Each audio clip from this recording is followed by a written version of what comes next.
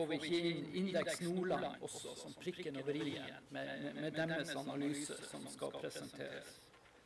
Vi er glad for at det er stinn brakke, det er sånn det skal være. Men i tillegg så streamer vi det her. Det går ut til det, de tusen hjem, hele arrangementet. Og vi syns det er artig å si at vi klarer å samle folk til fysiske møter fortsatt, samtidig som vi kan streame. Og da får vi gode faglige foredrag rett ut til kontorene og stuen til folk. det, det er sånn det skal være. Jeg skal ikke si så mye mer nå. Jeg blir å knytte noen kommentarer til eh, noen av de innleggene som kommer i forhold til eh, vår del av fagdagen. Men bare ønsker dere nok en gang velkommen og håper at det blir en veldig faglig god dag. Så første post på programmet det er Erlend Bullvåg fra Kunnskapsparken Bodø. Og det skal være en kort introduksjon av Trond S. Hansen. Vær så god. Tusen takk for det. Um, ja, um, velkommen uh, får jeg òg si. Vi, um, det er jo sånn at Vi kakker oss litt på lag her, fordi at uh, vi har hatt et samarbeid og en av sponsorene bak Indeks Nordland. Så uh, jeg og Erlend har hatt litt roadtrip opp gjennom årene. Dette var jo lansert i, i Bodø i går. Og endelig er vi på hjemlige trakter fra Erlend også når vi kommer til Myre, så det syns vi er ordentlig stas. Men jeg må bare eh, trekke fram og applaudere at vi ble kontakta av Egga Utvikling. For det at vi hadde en annen lokasjon som vi hadde tenkt å kjøre dette arrangementet på. Men i stedet for å stå i to leirer og drage på litt av de samme folkene, så slo vi oss i lag. Og så er vi da samla med antall pluss-pluss her i dag. Så det syns vi i DNB er veldig hyggelig. Um, og jeg tror jeg skal nøye meg med å si akkurat det, og så gir jeg ordet videre til han Erlend. Du glemte å si at det går an for renterabatt. Ja, ja, det skulle vi ikke gå så høyt ut på. Nei. Vær så god. Ja. Tusen takk. Og Det er utrolig hyggelig å være, på, være i Vesterålen. og jeg får, når vi landa i, i, morges fra, fra Bodø, så var det jo nesten eh, vindstille. Så, så det var så vidt at det ikke ble et mytteri at jeg dro og fant meg en båt å være med ut. for det, det kunne jeg godt ha tenkt meg. Vi skal si litt om Indeks Nordland. og um, det er en rapport som vi har gjort 21 eh, ganger. Den eh, analyserer de to viktigste tingene vi har. Det er altså hvordan det går med humankapitalen, som er 85% av verdien vår, og hvordan det går med resten, altså bedriftene, og det fungerer. Så vi skal se litt på det. Men jeg har laga en sånn fin intro her, så vi må vise for at det er så veldig stolt.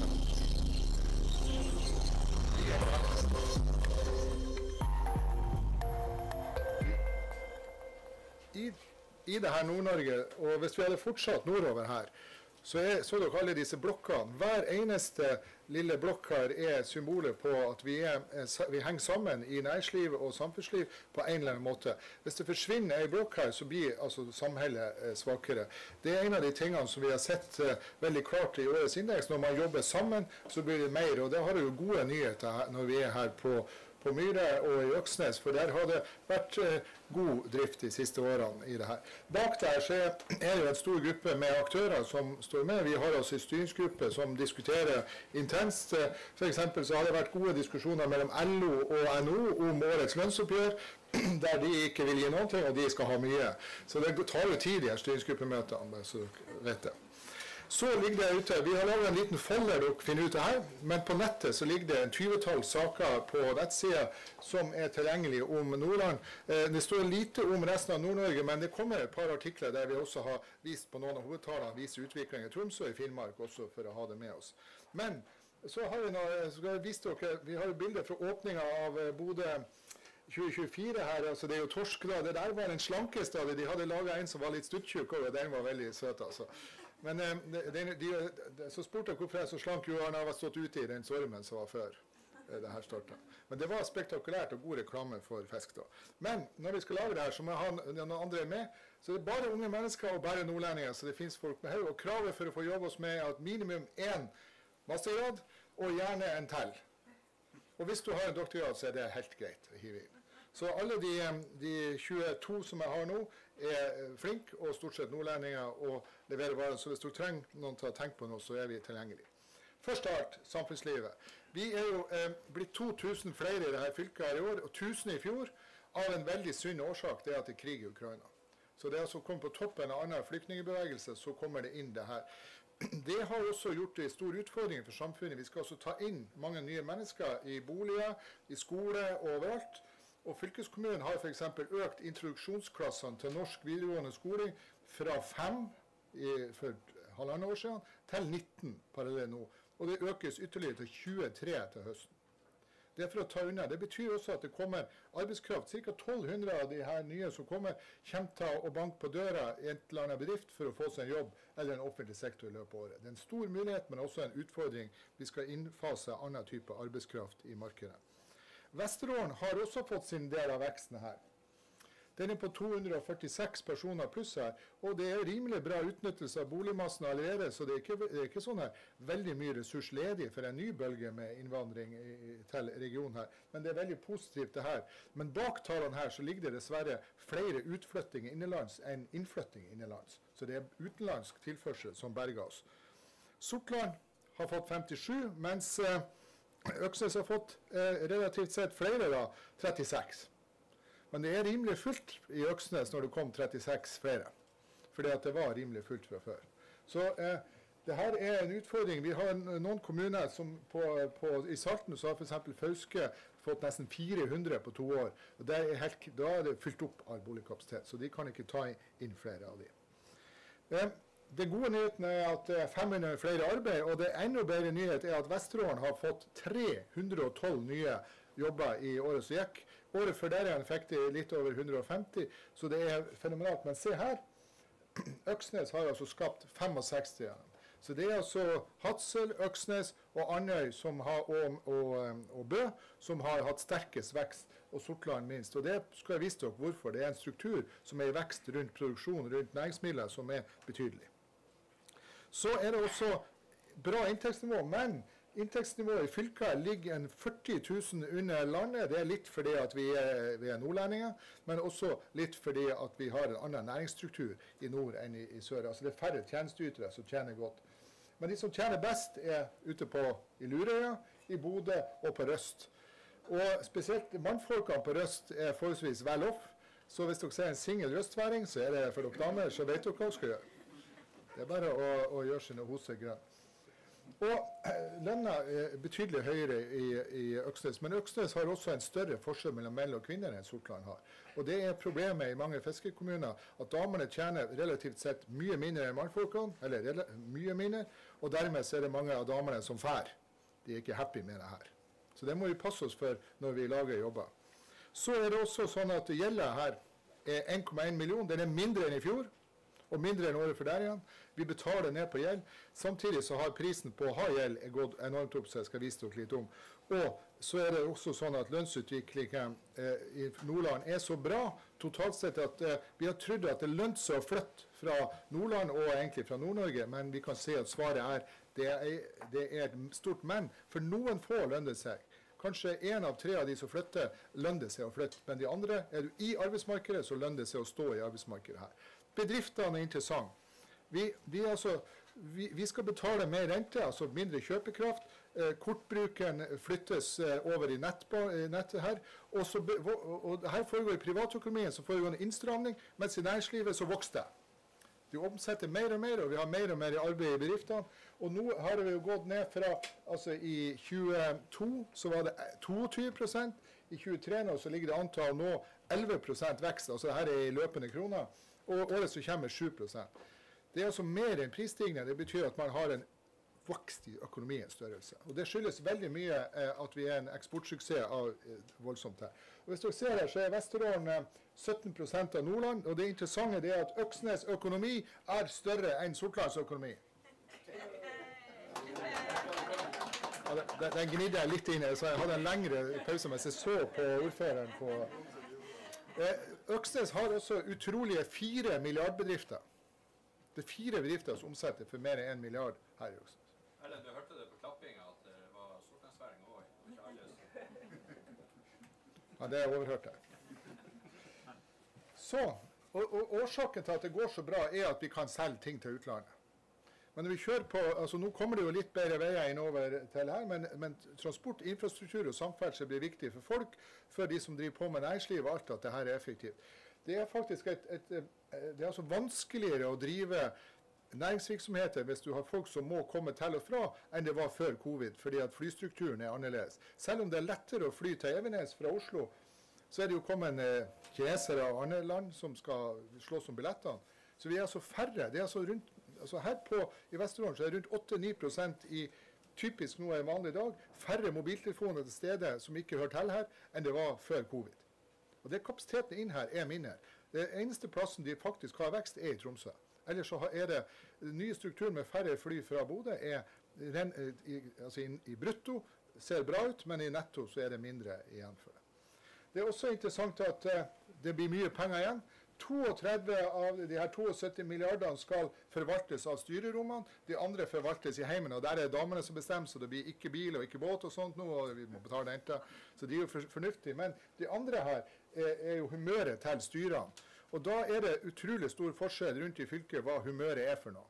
Her i Vesterålen har det vært en fantastisk vilje til å stå på og bygge bedrifter i de siste tre-fire årene. Den samme viljen finner vi ikke f.eks. i Indre Salten eller i deler av Helgeland der det står helt i ro. Ikke noe investering, ikke noe tak i det.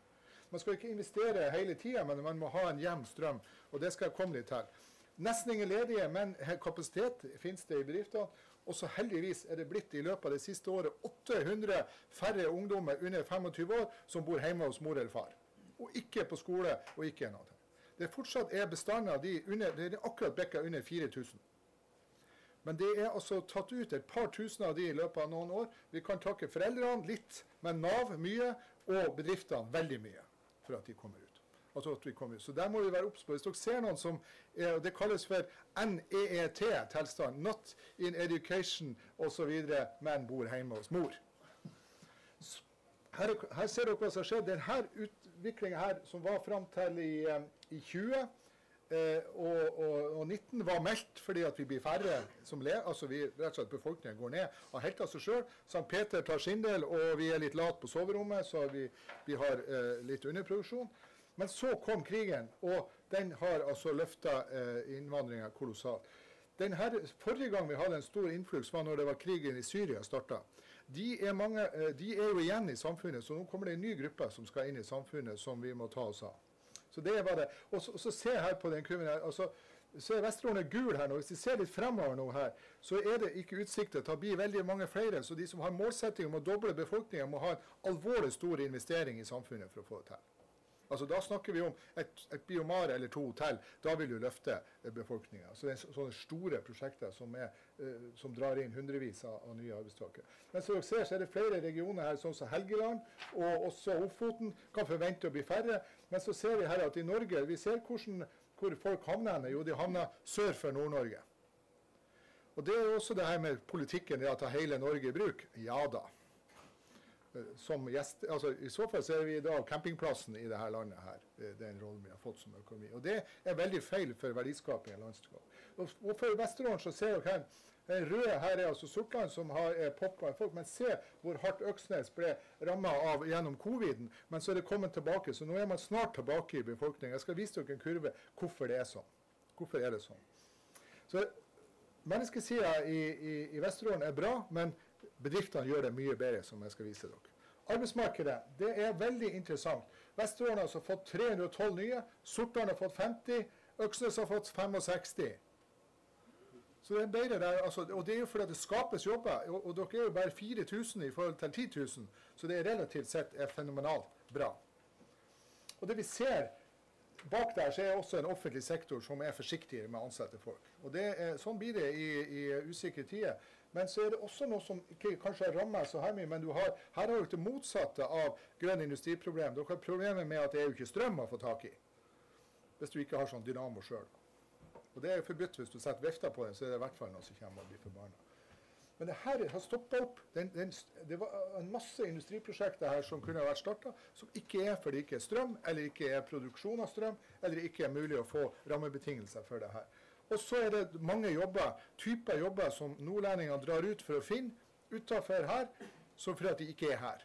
Så hvis dere skal ha de skarpeste biologene, så er jo de faktisk enten i Tromsø eller på Ås. Men ikke her som det foregår.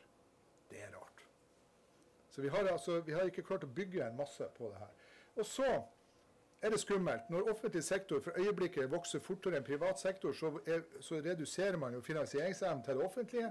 Det kan ikke foregå veldig lang tid til for at det blir ugreit i dette landet. her. Altså. Så vi nærmer oss nå Nå har det vært to år med, med vekst her. Vi nærmer oss et punkt der eh, den offentlige bærekrafta ikke er der lenger. Altså Kommunene kommer til å få enorme problemer hvis de fortsetter å esse ut i, i sysselsetting. Men dere er best. Og Vesterålen er aller best, og jeg skal vise dere den her. Og det, og det som har skjedd, det er spesielt næringsmiddelindustrien, men også tjenester rundt industrien her har vokst. Totalt sett ser dere her, så er altså sysselsetting ikke en nordlandssport, men det skjer andre steder fordi at du har befolkningsvekst og sysselsettingsvekst sør for oss, mens i Nordland er det her. Og så kommer, Hvis du har tatt med Tromsø her, så har det lige eller Troms har de ligget midt imellom oss og norsk gjennomsnitt. For det at staten er veldig flink å lage jobber eh, nord for oss. Og Det bidrar også til privat sektor med, med spillover i det her som er bra. Her er her er, ser dere sysselsettinga i her ser dere Øksnes har altså dratt opp og hatt raskere vekst enn enn både Vesterålen og, og Sortland.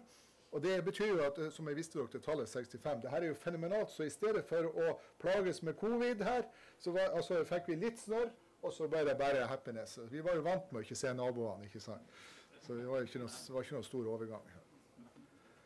Det her har fungert bra. Se på statistikken her. Før. altså Salten, som har Bodø i seg, selv likevel har du nedgang. Man klarer ikke å få fart på det.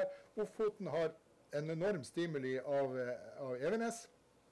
Vesterålen har en enorm stimuli av det som skjer langs kysten, yttersida av kysten. Så det gir eh, for Vesterålen en stor industri, og det er jo næringsmiddelindustrien, og der vi ligger ved kaia nå. Offentlig sektor, bygg og anlegg, og spesielt Leonard Nilsen og de drar opp. Så har du også mer fart på reiselivet, mer fart på eh, havbruket. Og så blir det mindre varehandel. Dessverre så færre unger får jobb, introduksjonsjobben her. Så når de er ferdig med å skjære tunga og skal begynne i butikken, så er det ikke noe butikk å jobbe i. Og Det er en dårlig eh, start her. Så du skal få se hvordan det ser ut i Øksnes. Og Nå skal jeg ikke vise den kurven for, for skjorta, for dere kan finne på å mobbe dem. Sånn. Men her er det altså dere har altså mindre tjenester mot bedrifter. Det desentraliseres i hele fylket. Mens, og varehandel blir mindre. Men så ser dere her det er næringsmiddelindustrien, kommunen og, og, statlige ting, og så havbruksnæringa.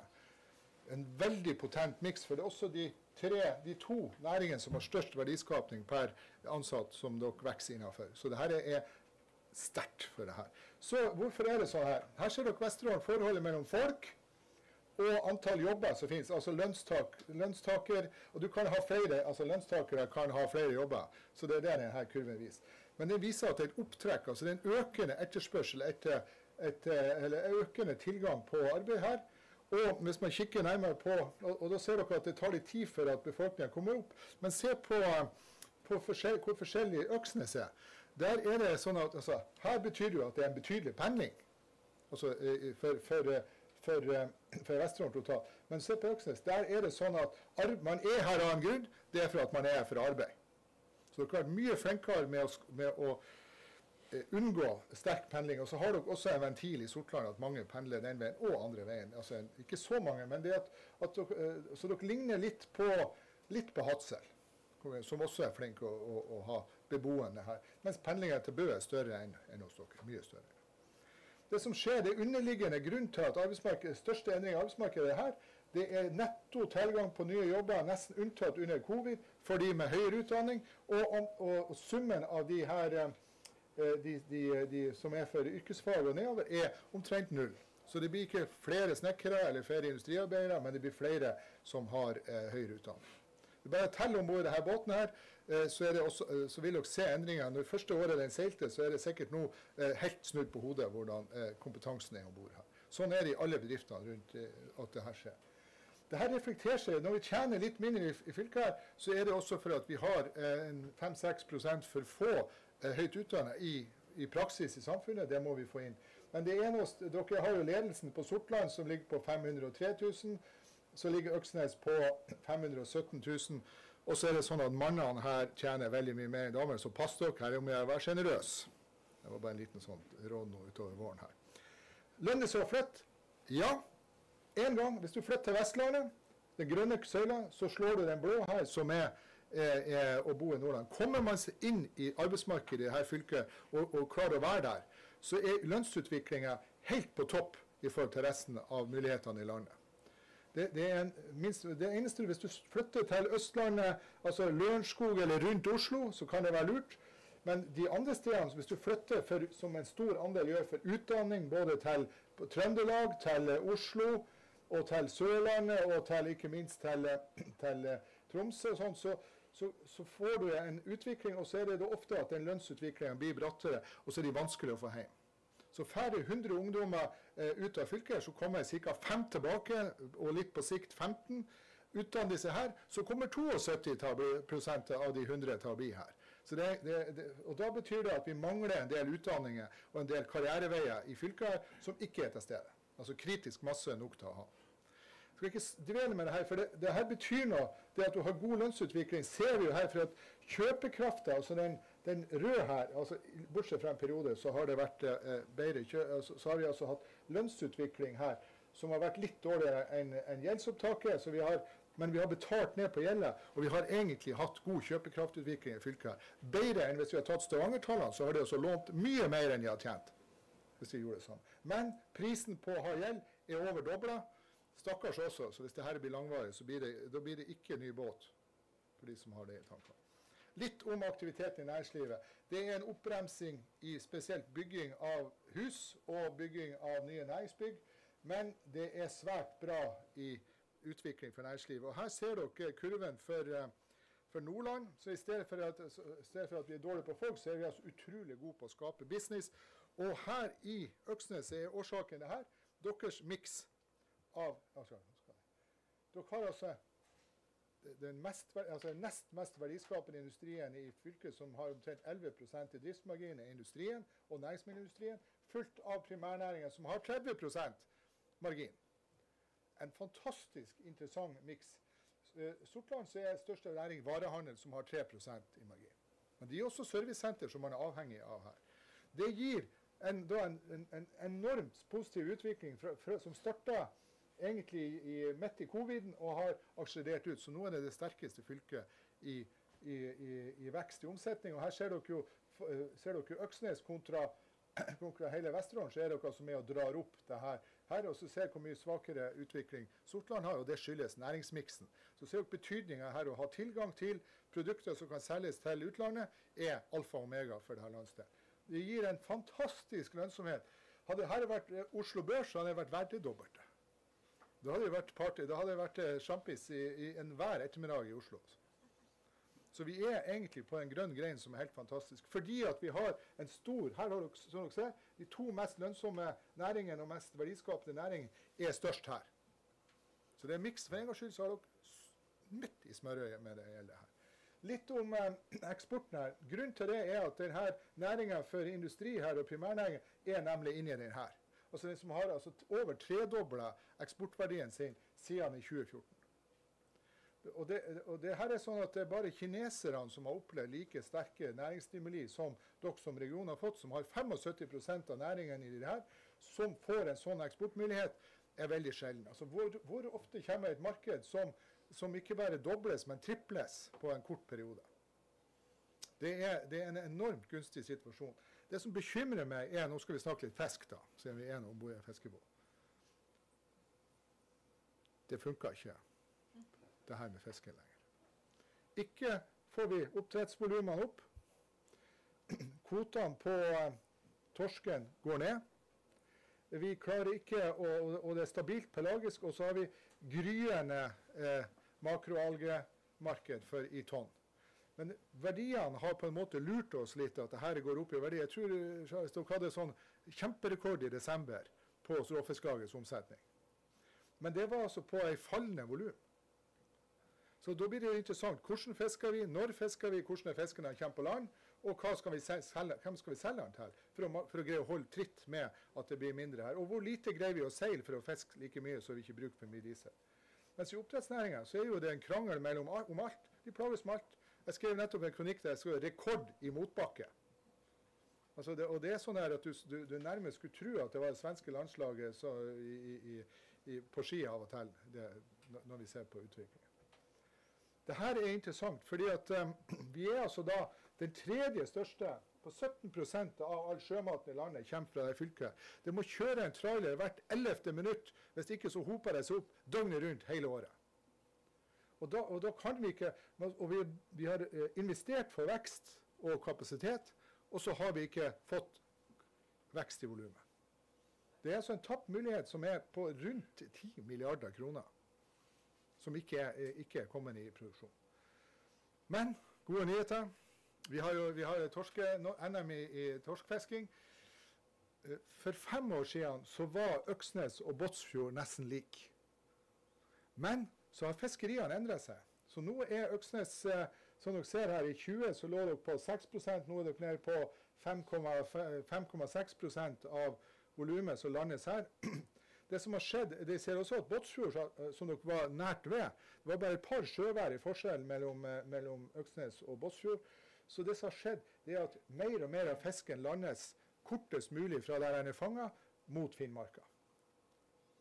Og Det betyr at det er en gravitasjon mot landingsstedet i Finnmarka. Og så ser vi at det har vært noen dårlige eh, år med innsig på innsida av Lofoten. Så, så, det er altså jeg tror Hvis vi hadde tegna grafer for de forskjellige landingsområdene, så hadde dere sett det veldig klart. At, eh, og Da er det jo forskjellig hva er ferskt, hva, er, hva går til salting og hva går til anvendelsene får stor betydning.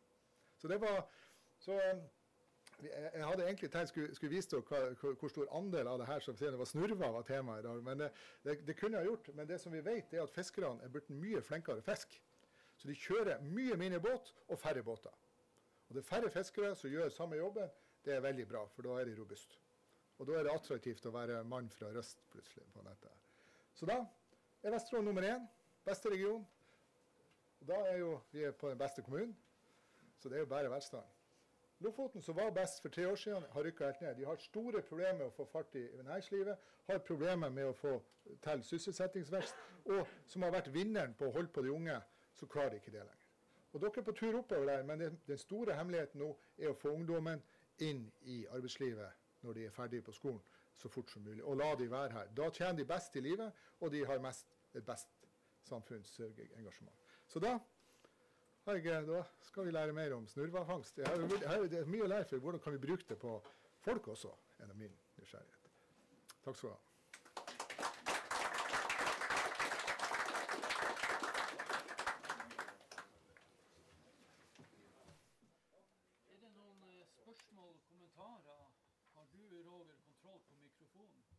Mikrofon? Nei, jeg har ikke noe mikrofon. Men jeg har en god stemme. Du har god stemme. Avsoværing, så roper vi høyt. Kan du bare levere Er det noen ja. uh, som vil stille spørsmål og kommentarer? Her er det ingen blyge. Der er en um, Veldig bra presentasjon. Um, uh, kan du si litt om uh, Det har vært en debatt nå at vi har får uh, spredd flyktninger og, og, innvandrere langs hele Norge. Men etter en stund så flytter de inn til Oslo. Ser vi samme trenden i, i, i Nordland? For Det kan jo være en midlertidig befolkningsvekst der. at det, Når ting ordner seg i Ukraina eller det går litt tid, så mister vi den, det befolkningsoverskuddet ganske kjapt. og Spesielt hvis fødselsraten er under to. så i Nordland så, så er det jo en eh, litt små, eh, småskummelt, egentlig. Eh, det, det, varierer veldig hva slags situasjon flyktningene er i. det ligger, ligger, i ordet at de er flyktninger. Så de har lyst, altså de Gravitasjon er jo gjemt i hovedsak, i hvert fall i Europa. Men akkurat det der, du, det vi vet, er at de gjerne kan Unnskyld. Det vi vet er at de gjerne, eh, For å få de til å være lengre og for å være, eh, bidra i samfunnet og, og, og, og, være verdige innbyggere, så ligger det en jobb å gjøre i samfunnet. Og Den varierer fryktelig mellom kommunene og hva slags ressurser som hentes inn. Der det er jobber som gir en, en slags terskel inn i det her eh, som er tilgjengelig, som f.eks. Vesterålen er veldig flink til, så viser det seg at integrasjon går lettere, og at folk blir lengre. Men eh, noen nasjonaliteter flytter til Oslo bare fordi at resten av flokken er der, mens eh, andre blir her fordi de syns det er ålreit å leve her. Så det, det, kommer an på hva slags verdier de har. Og det å lære de norske verdier er kjempeviktig. F.eks. vi har eh, sånne trainee-program for eh, høyt utdanna eh, utenlandske eh, flyktninger. Og da, Det bruker vi mesteparten av tida å forklare at eh, sånn er Norge, og sånn er arbeidsdagen. og sånn fungerer. Så Vi driver med det vi kaller skulder-til-skulder-opplæring. Det er kostbart, men etter noen måneder så jo, har du jo en nordmann på sida av deg. Ikke noen du trenger å lure på om de forstår hva du sier. Og, det, og den, der, den, ressursen der når de kommer i arbeid, er jo fantastisk lojal. Så, så det, det, er en investering. Det, det, er vel vårt største løfte her i tiåret er å, få, å, å, å, sørge for at den humankapitalen er bedre den, hvis den forlater Norge, og at de blir her i samfunnet vårt. vi har ikke råd til det, for at fødselstallene kommer til å, eh, kommer til å ødelegge kommuneøkonomien av seg sjøl. Altså, St. Peter er flinkere enn en fødestua. Altså. Så dette er en, det er en mulighet som, vi, som er, sendt fra oven. Altså.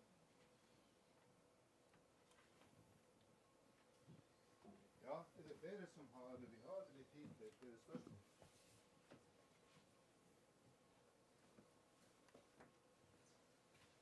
Det er fryktelig stilt her. Det betyr at du har hatt veldig fått foredrag. Jeg kan spørre, Du snakker om verdiskapning.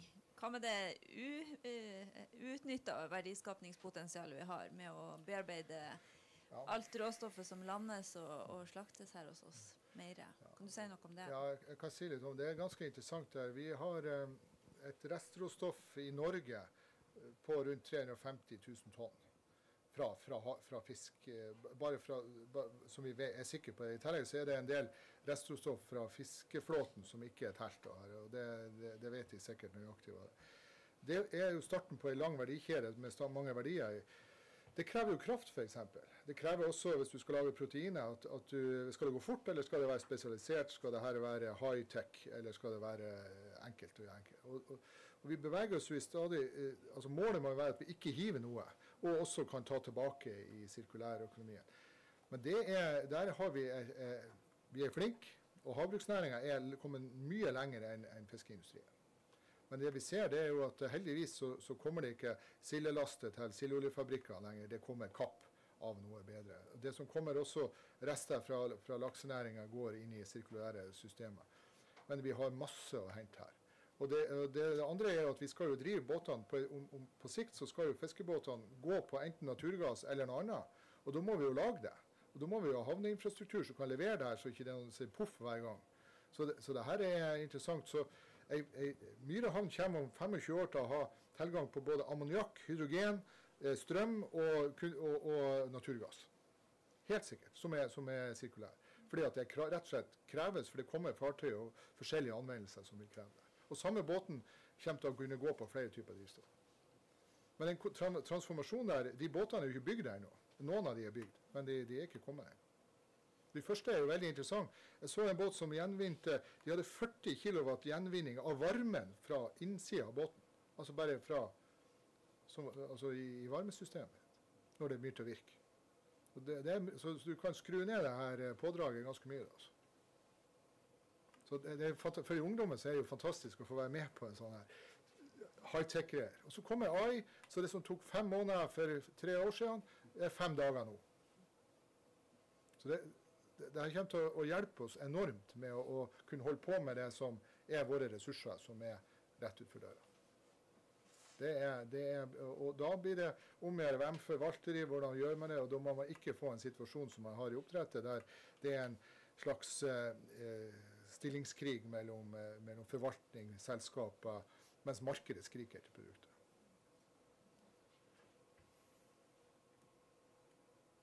Ja. ja.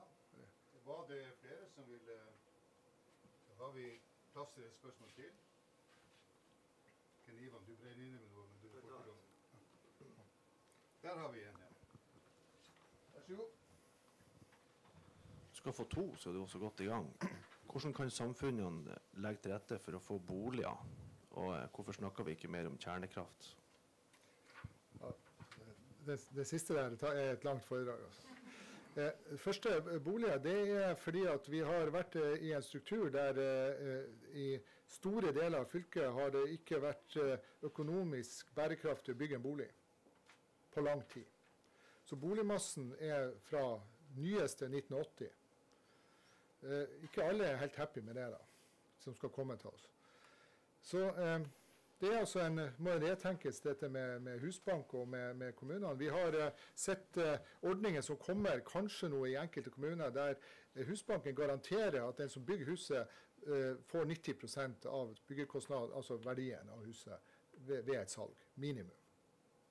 Det, og, og det er sånne ordninger som vil stimulere det. Men så blir det vel som i fjor at Husbanken var fri for penger 19.1. Så vi har det kjedelig. da, Som snakker om spenne stein, så er det jo, eh, går noen sko der. altså. Og, og, det er for at vi ikke har en politikk for det her med å flytte, altså, uh, med å flytte folk ut. Og Så roper man på at det er altfor lite boligbygging i Oslo, men sannheten er relativt sett så er det jo mye mindre boligbygging der den trengs, sånn som i Øksnes og, og, og Hadsel og Bø. For det er vanskelig for folk å ta den sjansen. Når vi ikke snakker om kjernekraft, så er det veldig enkelt. Hvor er det tilgjengelig uran fra i denne verden? Det er veldig enkelt. Det er fra Russland, så glem det. Det var enkelt svar. Med, mindre du har en kompis der. Altså. Nei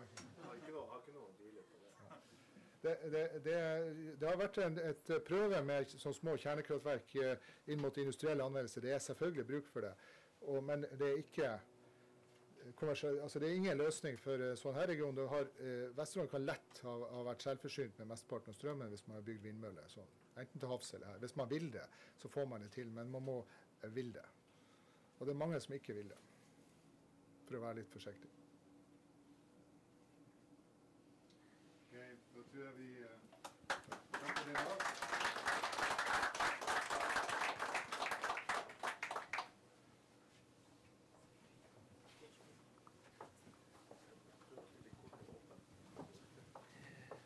Ja, da sier vi eh, tusen takk for et eh, veldig interessant foredrag.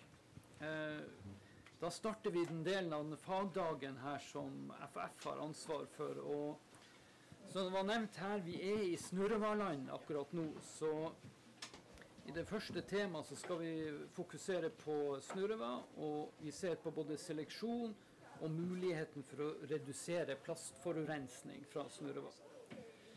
Eh, opprinnelig så hadde vi han Olafur fra HI som skulle holde foredraget for oss. Han måtte dessverre melde avbud på kort varsel, men da steppa Rita Naustvik fra FAF inn som erstatter. Og det er en god erstatter.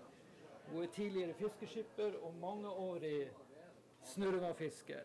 Og i tillegg så har hun vært ansvarlig for de prosjektene som han eh, Olafur skulle snakke om i FAF. Så Rita, vær så god.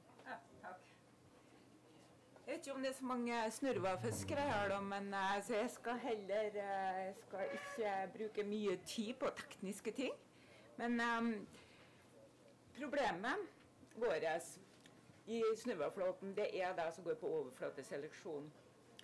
Og det kan gi utfordring både i forhold til overlevelse hos fisken som går ut, og i uh, forhold til uh, overlevelse, ja, overlevelse hos den. Så, så, her har dere typisk en uh, sekk som kommer opp til overflata. Det er et hysehal.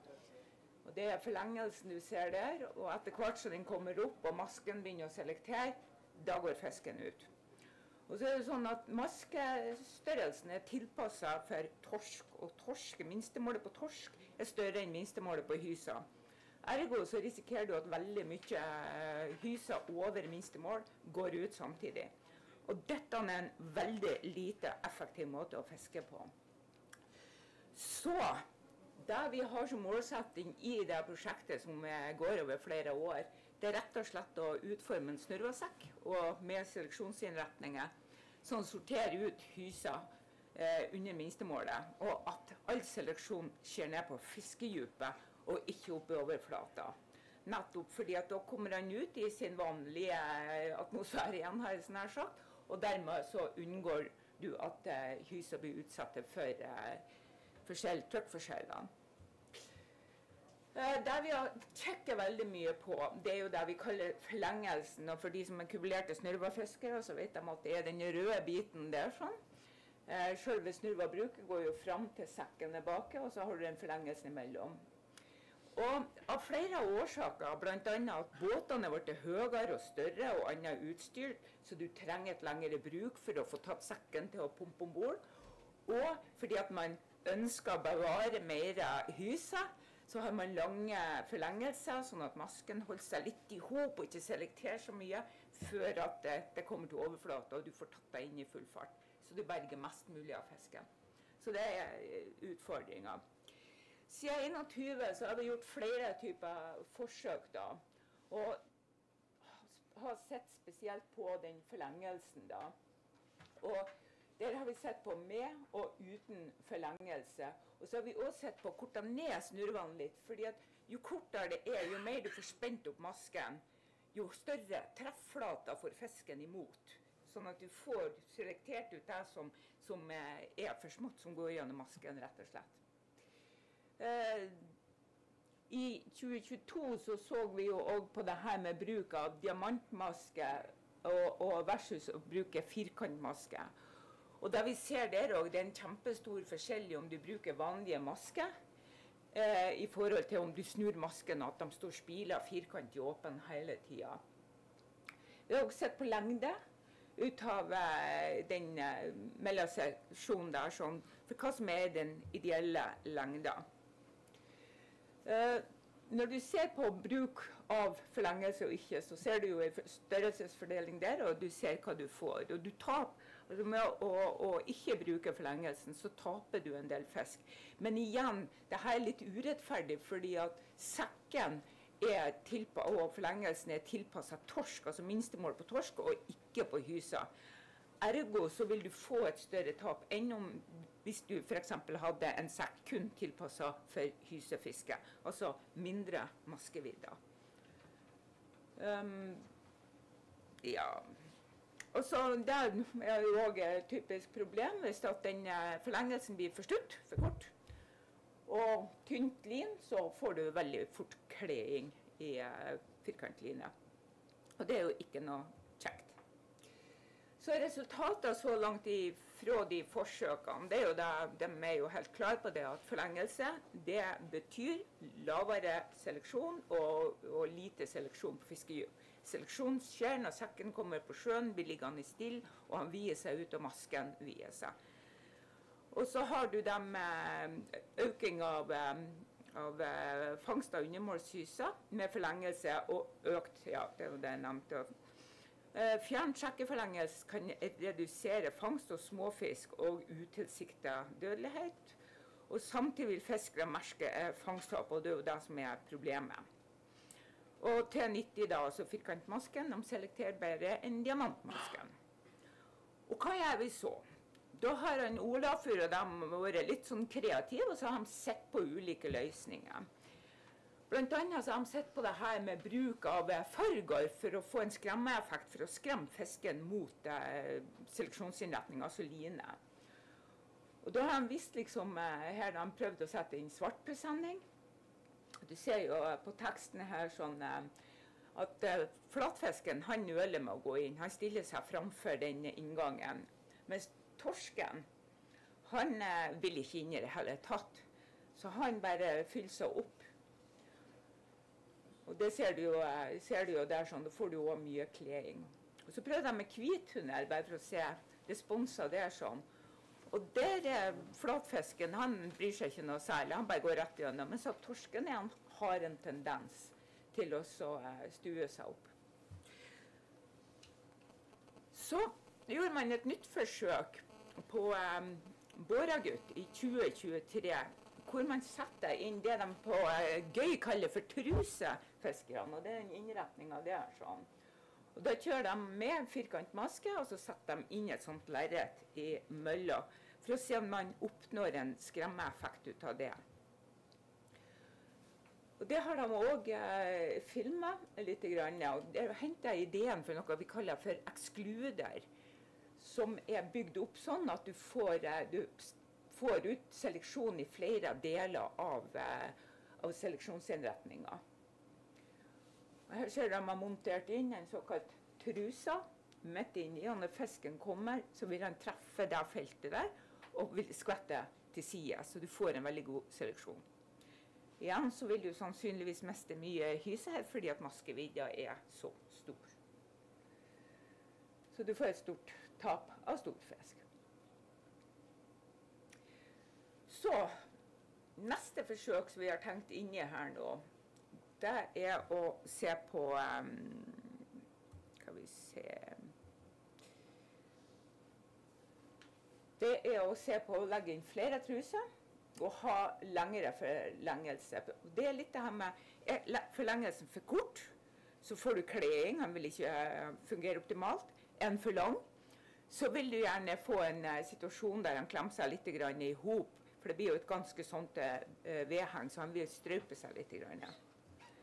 Så de har gjort forsøk da i uh, Flumtanken, og det er jo veldig kjekt å kan gjøre sånt i forkant før man prøver ut i uh, kommersiell drift. Det man antok når man satte inn alle de her trusen, det var jo at han ville klappe sammen litt forlengelsen da. Men i stedet så har han altså, så vier han seg ut, og det er jo kjempepositivt. For da vil du få bedre seleksjon mot masken. Ja, og Her er flere typer sånne. Her har du jo avslutninga på selve snurrevann, og så har det kobla på forlengelse for å se at du får blåst godt opp, så du får veldig god gjennomstrømning. Og Det er jo sånt som man må prøve. Når de kom i testtanken, så de laga ei løsning, og det viste seg det at det ble bare rot rundt der. Og det ble dårlig åpning og dårlig eh, vanngjennomstrømming. Så det er jo sånt man tester på, da. Jeg skulle ikke si så veldig mye om de her tingene. Det er jo eh, neste de skal gjøre nå, det er tokt i 2024, hvor at man skal gå videre med de her trusene og teste på å oppnå maks seleksjon. Og eventuelt hvor langt ned du kan gå i maskevidde for å få en skarpest mulig seleksjon i forhold til både hyse og torsk. Så det er så har jeg ikke tenkt å si så veldig mye mer, egentlig. Men spørsmål det blir altså, Jeg prøver ikke å gjøre det teknisk.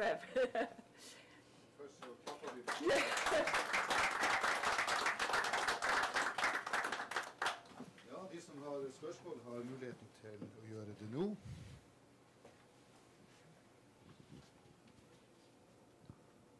Jeg spør litt i forhold til trykkbølgen. Hvordan flytter du trykkbølgen med å fjerne forlengelsen? Eh, vil det ha noe utslag? Vil det ha noe utslag også på farta som du må snørpe med, eller taue med? Eh, taue med det skal du etter retten bare gjøre på tråd, men eh, gjør det snurva også. Så um, det er jo litt interessant å se det der eh, i forhold til hvordan fisken stikker, og slags vei han stikker, og om han kommer att eller ikke. Ja. Så um, det er jo komplisert, og det var jo veldig komplisert når han eh, når Roger begynte med de restene også, sier så eh, kan du si noe om det, eller dere ikke komme så Nei, altså, Roger, du kan jo sikkert bidra meg litt her, sånn, men, men for det første, så når du ser på atferd fisken, så har jo hyse en helt annen atferd enn torsken. Torsken er lat, og han lar seg bare feie med bak øynene, mens at hysa hun har en fluktreaksjon, så hun går mye fortere på, eh, på line. da. Men det her, for de som er fiskere, så kjenner de jo sikkert litt til det. da. Eh, og så det med, med, med, trykk og Jeg vet ikke hva du tenker, Roger?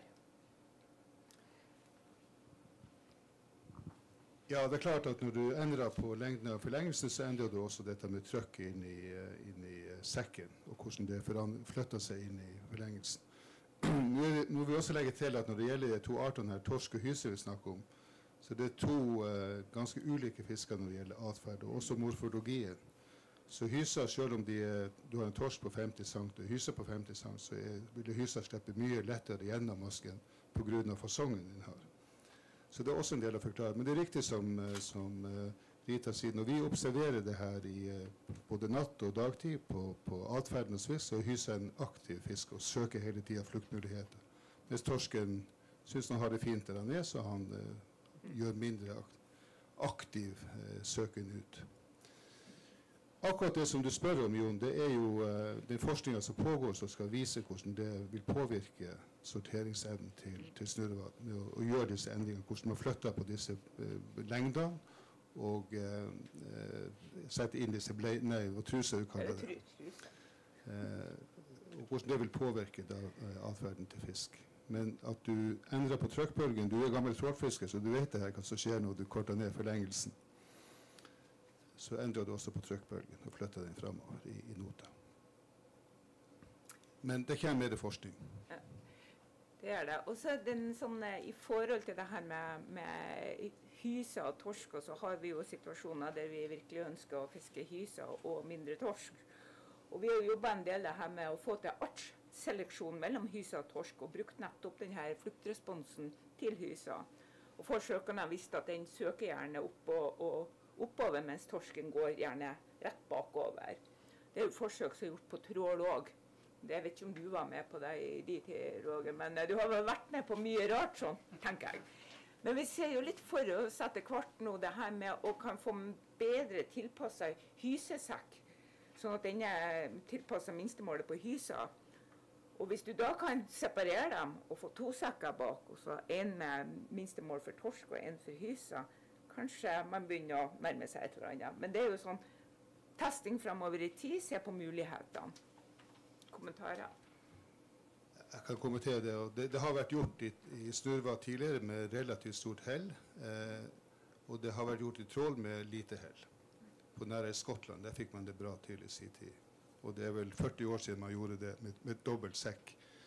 Og Det har jo vært en idé som har ligget fremme lenge, at du kan ha ulike maskevidder i, de to sekkene der. Men så kan man jo spørre hvis det var noe fra Fiskeridirektoratet her, hvordan man skulle regulere det her. Og da, man, eh, da møter man kvist. Det, det er vanskelig.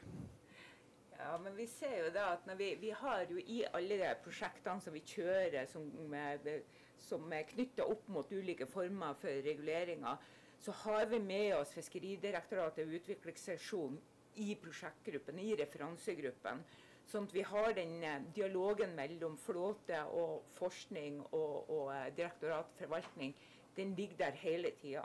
Når vi jobber med å utvikle ned fangstbegrensning for, for snurrhvalflåten, for ikke å snakke om nedskalert snurrhvalsekk, så var de med, og vi fikk tilpassa regelverk i forhold til det fiskerne var med på å utvikle og så kunne være eh, gangbare løsninger, rett og slett.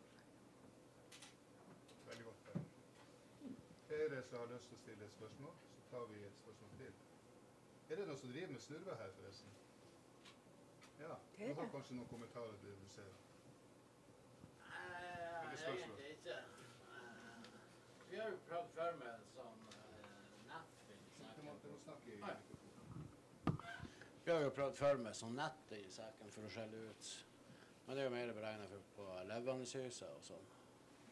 Ja, Tenker du et sånt Ja, langsgående Ja.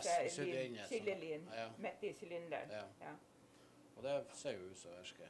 Ja. Jo, det da, jo, vi fikk vi gjort tester på i et tidligere prosjekt, og det, det ga egentlig bra resultater. Altså. Ja. Ja. Men uh, jeg er ikke litt rusen. Det blir artig å se om dere får det til. ja, det var overraskende eh, at de funka så bra som de gjorde, altså. Så det mm. Ja. Ellers så har jeg jo for så vidt eh, ansvar for fiskeriteknologi i, eh, i eh, FF, da. Og dere kjenner vel FF, de fleste av dere. Det er sjømatnæringa sitt eh, eget forskningsfond. Sjømatnæringa finansierer den. Og eh, vi soldatene. Vi skal sørge for at eh, dere hele tida får relevant forskning og utvikling. Det er vår hovedoppgave.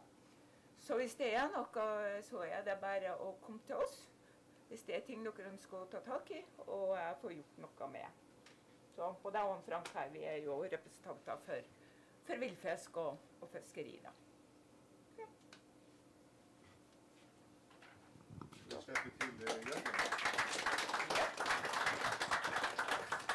Så kan jeg legge til at den avgiften der den var jo godt promotert av en hedersmann fra Øksnes som heter Oddmund By. Han var med og hjalp oss å få til den, den avgiften. Ja, Roger, da går vi bare videre i programmet. Eh, For fiskerinæringa er det viktig, et viktig mål å redusere plastforsøpling og forurensning i havet. Og næringa og forskningsmiljøene har i det neste prosjektet vi skal få høre om, sett på mulighetene for å erstatte plast, særlig i forhold til slitematt og snurrevatau. Resultatene er positive og kan gi godt grunnlag for videre utvikling av fiskeredskap produsert av bioplast. Det er jo det man er ute etter. Nedbrytbar plast som ikke gir her, eh, altså sånn, det, det, det gir ikke mikroplast. Det, det er biobasert. Og han Jørgen Volstad fra Sintef han skal fortelle oss mer om det her på Teams. Så får vi se om vi får det her til å fungere.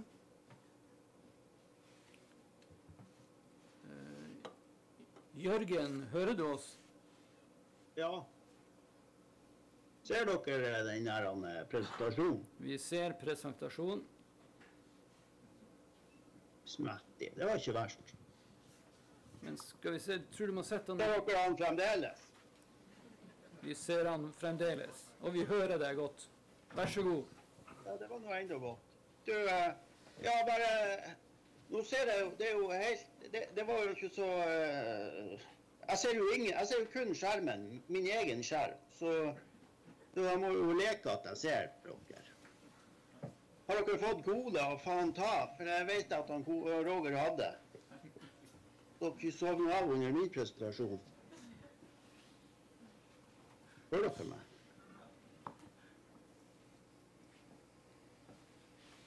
Dere hører meg? OK. Ja. Eh, bare, bare, bare en eh, kort ting, Rita. Jeg, jeg, jeg, skrev hovedfag på denne artauksjonen eh, i Snurrbakka i, eh, i eh, 2001-2003. Og, og, og det er klart at det er jo en kjent teknologi, det her med delenett og vurdere to sekker opp og nede og hele det her hopprennet her. Jeg prøver å rekke opp hånda, men, men dere så ikke. Men eh, ja. Som sagt, det blir litt rart det her eh, å, å prate til et eh, Men jeg må, eh, dere må svare meg. Ser dere meg? Ja. Ja, Jørgen, vi ser det, og vi ser presentasjonen. Ja, OK. Ja, det var notert.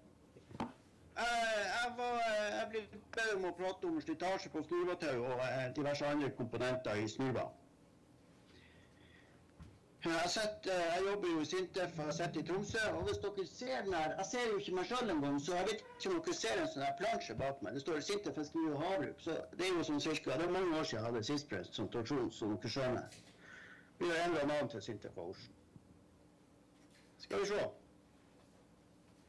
Plast i det marine miljøet, det er jo eh, Det er ikke så forferdelig mange år siden jeg aldri hadde hørt om mikroplast. Jeg tipper at jeg, skulle prate i, på Lofotfishing eh, i jeg, jeg tror det var i 15 eller 16. Der ser jeg jo noen, ja. Der er dere, ja. Og da eh, Se der. Og jeg har aldri hørt om mikroplast. Og jeg skulle prate om noe snøkrabbe, eh, for der var det fullt av eh, plast i magen til eh, snøkrabbe. Masse mikroplast. Aldri hørt om det. Men fra i 16 så er e- egentlig det meste jeg har holdt på med, har jo dreid seg om mikroplast. Og finne alternative materialer. Så er det jo sånn at vi, vi, vi burde det er jo blitt sånn fokus på det her, og vi burde jo eh, Ideelt sett så, så, så burde vi ikke legge igjen noe, noe igjen i havet av plast. Men, men vi vet jo at det her ikke er tilfellet. Fiskerinæringa legger igjen masse. Og vi ønsker jo ikke å å, å, å ha garn som, eh, som spøkelsesfiske, som fiskere mister, som ligger igjen. Altså, det er ikke mer enn 14 dager siden jeg var med en, en garnbåt, og vi fikk opp ei gammellenke, som vi kaller det. Den hadde ikke stått så veldig mange år. Mer enn to, i hvert fall. Men det var jo råttenfisk og dødfisk, og vi vet at de her nylongarnene som er lagd av oljeprodukt, de står her til evig tid. Nesten evig tid. Jeg har vært fått opp eh, Vi fikk opp ei blåkveitlenke i, i Storjup for en eh, seks, syv, åtte år siden, noe sånt.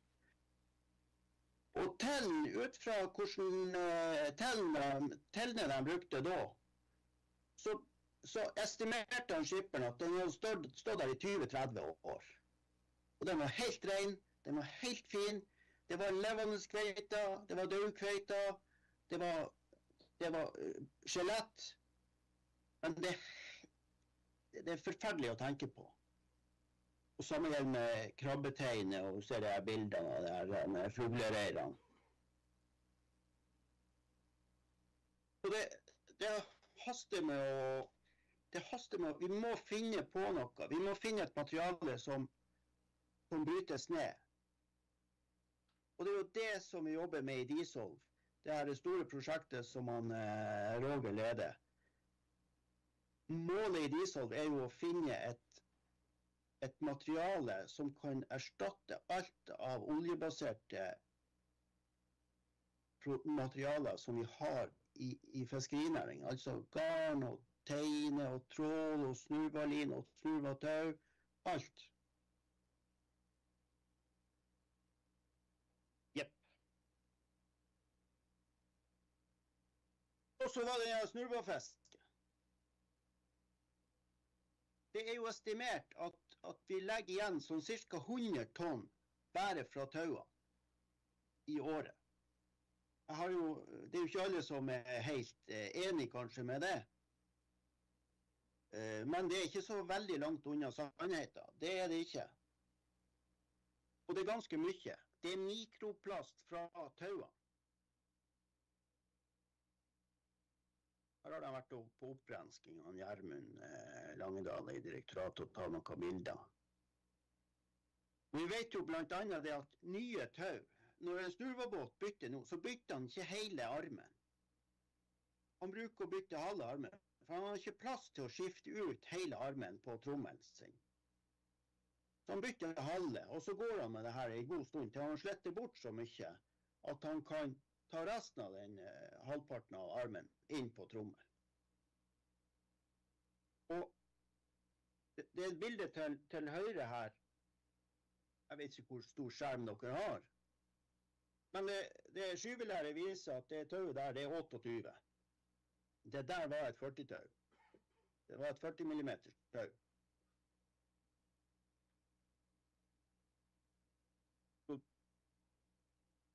Dere skjønner, jeg regna sånn, sånn cirka på det. Altså et, I et snurvehal med en kall det en normal snurvebåt, så legger du igjen mellom 1 og 2 kilo plast hvert hal.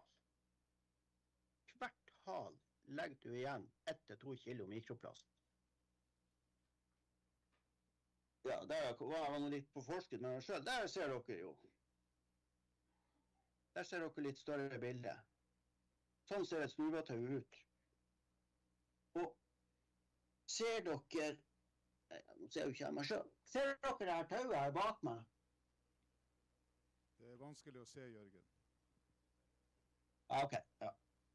ja. Men da trenger jeg ikke vise. Men det, et, når du, når du, et brukt snurvetau når du tar det fra hverandre, det, det detter i betta. Et slitt snurvetau. For det er det, Kordelene bare Det detter fra hverandre. Du må plastre det, du må teipe det med en gang hvis du skal spleise et brutt snurretau.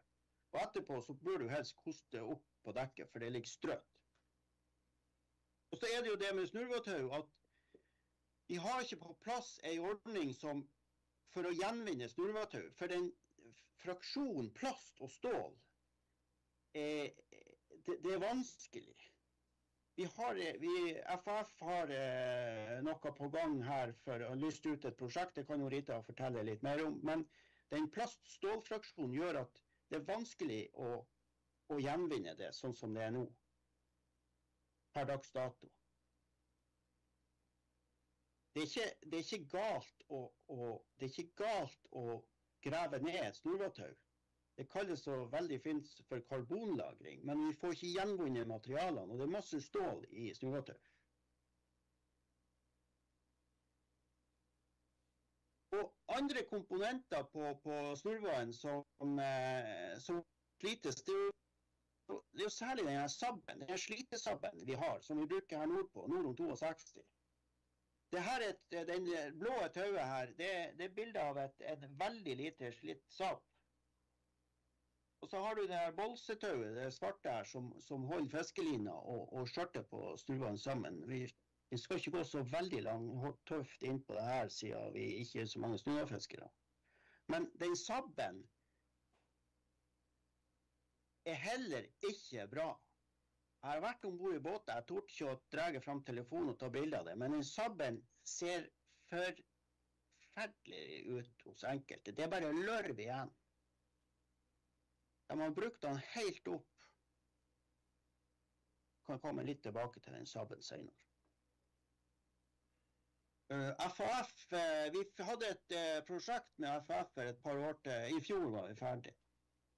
Vi så på alternative materialer til plast som til snurvatau og trådmatte. Og der gjorde vi en del ting.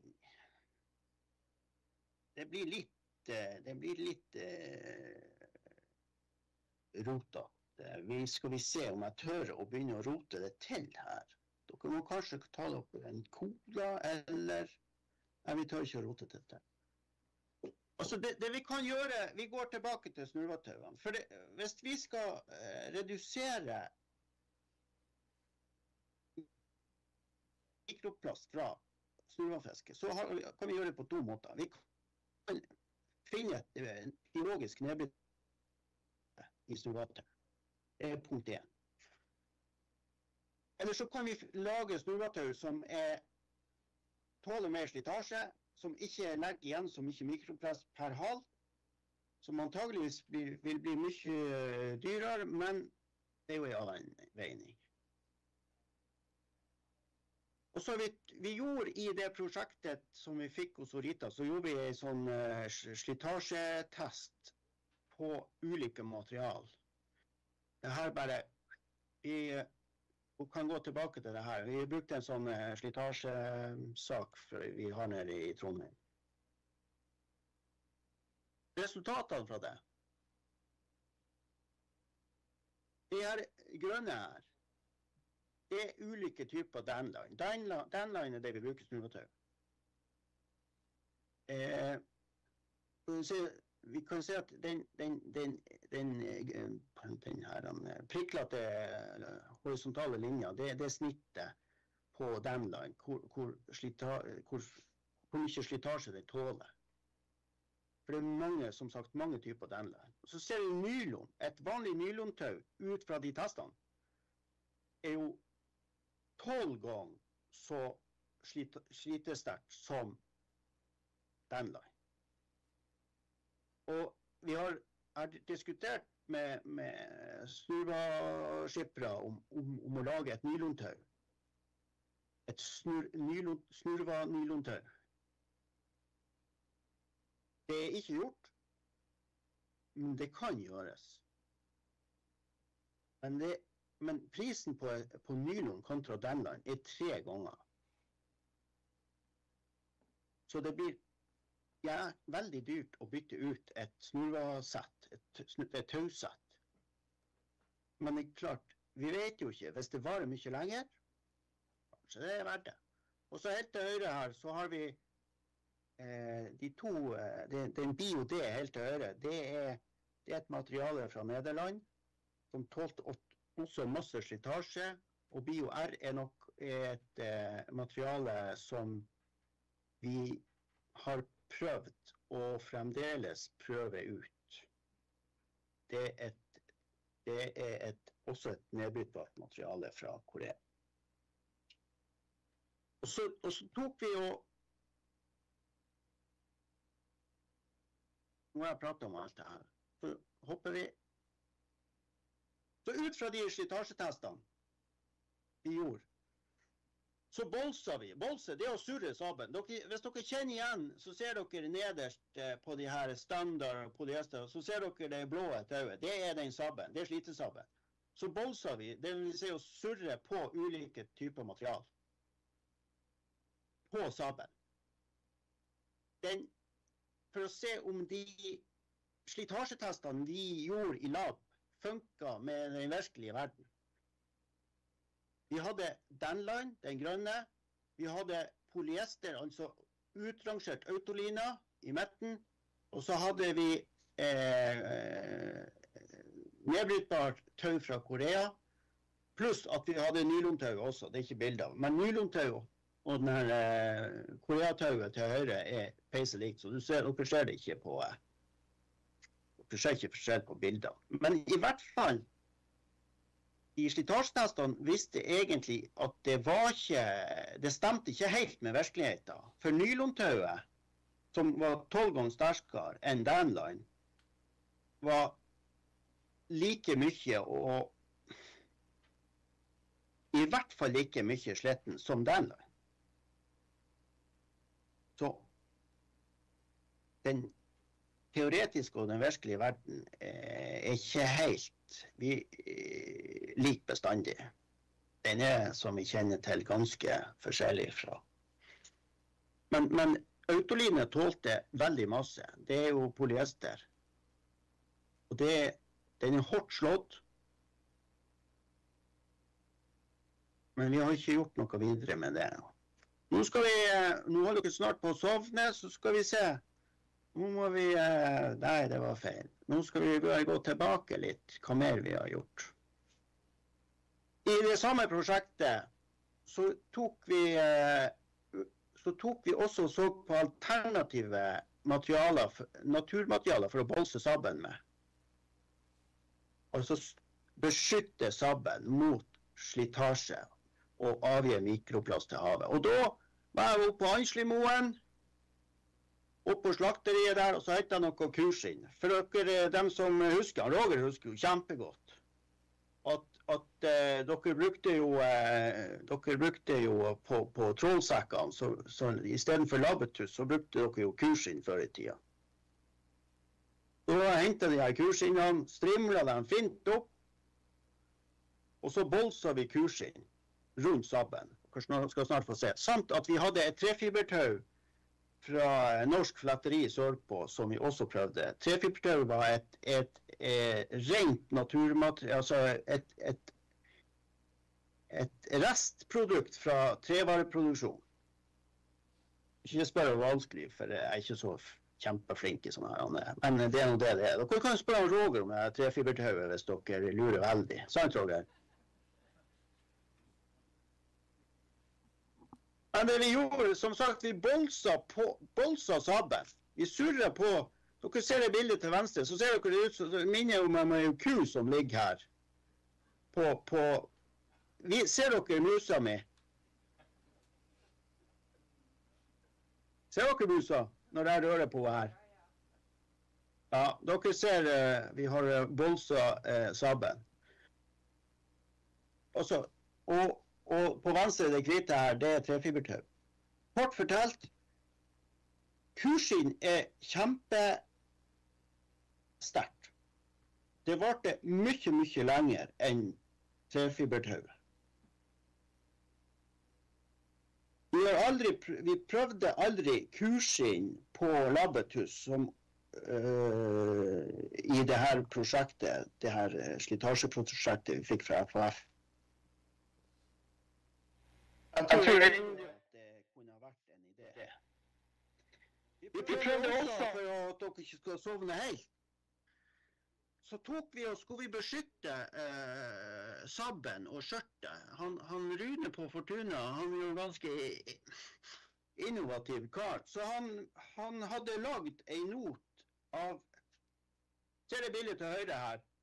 Ser dere den blå hadde, Istedenfor skjørtlinjen så hadde han en trippel trippel SAP. Han fjerna skjørtlinje, hadde en trippel SAP. Og så tok vi naturprodukt, altså totoms 8. For dem som kjenner, har bygd litt, så har de jo brukt en del totoms 8. Vi kappa den her totoms 8. Og det er fem minutter igjen, ja. Ja, det er notert. Ett minutt igjen. Er det ett minutt? Er det fem minutter? Jeg var snart ferdig. For å beskytte sabben og skjørtlinene dere, Det er lov å flire. Så setter vi på eh, to toms åttebeter, 60 cent lang. Og det er jo et, et naturprodukt. Det gjør ikke noe om du slipper det. Og den to toms åtten sin misjon vi tok jo ikke vi tok, Jeg var litt bekymra for oppdrift, for det var, var 0,7 kubikk totalt. Så vi var og prøvde. Jeg sa til Rune og skipperen jeg tror vi må prøve det her, her greia før vi går ut i Mulegga og setter det her. Så vi, vi gikk ut på Øyfjorden der utenfor Husøya, og så øh, setter vi det her. Og eh, vi hadde masse overtyngde på nota, altså masse kjetting. Men hun sokk jo ikke. Så vi, vi, vi, vi måtte på land og dumpe med, sette med kjetting på oss for å få til å søkke, for det var masse oppdrift. Den funka. Vi var, hadde oppi 20 tonn sei på.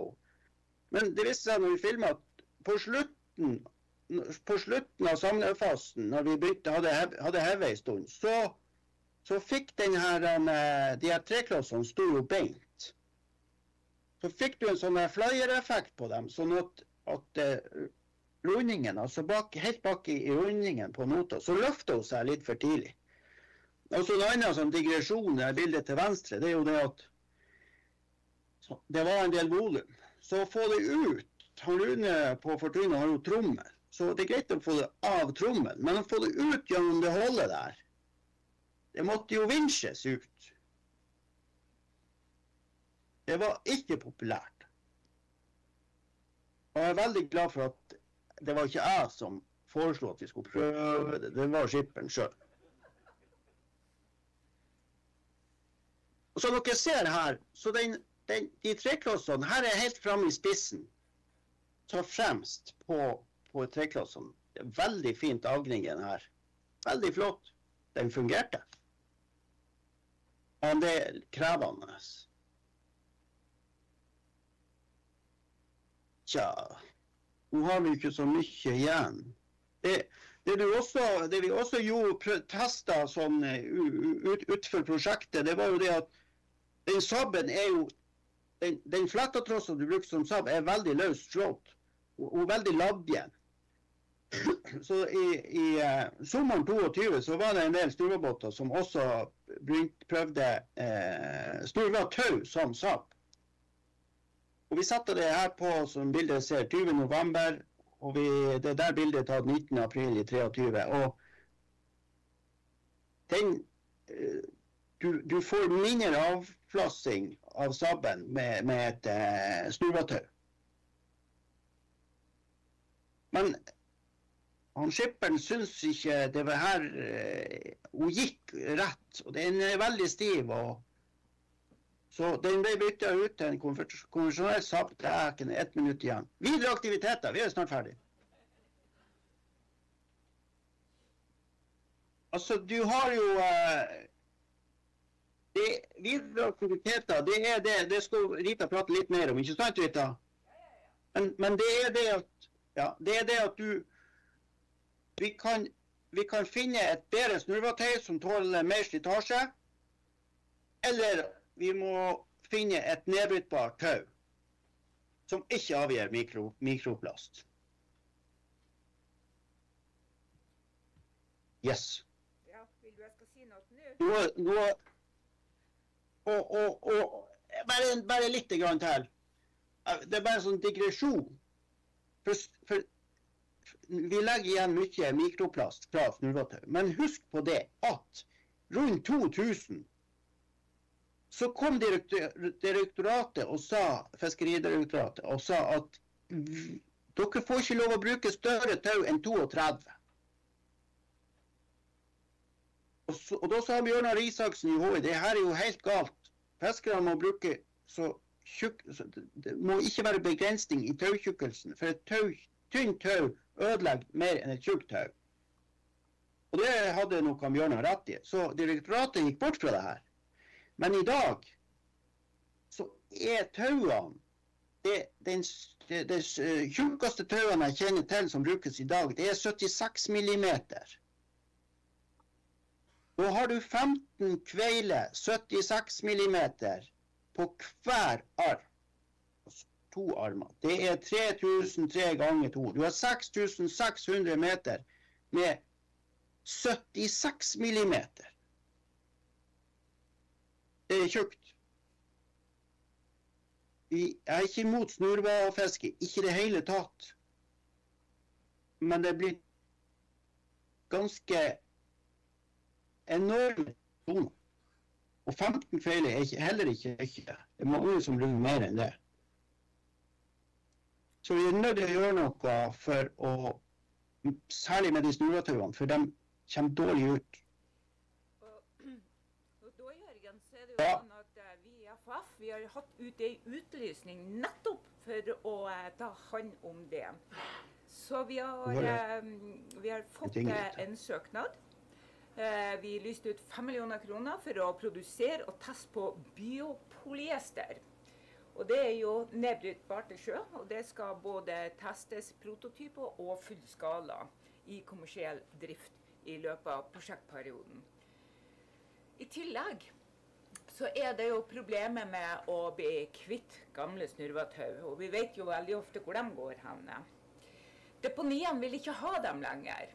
Så eh, vi må finne løsninger for å gjenbruke. Så derfor så tok vi og lyste ut eh, et prosjekt på det òg. For å klare å splitte og ta ut de ulike fraksjonene, altså tau og, og vaier. For så å bruke dem i resirkulert. Og Der har vi fått to søknader som vi skal behandle nå. Så, så i det hele tatt så er det aktiviteter. Så har vi den tredje tingen som bringer oss veldig fort inn på neste tema. Og det er jo det her produsentansvaret som eh, blir innført i år. Det betyr at redskapsindustrien de må rapportere på det de selger ut til dere, og passe på å få det tilbake igjen når det er ferdig slettet. Og det betyr at vi kanskje begynner å tenke oss fremover mot en slags panteordning for fiskerne. Jeg vet at de største leverandørene nå begynner å rigge seg med tromler for å ta imot der tauene igjen. Så når du kommer på land og skal skifte, så er det bare å snurre på, og så få på nytt igjen. Men da tar det oss over til neste bolk, Frank. Ja, jeg tror vi gir en liten hånd til han Jørgen også for foredraget.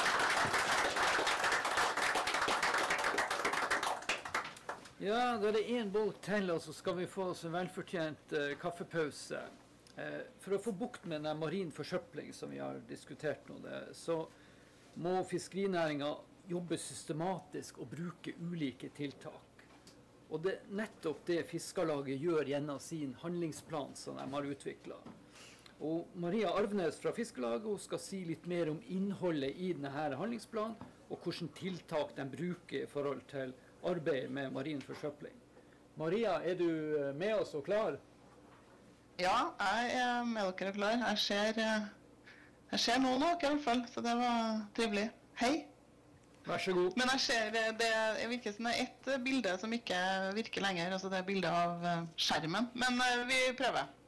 Eh, tusen takk for invitasjonen. Jeg har eh, Jeg tenkte jeg skulle begynne med eh, en liten video. Og det er jo alltid morsomt da, å se om, om jeg får til det.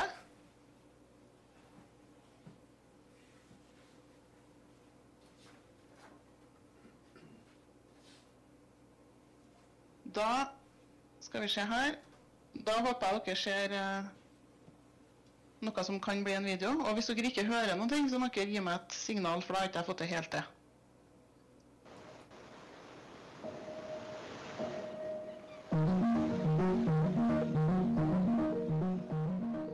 Ja, her har vi oppsamla Marit søppel. En uh, 1000 big bags med, med Marit søppel som er innsamla i år. Går vi i sekkene her, så finner vi et utvalg av det meste.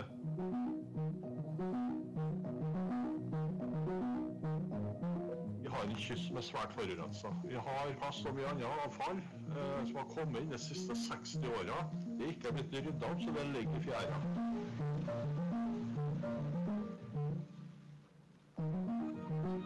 Vi kan ikke gå på land på et skjær uten at vi blir sittende der i timevis og plukke det der skitten her. Og det er avkapp. Skurrerent. Og så blir det ikke plukka opp, og så ferdig på sjøen. Rabbefiske så driver vi ganske ned i skjæra. Da ser vi det på øynene. da. Vi driver jo gården mesteparten av året, og det, det merker vi det på at vi får det i, i redskapen. da. Det er enkelte ganger vi har skutt kanskje i torsken og hatt noe i seg i mag magesekken, da, men eh, det skjærer det, da. Så det er jo det som er store problemet.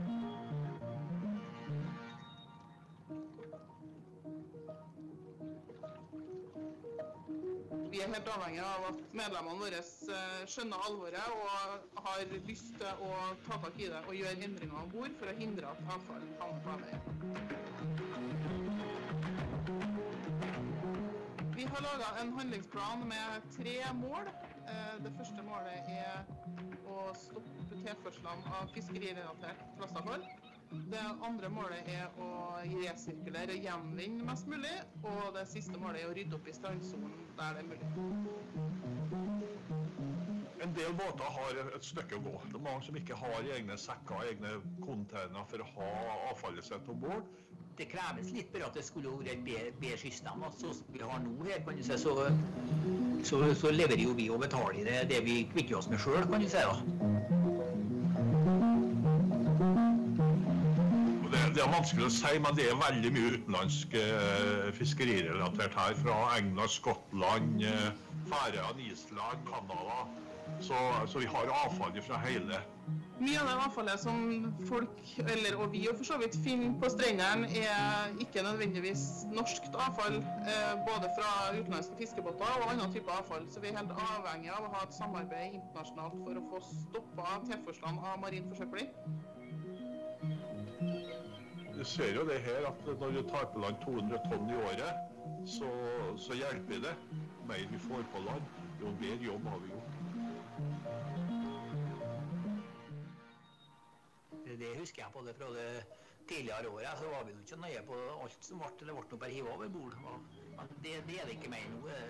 Kjenner ikke etter nok restauranter som gjør den. Og vi tar med alt vi får opp på redskap og alt det vi har med oss på sjøen. Det tar vi på land og lever i. vi har ordnet. Og, så vi hiver ikke noe, noe på sjøen. Men det, det er en stor endring.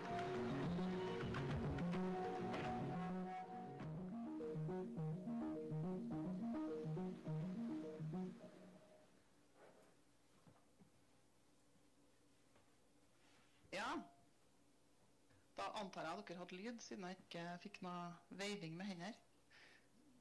Um, da har dere fått en sniktitt på en video som vi har laga i forhold til vårt arbeid eh, med marin forsøpling. Så kommer jeg litt mer eh, inn på noe av det i, i presentasjonen min her nå. Som jeg skal prøve å dele med dere. Så håper jeg det tar sikkert litt tid før den kommer opp, men jeg regner med det ordner seg.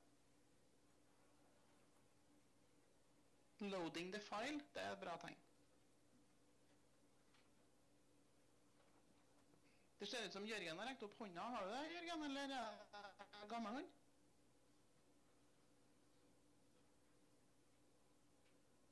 Sikkert gammel hånd, da. Siden han ikke ser presentasjonen din. Ok, supert. Ja, eh, takk nok en gang for eh, muligheten til å si noen ord om eh, vårt arbeid med marin forsøpling.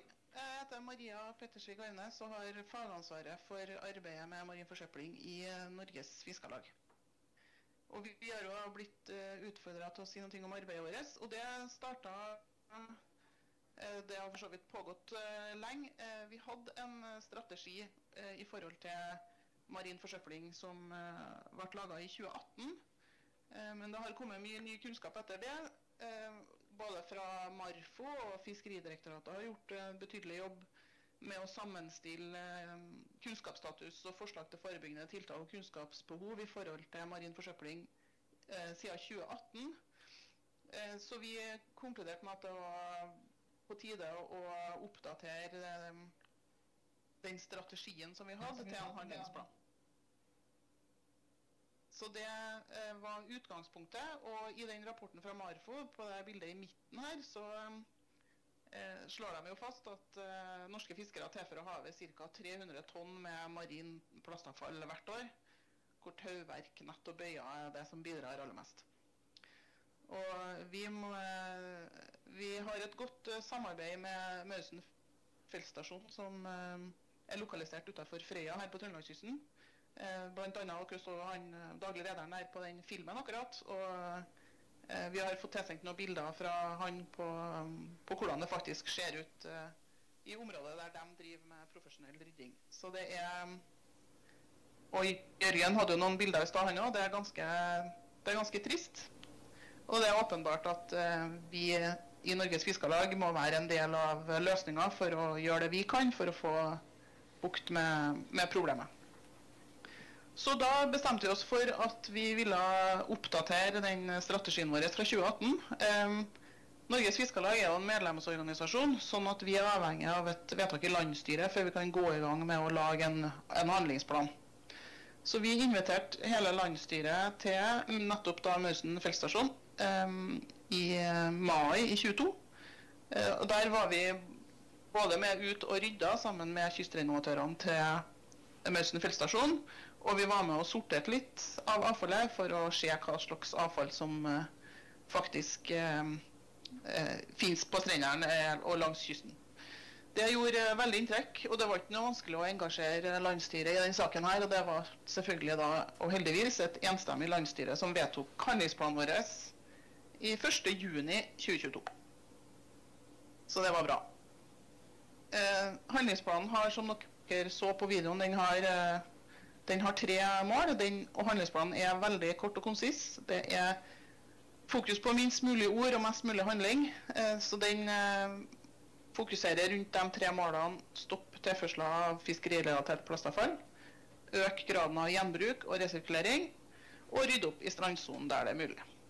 Og så er det sånn da at eh, planen, handlingsplanen den gjelder fram til 2025. Da skal den evalueres og forhåpentligvis rulleres på landsmøtet. Eh, og administrasjonen i Norges Fiskarlag vi rapporterer på fremdrift på de 13 tiltakene hver høst til landsstyret. Sånn at landsstyret har en oversikt over eh, framdrifta i, i arbeidet. For å nå de her eh, tre målene så er det satt ned fire fokusområder. Eh, og så er det ulike tiltak under hvert av de her fokusområdene. Så vi har ett fokusområde som går på gode rutiner og bevissthet. Og så har vi ett på bedre avfallshåndtering i havn. Og så har vi ett på internasjonalt samarbeid, og så har vi ett på økt synlighet og kunnskapsdeling utad.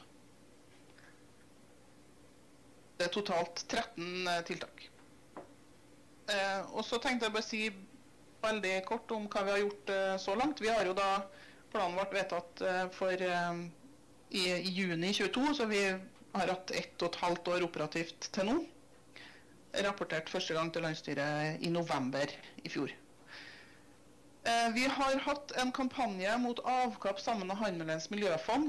Det er nok en film. Den er veldig Veldig bra, veldig morsom. Eh, lenka ligger i presentasjonen her. Anbefaler dere å ta en titt på den hvis dere ikke er kjent med den. Fikk mye god tilbakemelding på at vi hadde laga en kampanje med litt eh, snert og humor som, eh, som slo godt an i målgruppa fiskere. Og så har vi da oppretta ei arbeidsgruppe med representanter fra medlemslagene våre, altså Nord Fiskarlag, Sør-Norges Fiskarlag og Fiskebåt.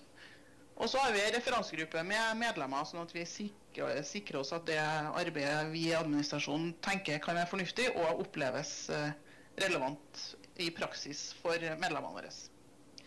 Vi har òg hatt diverse innspillsmøter og har bl.a. fått eh, tips til å prøve å se på muligheten for å utarbeide et belte for å samle opp avkapp. Eh, som vi jobber med. Og så har vi da laga den filmen som dere akkurat så, som skal lanseres etter påske. I forhold til å bedre avfallshåndteringa i havn, så eh, skjer det jo mye der eh, i forhold til opp, altså implementeringa av skipsavfallsdirektivet og nye regler for levering av avfall i havn som ble implementert i oktober. Vi prøver å følge med på hvordan det går, og hvordan, hvordan havnene har tatt i bruk det nye regelverket og de nye retningslinjene fra Miljødirektoratet. Vi har også til en referansegruppe for arbeidet med forslag til det avgifts, nye avgiftssystemet, som er en forlengelse av det nye skipsavfallsdirektivet. Og vi har prøvd å være uh, synlige i ulike fora. Vi deltok på Lofotfishing i april, som bildet her er fra. Uh, vi hadde deltakelse på Strandryddeuka. Og så er vi aktive i ulike forskningsprosjekter både gjennom FHF og sånn som f.eks. Diesel, som jeg antar dere har snakka om uh, allerede. Som dere er kjent med. Så det er det vi har gjort. Og så er det jo lenge igjen til 2025 og rullering av planen, så vi har jo noen planer for hva vi skal gjøre framover òg. Vi, som sagt så skal vi ha en uh, lansering av uh, den informasjonsfilmen etter påske sammen med en god del annet kampanjemateriell. Så da vil det bli en, en liten kampanje fra vår side i forhold til um, både levering av avfall og havn, og litt ekstra fokus på dette med tapte redskaper, som dere var inne på i stad. Vi uh, har planlagt et digitalt eh, medlemsmøte om avfallsløsninger i havn rett etter påske. eh, for å få litt oversikt over eh, status i havner og om hvor skoen trykker blant medlemmene våre. Eh, og for å prøve å presse på at havnene lager de avfallsplanene de er pålagt å lage, og at de sørger for å ha dem, det tilbudet som de er pålagt å ha, bl.a. at det skal gå an å levere oppfiska avfall i alle havner, ikke bare i de elleve utvalgte Fishing for litter-havnene. Og så har vi jo vært inne på produsentansvarsordninga. Det er jo vi jo nysgjerrige på hvordan, eh, hvordan det kommer til å bli, og har jo noen tanker rundt hvordan det kunne blitt innretta mest mulig praktisk for vår medlemsmasse. Så eh, vi har kontakt med bl.a. FF i forhold til prosjekt rundt produsentansvarsordninga og eventuelt panteordning, som Rita var inne på i stad. Og så, som det ble sagt i filmen, så er jo mye av avfallet som finnes på langs den norske kysten, eh, det er jo ikke nødvendigvis norsk avfall. Så eh, vi er i gang med et eh, samarbeid mellom Sverige og Danmark for å prøve å dele erfaringer og se på om vi kan ha noen felles prosjekt og tiltak for å jobbe sammen om det. I tillegg så er det ønskelig å få til et samarbeid med Shetland og eller Skottland sammen med Framtidshavet. Men Framtidshavet har bestemt seg for å ha to store øyedagsjoner til høsten. Ikke bare ren Hardangerfjord, men også ren Sognefjord. Så vi må, må sette på vent til 2025, for de var i en, en fase med nyansettelser og hadde litt travelt. Men uh, vi håper at, det, at vi får i gang det fra 2025. Og i forhold til økt synlighet og kunnskapsdeling utad, så tenker vi at vi skal ha arrangementer for uh, Altså alle medlemslagene skal ha et arrangement under strandryddeuka, som er i september.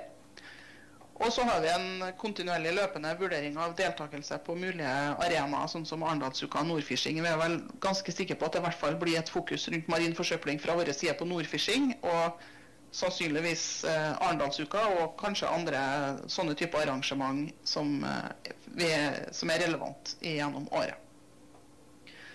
Og så tenker vi selvfølgelig å ha fortsatt deltakelse i forskningsprosjekt og referansegrupper og, og, den type ting. Eh, det er viktig for oss å være med og prøve å bidra til å finne gode praktiske løsninger for, eh, for utfordringene rundt marin forsøpling. I tillegg så vurderer vi i Fiskarlaget ulike løsninger for å finne en forutsigbar finansiering av oppryddinga, For den er jo til nå mye godt finansiert gjennom Handelens miljøfonds i plastposeavgift. Eh, og vi regner med at vi må forvente at næringa sjøl skal bidra på et eller annet vis mer enn vi kanskje har gjort til nå, i og med at det er den plastposeavgifta som har stått for mesteparten av finansieringa av eh, opprydninga langs kysten. Eh, det var det jeg hadde tenkt å si. Så hvis det er noen som har noen spørsmål, eller hvis det er noen av som har noen innspill til ting eh, dere mener at Fiskarlaget bør ta tak i, så er vi, på lik linje med som FF tidligere, veldig åpne for innspill på, på det. Tusen takk. Mange takk, Maria, for et flott foredrag. Eh, du får i hvert fall ett spørsmål her prompte. Ja, takk for eh, gode innlegg. Eh, og så er Det sånn at eh, det er jo ikke i 2000-tallet så vi har oppdaga at vi har forurensning på havet. Vi har jo oppdaga det spesielt da fra fiskebåt og fiskeredskaper iallfall de siste 50-60 åra. Du fikk en utvikling på 50-tallet, og så fikk du den utviklinga på 70-tallet hvor du gikk over til mer eller mindre nylon overalt. Eh, og det var jo noe som revolusjonerte, kaller vi det for. Men det også revolusjonerte noe annet, og det var den der forsøplinga og forurensinga på havbunnen. Eh, og så tenker jeg, Når det, vi snakker om å bruke eventuelt eh, andre typer fiber eh, for å lage tau, eh, så har vi jo eh, gode erfaringer fra tidligere. at det var muligheter til det gjennom årtusener. Så spørsmålet hvor mye er det utprøvd å gå tilbake til kokus og alt det der som vi hadde tidligere? Er det noen muligheter som ligger i det eller ikke? Nummer to det er det at jeg syns det er veldig godt at Fiskarlaget tar tak. Men Fiskarlaget har jo ikke vært den som har vært villigst å ta tak i det her i forhold til forsøpling. Og hvem som skal betale denne forsøplinga, altså sine medlemmer. Så vi hadde oss mange mange runder i forhold til det her med bl.a. registrering. Vi hadde jo et firma i Øksnes som for over 20 år siden begynte med mulige måter å registrere det, sånn at du så at det ble registrert, og den enkelte leverte sjøl. Fortsatt er det sånn at fiskerne kommer seg unna det. Så eh, hvordan skal vi gjøre det, også i forhold til å pålegge, rett og slett? For en, vi har pålegg hjemme, vi har pålegg i forhold til bedrifter på land, og det, men ikke gode nok pålegg eh, i forhold til eh, fiskeriene eller fiskerne. Så et lite, et lite, spørsmål. Når dere regner 300 tonn, 300 tonn Hvis jeg regner fort opp i hodet, så tror jeg det at jeg fort kommer til 3000 tonn, ikke bare 300 tonn. Jeg tror det er mye, mye mer som går på sjøen, dessverre. Bare tenk på de snurvetauene som går og har gått opp gjennom året. Eh, og så tror jeg kanskje det her med å begynne et program i forhold til det med rydding av snurvetau som ligger inne på fjordene og det i en større grad enn en nå det har vært fortreffelig også for næringa. Vi skal jo selge dette flotte produktet videre også. Så det var en liten sånn dignesjon oppi det. Ja, Maria, vil du svare? Ja, jeg vet ikke. Det var mye av det jeg følte at kanskje ikke jeg var rett person til å svare på. Men uh, sånn i forhold til bruk av alternativ tau, det tenker jeg kanskje FF Eh, mer uh, rette person å svare. Men og i forhold til den, det estimatet på mengde, så er det helt sikkert mulig å beregne mengden avfall både høyere eller lavere enn det som den Marfo-rapporten tilsier. Men jeg, tenker, jeg vet ikke om det egentlig spiller så stor rolle. For det viktigste er jo at vi erkjenner at vi vil være en del av løsninga, og at det skal altså Målet må jo være null kilo, eh, og ikke hvor mye det er per nå. Så, ja, jeg tenker at det er kanskje ikke så farlig, eh, akkurat det anslaget. Hvem som skal betale? Ja, det var jo litt som jeg sa til nå, har jo opprydninga av marin forsøpling blitt finansiert mye godt gjennom denne plastposeavgifta til Handelens miljøfond. Um, men uh, vi i Norges Fiskarlag tenker at det er ikke helt unaturlig å tenke at vi skulle ha vært med og, og, og tatt en del av den, den regninga. Men hvordan det skal finansieres og, og, hvordan det skal organiseres, det har ikke jeg noe, det har ikke jeg noe godt svar på. Så det må vi tenke oss nøye om. Um, var det noe mer? Det var det jeg noterte meg at jeg skulle prøve å si noe om. Men du, var, du, du spurte så mange spørsmål i ett. Det er mulig jeg har uh, gluppet på noe. Da får du si det en gang til. Jeg, jeg, kan gjenta det. Det gjaldt det første han spurte om, det var dette med naturfiber. Om vi kan gå tilbake til det igjen. og Der er gjort forsøk med naturfiber på nytt igjen, bl.a. gjennom det forskninga som vi har gjort fra Universitetet i Tromsø. Og Det er jo mulig å ta i bruk noen av både sisal, hamp, eh, kurskinn som var nevnt. Det funka kjempegodt som eh, trålmatte. Men noen syns at kurskinn har lukta for mye i dag. Og det andre er når det gjelder hamp og sisal, som vi brukte mye til å knyte girene fast med på, på, nøten. Det blir så dyrt i dag at det er slett ikke konkurransedyktig med de bill relativt billige plastbaserte materialene. Så der, der er litt av utfordringa når det gjelder kostnader i det her, og hvor mye man er villig til å betale for mer miljøvennlige eller mer biologisk nedbrytbare materialer. Så det er det som er kampen her veldig ofte. Så får vi se hva fremtida bringer, om det blir mer skatt på oljebaserte produkter, om det blir vanskelig å få tak i dem, og om ansvaret Nå er det jo slik at Mentaliteten og endringa har jo endra seg enormt fra den gangen han Jon og jeg var fiskere i, i fordums tid.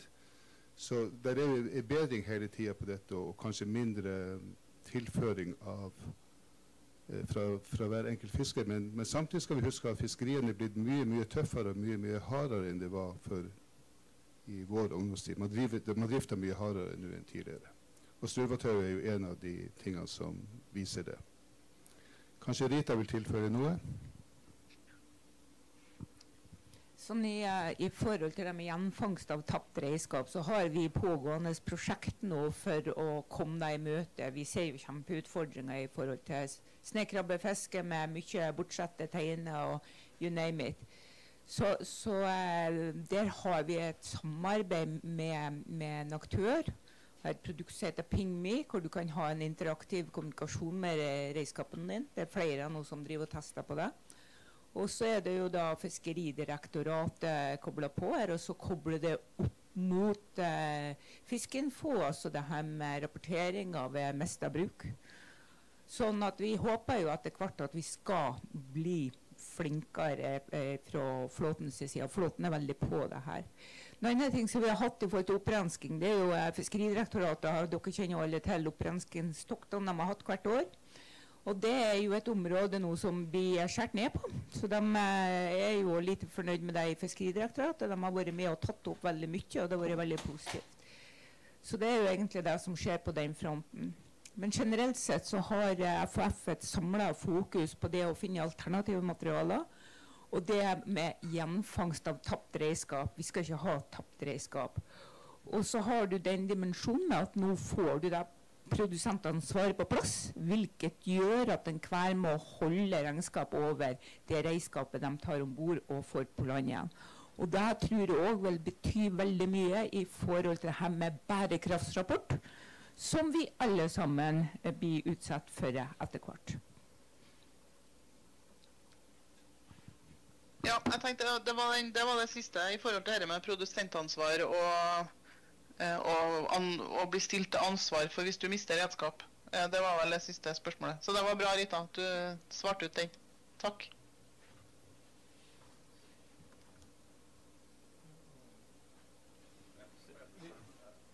Vi, vi mista bare skjermen her, så Spørsmål?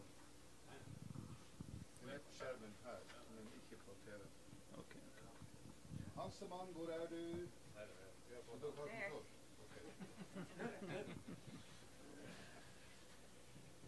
Er flere spørsmål til uh, Rita? Nei, unnskyld, til, til, til Maria. Det ble veldig tyst her, Maria. Jeg tror du har holdt et foredrag som uh, alle har forstått og skjønner innholdet av. Eller så er dere klar for pause. Kanskje begge deler. Nei, nei er opp, vi er bare litt i starten av dagen, så vi er, vi er fit for fight ennå. ja, det er bra. Skulle gjerne vært sammen med dere. Vi, vi, vi, har, vi har, et spørsmål her, uh, Maria. Ja, jeg har stor bekymring for all forsøpling som er i havet. Og uh, Jon Danielsen var litt inne på det med hvem skal betale for det som uh, blir plukka opp. Og noe er jo selvfølgelig redskap, og det blir jo veldig bra med en sånn panteordning, eller at du skal føre regnskap. Men uh, det er jo også annen type søppel som blir uh, fanga opp. Og det er klart at hvis fiskeren må betale for å levere søppel, så er det veldig fristende å hive det tilbake på havet. Men så er det kollektivt at, uh, at uh, de som ferdes på havet, har forsøpla havet. Kan det være en ordning som går på at uh, alle, alle, båter må faktisk betale en ja, Kall det for forsøplingsavgift, der man får fratrekk for alt det som man leverer tilbake av oppfiska søppel. Er det noe som uh, Fiskarlaget har drøfta? Eller eventuelt kan tenke seg å drøfte? Vi, eh, vi var, altså, da dette skipsavfallsdirektivet, eller de nye reglene for levering av avfall i havn, eh, trådte i kraft 1.10 i fjor, så ble det innført et generelt avfallsgebyr, eh, som betyr at alle fartøy må betale avfall, et avfallsgebyr når de går til havn uavhengig av om de har avfall å levere eller ikke. Eh, og er, Da kan du levere både eget avfall og oppfiska avfall innenfor det samme gebyret. sånn at det, Nå er det ikke sånn at det lenger koster ekstra å ta med eh, annenmanns avfall eller oppfiska avfall til land. Problemet er bare at veldig få havner som vi har vært i kontakt med, i hvert fall, har eh, tatt dette inn over seg og laga ordninger for det. og vi har ennå til gode å, å å være, komme i kontakt med ei havn som har laga en beregning på hvordan dette avfallsgebyret skal, skal, være. Eller beregnes imellom fartøy. altså Skal det være fartøystørrelse, antall om bord. Og, og, i veiledninga fra Miljødirektoratet så, så, er det veldig åpent. Det er liksom åpent for hver havn til å lage det systemet de mener de eh, passer best for dem. Men det er et kriterium at det skal være et nullkostsopplegg. Eh, så vi har, vi har sagt at uh, vi tenker at det er fornuftig med et generelt avfallsgebyr. som åpner for at du skal kunne levere alt avfall i alle havner, og ikke at det da bare er de elleve Fishing for litter-havnene som er villige til å ta imot oppfiska avfall uten at du må betale ekstra for det. Det finnes jo sånne grelle eksempler på at fartøy har kommet til havn med oppfiska avfall, og så må de betale titusenvis for å bli kvitt det. Det vil sannsynligvis, eller det skal jo denne ordninga nå eh, få bukt med. Men, vi, har ikke, vi, har ikke, tenkt på en løsning sånn som du skisserer, med at du nærmest blir prem, altså at, du får, at, du får, fratrekk hvis du har med oppfiska avfall. Fordi vi har tenkt at det er kanskje ikke nødvendig eh, når det oppfiska avfallet skal kunne leveres gratis. At du bare skal um, betale altså Avfallsgebyret er det samme uavhengig av om du har med oppfiska avfall eller ikke. Ja, Marie, eh, du får stille spørsmål. Ja, hei Maria. Vi, eh, skal, det, er ikke, det, er kanskje like mye et innspill til debatten som et spørsmål, så jeg forventer ikke at du skal ha alle svarene her. Men disse Havne, havnene er jo gjerne eid av kommunene, og så har du renovasjonsselskaper som gjerne er interkommunalt, eh, og som har eh, stort sett adgang til å finansiere sine tjenester med selvkost. Eh, så det du sier om en sånn standardisering av gebyrsats kan kanskje gjøre jobben enklere og, og billigere enn gjennom å, å skal drive og lage enda et rapporteringskrav som man må ha konsulenter til å sitte og, og tygge på, og, og, så skal betales. Eh, men eh, i de tilfellene der havnene ikke har tilstrekkelig infrastruktur til å ta imot, sånn at det blir eh, vanskelig å levere, eh, hva kan vi gjøre for å fasilitere for at disse institusjonene og bedriftene finner sammen og, og, hvordan kan man sørge for å få finansiert bygging av ny infrastruktur når når du f.eks. må bære det langt, eller altså Det skal vel gjerne sorteres. altså kunne du bare, Ikke sånn ja- eller nei-spørsmål, bare noen korte tanker om det. Så kanskje det kunne vært nyttig for, for eh, de som sitter her. Ja, nei, det er jo som du sier, det er jo utfordrende her. For én ting er jo at havna er pålagt å ha en plan for uh, å ta imot avfallet, men havna må jo òg ha en plan for å bli kvitt det videre igjen. Og um, trenger en avtale med renovasjonsselskap, som du sier. Uh, og så er det noe med at det er et ønske om at det skal gjenvinnes, uh, altså at de ulike materialene skal materialgjenvinnes på skikkelig vis i tillegg. Så helt, jeg er helt enig med deg i at vi trenger en gul lapp. Var det fem minutter, eller var det ett minutt? Fem minutter. Jeg ser ikke hva som står på den, for det er for langt unna. Fem minutter. Ja, men det skal gå bra hvis ikke det blir flere spørsmål, da. Um, nei, altså vi burde jo, vi burde jo tromma sammen uh, hele verdikjeden for å kunne klare å se på hvordan man kan lage en løsning som, som ikke bare liksom løser fiskebåt og havn og få det på kai, men som også tar med seg de andre leddene som kommer etter. Og det har vi spilt inn til FHF som et, eh, som et eh, mulig prosjekt eh, som, som, kanskje de kan se på. Og så vil jo dette her òg aktualisere seg igjen gjennom produsentansvarsordninga som trer i kraft 1.1.25. For hvis, hvis, det da er sånn at produsentene skal ha en mer oversikt over det de leverer ut, og hvordan det avhendes, så er jo dem, altså da er vi jo avhengig av et godt system på land så jeg tror at ehm, eh, et forprosjekt eller et eller annet hvor man eh, tar en case og ser på hvordan kan vi gjøre dette her, se på hele verdikjeden, tror jeg kunne ha vært veldig nyttig.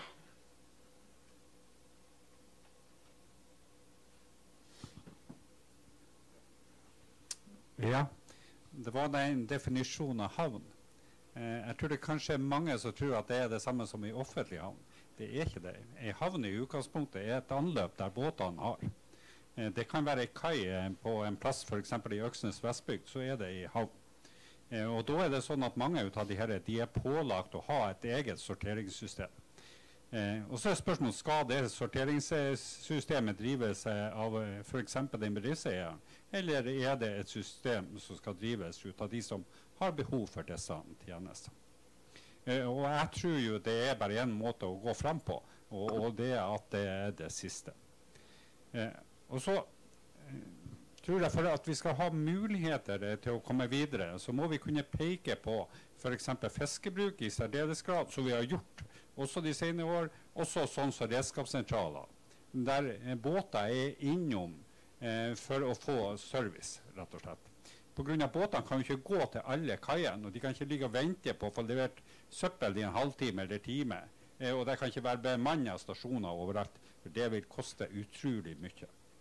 Eh, så også tenke hvordan det er mer rasjonelt f.eks. å pålegge redskapssentraler og så ha denne ordninga. Så må de betale for det, på lik linje med meg og, og deg, rett og slett. Så um, her, her, er muligheter innenfor det vi kaller for havneverden også.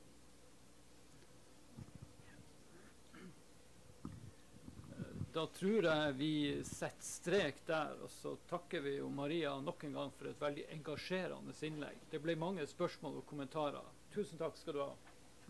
Takk for at jeg fikk uh, være med. Fortsatt god dag. Ha det. Ha det bra. Ja, Roger, da tror jeg vi har sprengt tidsrammen, men vi har hatt det faglig og interessant. Ja, og det er jo bare første biten av det her. Det her er første biten. Ja. Skal vi Da har eh, vi har vel en pause, da, eller en, en strekk på, på labba frem til klokka ti over to. Før vi starter neste båt. Nei, vi er, det er helt motsatt. Vi er, vi er allerede inne i neste bolk. Er vi det? Ja. Ja, hvis du ikke er snart, så må jeg dra. Jeg styrer bare klokka to. så jeg skal lede. Ja, ja, selvfølgelig. Det er styremeter. Klokka, det kan blåse inn. Du- Jeg prøver så godt jeg kan, men det hjelper ikke. Kan vi, kan vi si at vi fyller opp kaffekoppene, strekker beina, så er vi her om fem minutter?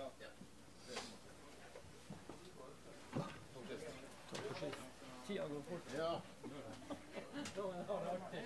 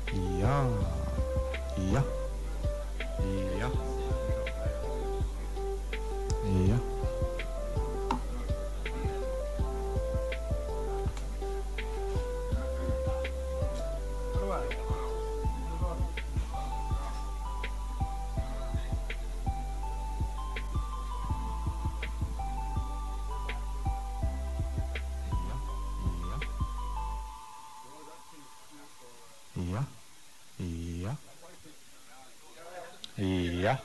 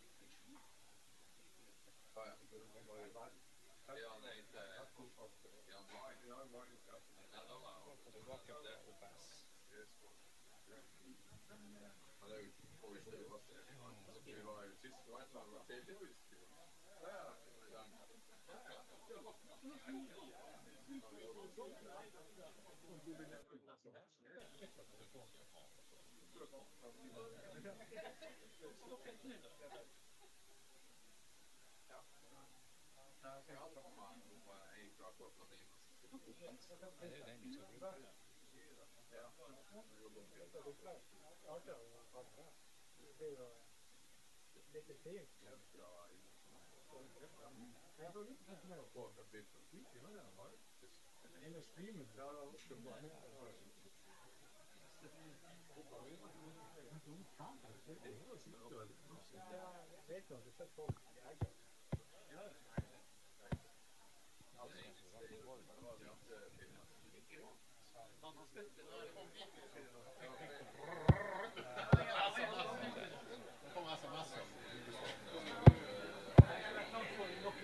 Nei, du, du må bare gå hit kaffe, så haker det.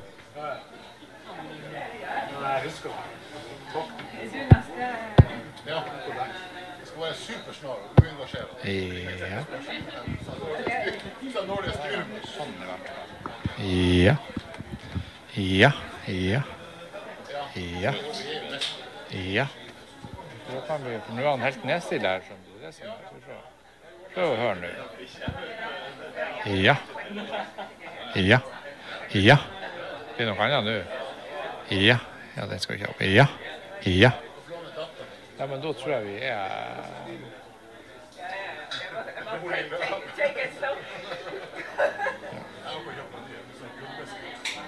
Ja. Ja. Høres det bra ut nå? Ja, men da prøver jeg på det.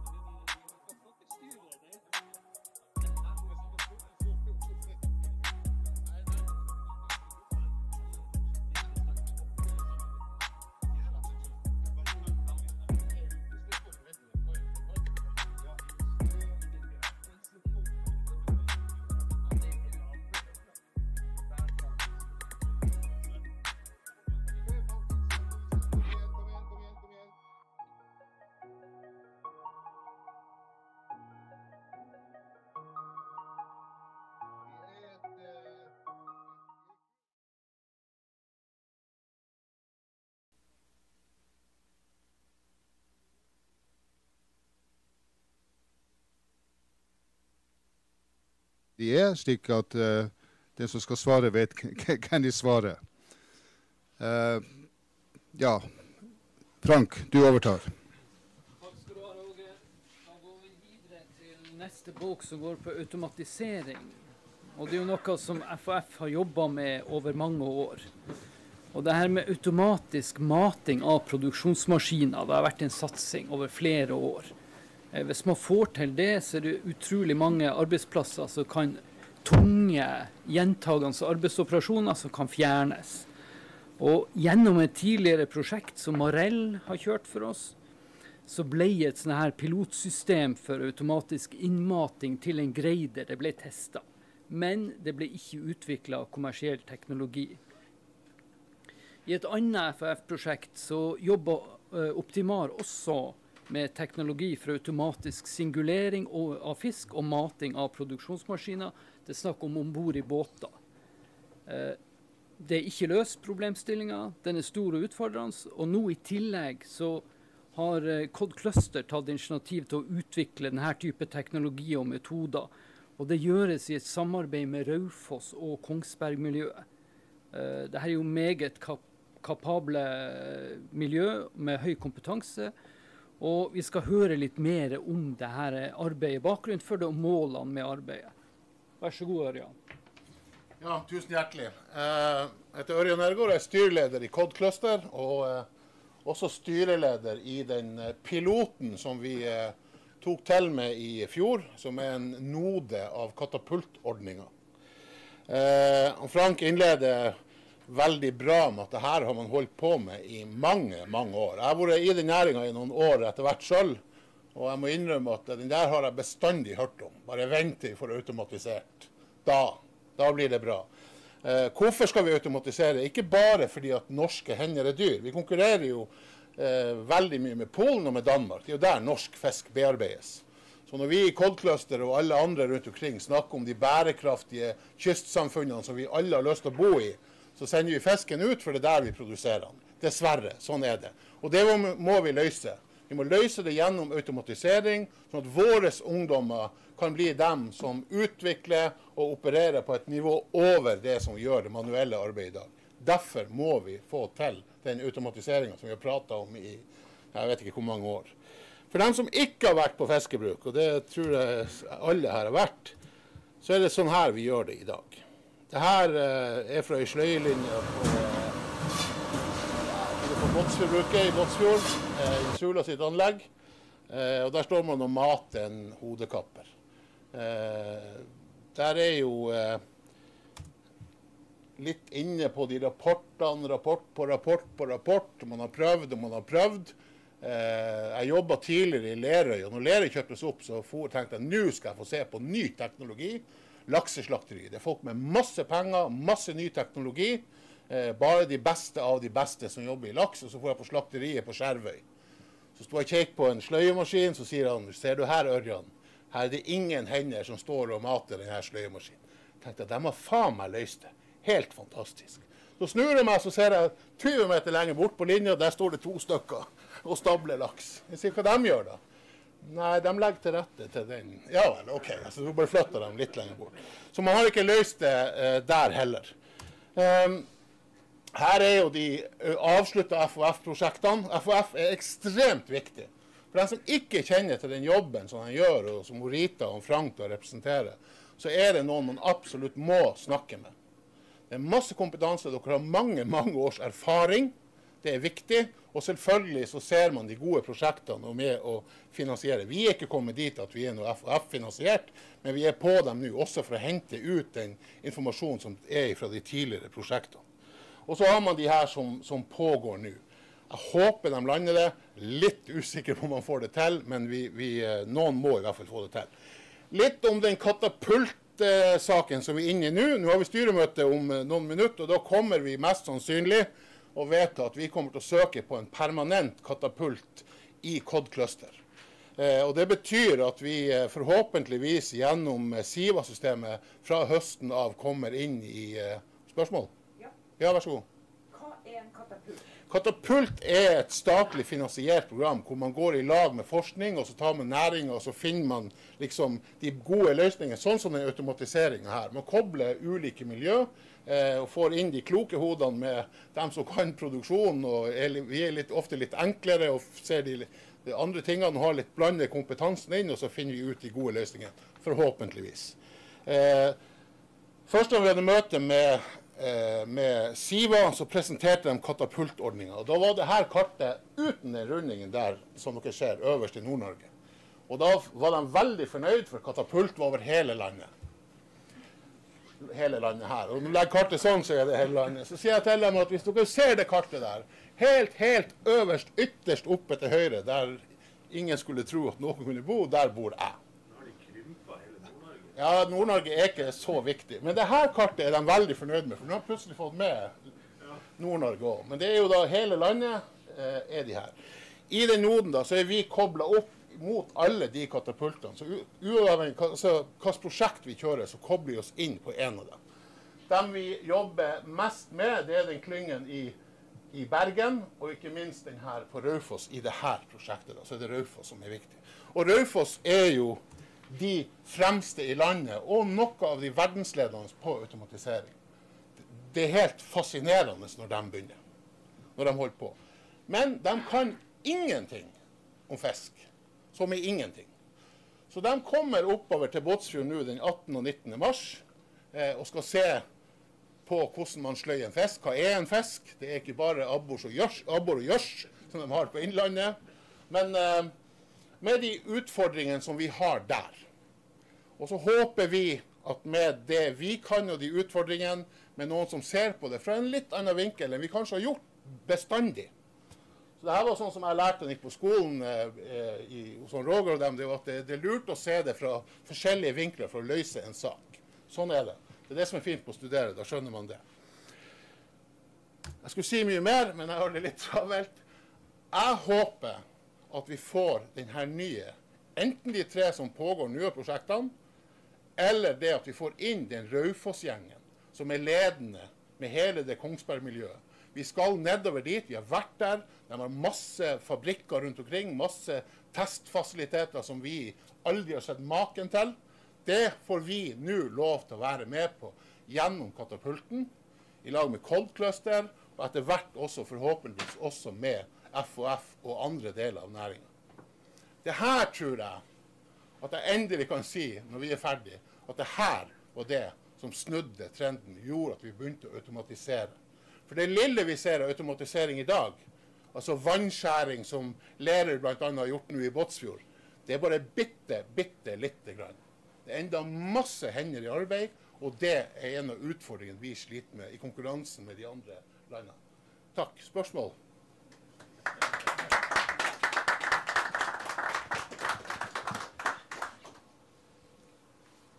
Et spørsmål fra meg. Hva med arbeidsplasser hvis du automatiserer? Eh, arbeidsplassene finnes. For å ta et eksempel. Det som skjedde på Båtsfjordbruket, som automatiserte for eh, to år siden, det. De fikk inn eh, Valka sine vannskjæremaskiner. Det som skjedde med dem, det var at de økte bearbeidinga. Altså de kjører mer volum igjennom. For du er ikke avhengig av de hendene som må stå der hele tida. Maskinen er ikke så organ de er ikke organisert i NNN, i hvert fall, så, så vidt jeg vet. Og de går med på å jobbe mer overtid. Så de økte produksjonen og ansatte flere folk. Fordi at du trenger flere folk rundt i de støttefunksjonene. Og skal vi øke bearbeidinga i dette landet, så er det den veien vi må gå. Sånn er det bare. Svarer godt nok? Veldig bra. Takk. Veldig bra. Det? Rita? Eh, kompetansen, for jeg er jo ny type kunnskap som skal inn i fabrikken for å drifte dem. Har vi den kompetansen, og har vi utdanningssystem som fanger utviklinga i industrien? Eh, ja og nei. Eh, kompetansen er Den er bare ikke akkurat her. Den er ikke på Myre, den er ikke i Båtsfjord, den er ikke på Sørøya. Men vi må hente den. Og den henter vi med å skape de attraktive arbeidsplassene. Den eldste sønnen min, jeg har jo fire unger, har, men altså, den eldste karen min han er akkurat ferdig utdanna automatiker. Han får så mye jobbtilbud. Jeg, jeg ser jo de lyser ut etter automatikere. For det er det, og det er det ungdommen har lyst til å gjøre. Vi trenger dem, de ingeniørutdanna. Hvor er det miljøet i dag innen hvitfisk og laks? Det er på Island eller i Tyskland. Det her må vi få igjen. Og ungdommen vil ta den utdanningen. Sånn at den kompetansen finnes, men vi har ikke noe å tilby dem. Du får ikke en automatiker til å flytte til Myre for å skru på en Bader 033. Det er altså 100 sikkert. Ja? Nei, det er med stykket. Han prater sikkert ikke norsk, han som skrur på den maskinen uansett. Han drar etter to-tre måneder. Altså. Ja. Så glemte vi det viktigste. Du kunne si hvem vi var når vi eh, stiller spørsmål. De som måtte høre på utenfor. Skal vi gi han Ørjan fri, eller skal vi uh, terpe litt ned? Nei, vi, gir, vi klapper Ørjan for veldig flott foredrag. Og så er det bare å ta kontakt med oss. Vi har masse flinke folk eh, som jobber på Egga, som jobber for oss i Cod Cluster. Og vi, eh, vi, er der for å sørge for at flere har lyst til å bo på den eh, fantastiske kysten vår. Kos dere videre. Takk. Takk skal du ha. Takk. Ja, Roger, da går vi bare videre. Nå er fokuset på automatiske veiesystemer. Eh, styret i FAF, de, eh, helt tilbake i 2021, de initierte en sånn strategisk satsing som vi gjør hvert år. Men dette var fokus på bærekraftig ressurskontroll. Og det var en oppfølging av en NOU fra departementet om fremtidens fiskerikontroll. Og Som en del av denne strategiske satsinga ble det iverksatt to prosjekter. Skulle jobbe med å utvikle automatiske veiesystemer ved landing av fisk. Og det er snakk om hvitfisk, det her. Uh, I dag så skal vi få høre status i arbeidet med de automatiske veiesystemene fra en av de prosjektene. Uh, det er Norfra som er prosjekteier, og K2 Multipack er en av de sentrale teknologileverandørene. Så da skal vi bare se om Der har vi Jan Børge i K2 Multipack. Ja, stemmer det. Hører dere meg? Hører deg klart og tydelig. Det høres bra ut. Vær så god. Ja, takk for det. Eh, da skal jeg prøve å få delt skjerm her. Eh, hvis jeg får det til, så hjelper det på. Klarer å tilfredsstille, eller for å få lov til å kjøpe fisk fra 1.1.2026. Og det har vi egentlig et eh, prosjekt på. Vi har et prosjekt som vi uh, har i lag med uh, Vi i K2 Multipack leverer softwaren på den. Uh, programvare, styring, rapportering. Latec leverer stål, type bulkløftere, band og motorer. Og Tantron, eller dem som tidligere var Skadet, leverer veieceller og vektindikatorer. og litt under det som er veieteknisk. Og vi har et testanlegg i Nordvågen AS som er eid av Nordfra. Jeg skjønner dere at det er skjema, så jeg skal prøve å prate litt fort. Um, hvorfor er dette et FAF-prosjekt? Jo, Det er fordi at Fiskeridirektoratet har foreslått en ny landingsforskrift. Altså Dvs. Si en endring av den forskriften med ganske mange nye vilkår. Og En av de vilkårene som kanskje er det aller viktigste, er at det er krav til automatisk veisystem ved landing av fisk. Altså vil si at Det skal ikke lenger være lov å sitte og veie på en pallevekt og notere det med penn og papir. Det skal være et automatisk reisesystem, sånn at uh, teknologien gjør det, ikke en uh, fysisk person skal gjøre det. Det skal være krav, krav, til logging og lagring av alle hendelser. Og med alle hendelser betyr det alle hendelser som kan påvirke den veiinga her. Eh, til et eksempel, hvis du skriver en, eh, sitter og veier inn en fangst med torsk, og så gjør du det på pallevekta, eh, hvilken veielogg vil da fange opp at det står 640 kg på pallevekta di, men du skriver bare 540 kg på papirlappen? Det er ingen. Så i et datasystem så er det da krav om at de tingene som gjør, skal logges og lagres. Og hvis det skjer ting som kan påvirke prosess, skal det også logges og lagres. Det er også sånn at Hver gang en veiing gjøres, så skal den rapporteres online til Fiskeridirektoratet. Og det er også sånn at eh, Veiinga som eh, er gjort på anleggene, det skal kunne knyttes direkte til en sluttseddel. Så det vil si at det skal ikke være mulig å skrive en sluttseddel uten at du har en elektronisk veilogg eh, som grunnlag for en seddel, hvor du har veid din fisk. Sånn at det er jo for å gjøre det vanskeligere å veie en 1000 kg fisk med 700 kg på seddel, f.eks. Så har Justervesenet også vært og foreslått en liten endring i sin forskrift som også omhandler krav til logging og lagring. Eh, og Det som er spesielt med dette prosjektet, er at vi i K2 Multibac med våre samarbeidspartnere kan i dag allerede levere i henhold til 95 av kravspekk i det som eh, eh Fiskeridirektoratet har foreslått. Så egentlig omhandler prosjektet å forsøke å tilfredsstille de siste 5 eh, som gjelder for å nå der. Eh, Vårt eget mål er egentlig at vi skal ha en elektronisk veilogg, og ikke Post-It-lappene. Og så ønsker vi at de skal være knytta mot seddelen, sånn at du får sporene tilbake til hvordan det her faktisk er veid. Og få bort penn og papir nede på fiskemottaket. Kun inn på kontoret hvor eventuelt seddelen skal signeres. Eh, litt tilbake på hovedargumentet, som går på et automatisk eh, veiesystem. Eh, med automatisk menes at veiinga skal skje uten at det er en person som står og gjør det. Altså det vil si at det skal gå automatikk i det.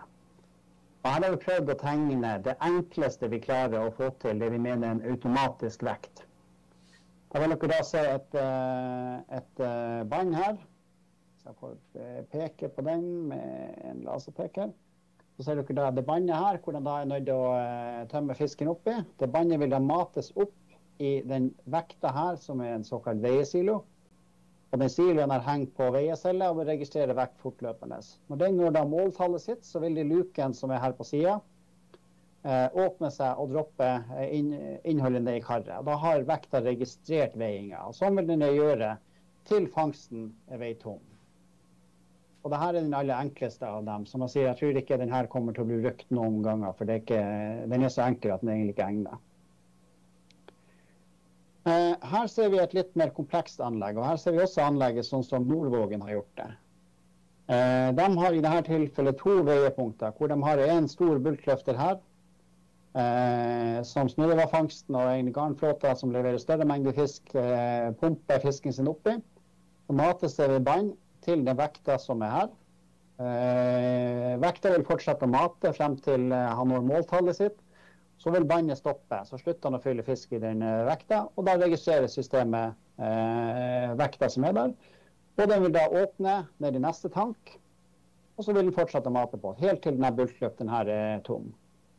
Og på andre sida har vi den lille anlegget som brukes i sjarklåten deres, hvor de da mater inn på ei akkurat tilsvarende vekt, tømmes inn i samme bulkløfteren og eh, tas videre inn i produksjon. I Nordvågen har de i tillegg en eh, større del av det. De har eh, dispensasjon fra landingsforskriften pga. Eh, dynamisk faktor.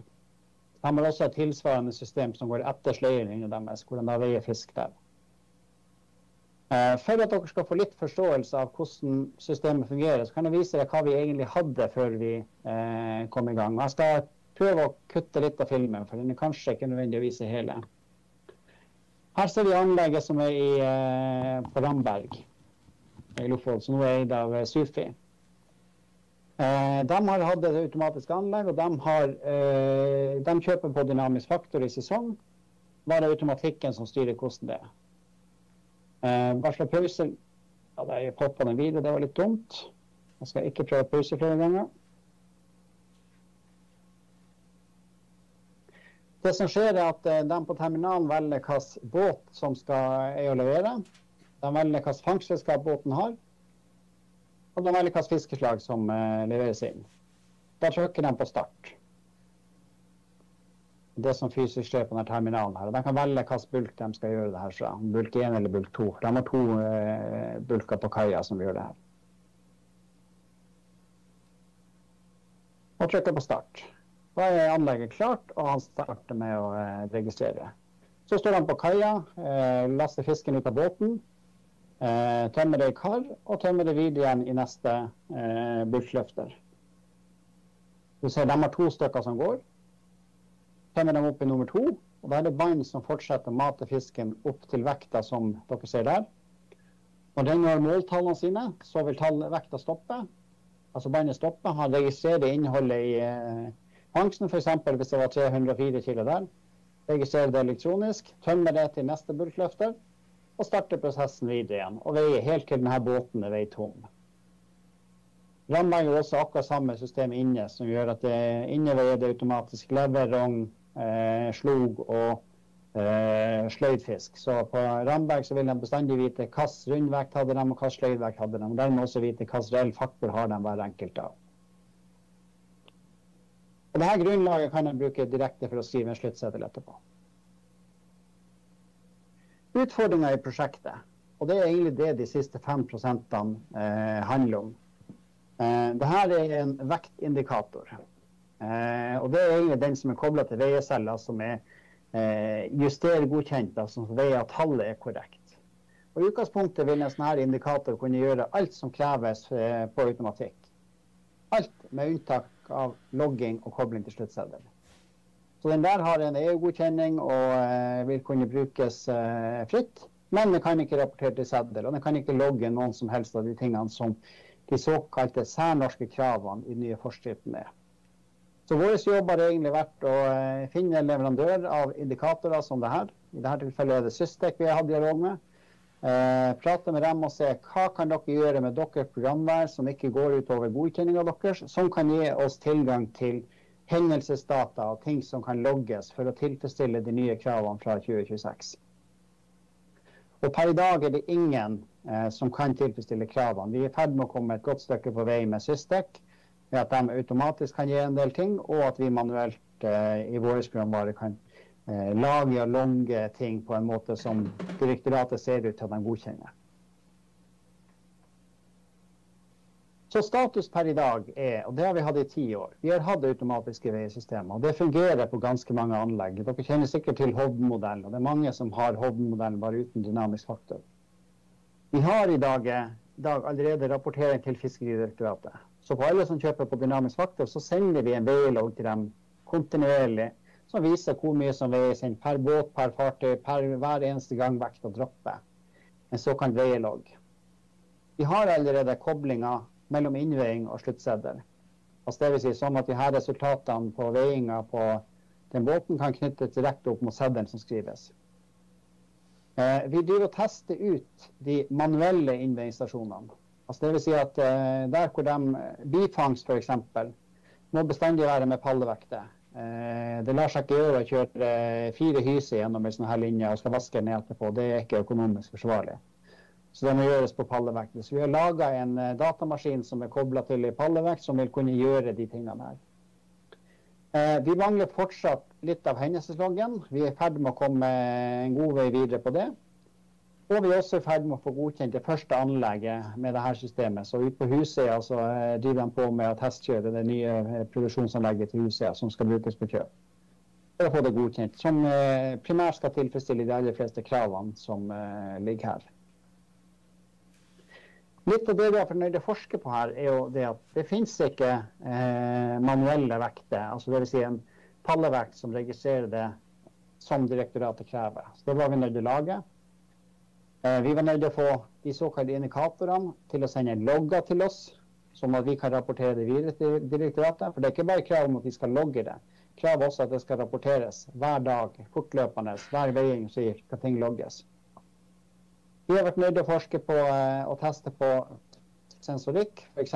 sensorer som viser om luke er åpen og lukka. Eh, sensorer som viser om vann går eller ikke går. Lufttrekksensorer.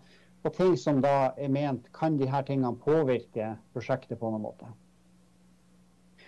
Eh, så vi har også vært nødt til å utvikle programvaren vår til å ta imot data fra de sensorene, og ikke minst til å både agere og registrere eventuelt feil som skjer på sensorene. Hvis luka eh, som skal tømme fisken fra vekta, står åpen når systemet vårt tur skal være igjen, da er vi nødt til å gjøre noe med det. Vi er nødt til å stoppe systemet der. Det er krav om et feilhåndteringssystem, for det skal rapporteres til direktoratet. Og vi er nødt til å eh, jobbe med å finne ut eh, hvilken type IPC-terminaler eh, eller utstyr på anleggene kan vi bruke som unngår krav om plombering. Plombering er vel noe som alle på et fiskebruk kjenner til. Eh, Justervesenet kommer og sier at det her og det her og det her, og det her skal være plombert. Og så har dere vaska det fire ganger etterpå, så er noen plomber borte. Så kommer det på kontroll. Det her mangler plombene, for dere har vaska dem bort. Det er 6000 kroner i bot, eller 10 000 kroner i bot her. Og så sier de bare mottaket mottak ja ja, det var dumt vi gjorde det, men uh, vi har ikke fanga det opp, så vi må nå betale boten. Så vi prøver å gjøre ting som unngår at ting som ikke trenger å plomberes, kan la være å plomberes. Nettopp fordi at vi da kan uh, Eh, altså Hvis du logger det den gjør, så kan det være minst like bra som å konvertere ting. Um, så har vi laga en uh, manuell innveiestasjon.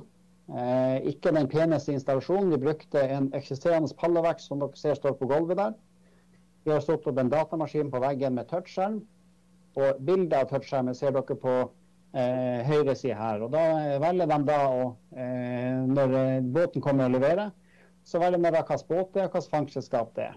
Så velger de fiskeslag, om det er sei og tilstand på det, sløyd uten hode, sløyd med hodet eller rundt, eller torsk og kveite osv. Og, og så registrerer man det på eh, denne maskinen fortløpende som man fyller på karene. Da får de en veielogg på det her. Eh, når de er ferdig med det her og stopper veiinga, så kan jeg bare gå inn på kontoret og skrive seddelen. Der er seddelen forhåndsutfylt med de her verdiene som de allerede har veid. Sånn at du slipper tingene med eh, å stå med penn og papir og notere ting, som i dag i alle fall er det som er mest manipulerbart. Eh, status i regelverket per nå. Eh, jeg fikk for en par uker siden tilsendt det nye, siste foreslåtte regelverket. Og Der mente de at eh, ikrafttrederen skal være 1.1.2026. Og Inntrykket vårt er at dette forskyves med ett år av gangen hver gang de finner en ny revidering. For det var tidligere i 2023 og 2024, så har de forskjøvet og forskjøvet det. De er også ute med en ny kostnadsberegning i forhold til eh, det justerte regelverket. Og Det de da egentlig spør om er hvilke investeringer må de eh, forvente at næringa må gjøre for å tilfredsstille regelverket. Og Da er spørsmålet da eh, skal det koste 500 000 eller skal det koste 20 millioner for å tilfredsstille den nye forskriften. Og det enkle svaret vårt per i dag er vel at det vil koste mellom 500 000 og 20 eh, millioner. Du Et anlegg som kanskje har veldig mye utstyr fra før av, han sang bare en, en eh, ny indikator, litt programvare, så er han oppe og går. Mens et anlegg som er vant til å kjøpe pallevekt og post-it-lapper, han er nødt til å kjøpe bultløftere og motorer og bånd og luke, og kanskje han må bygge ut anlegg i tillegg for å få plass til det. Og da snakker vi fort om 5-20 millioner. Så det er de ute og eh, utreder eh, nå. Og det skal vi ha svar på nå innen eh, 20.3. For vår del så er vi iallfall godt i rute. Vi ser at vi klarer fall å levere noe som eh, tilfredsstiller regelverket 99 eh, Så vi er nok godt innenfor å få det til. Vi venter fortsatt på at eh, direktoratet skal komme med ytterligere klargjøringer. Men det ser iallfall ut for vår del som at vi klarer å tilfredsstille det. Men utfordringen er jo at Ingenting er vedtatt av eh, departementet. Så vi vet ikke hva regelverket er. Vi vet bare hva som er foreslått, og det er det vi prøver å forholde oss til. Jeg har jeg prata på innpust og utpust og håper at jeg har klart å hente inn litt tid på dere. Da er spørsmål? Ja, først uh, gir vi et lite hånd for uh, foredrag. Og så er det åpen for spørsmål. Takk for fint foredrag, og så er det åpen for spørsmål. Ja. Mitt navn er Charles Aas, jeg jobber i Råfisklaget. Eh, Jeg har sikkert en navnebror der som du kanskje har hatt mer kontakt med enn- meg, da. Men eh, i forhold til det her med størrelsesfordeling på fangst, du, du sa ikke noe om det, og jeg kjenner ikke så godt til hva det nye regelverket foreslår, men er det noe mulighet med å ha greiderdata kobla til det her systemet, sånn at eh, det også blir eh, mer riktig, for å si det sånn? Ja og nei. Vi har ikke lagt opp til eh, at det skal være et greider i systemet. og Utfordringa er egentlig at greidinga skjer så sent i prosessen at dersom fisken skal være nødt til å vente på anlegget frem til fisken er greida, så tar det ofte betydelig lengre tid. Og Det er ikke noe vi har sett på. sånn at uh, Utgangspunktet vårt i alle fall i det her er at det skal bruke uh, samme måte som tidligere 10 fordeling eller erfaringstall på det. Uh, nå vet jeg at forskriften tillater det egentlig ikke, men det er i alle fall allmenn praksis som er at de tillater at du stikker fingeren i lufta og gjetter litt på størrelsen som er.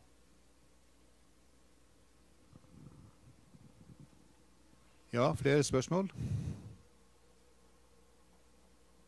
Kommer. Hei, Marianne Sandstad, Nord Fiskarlag. Jeg lurer litt på Jeg kjenner ikke regelverket 100% men jeg kjenner jo til at det er veldig mye mottaksstasjoner nedover Helgelandskysten og Trøndelag.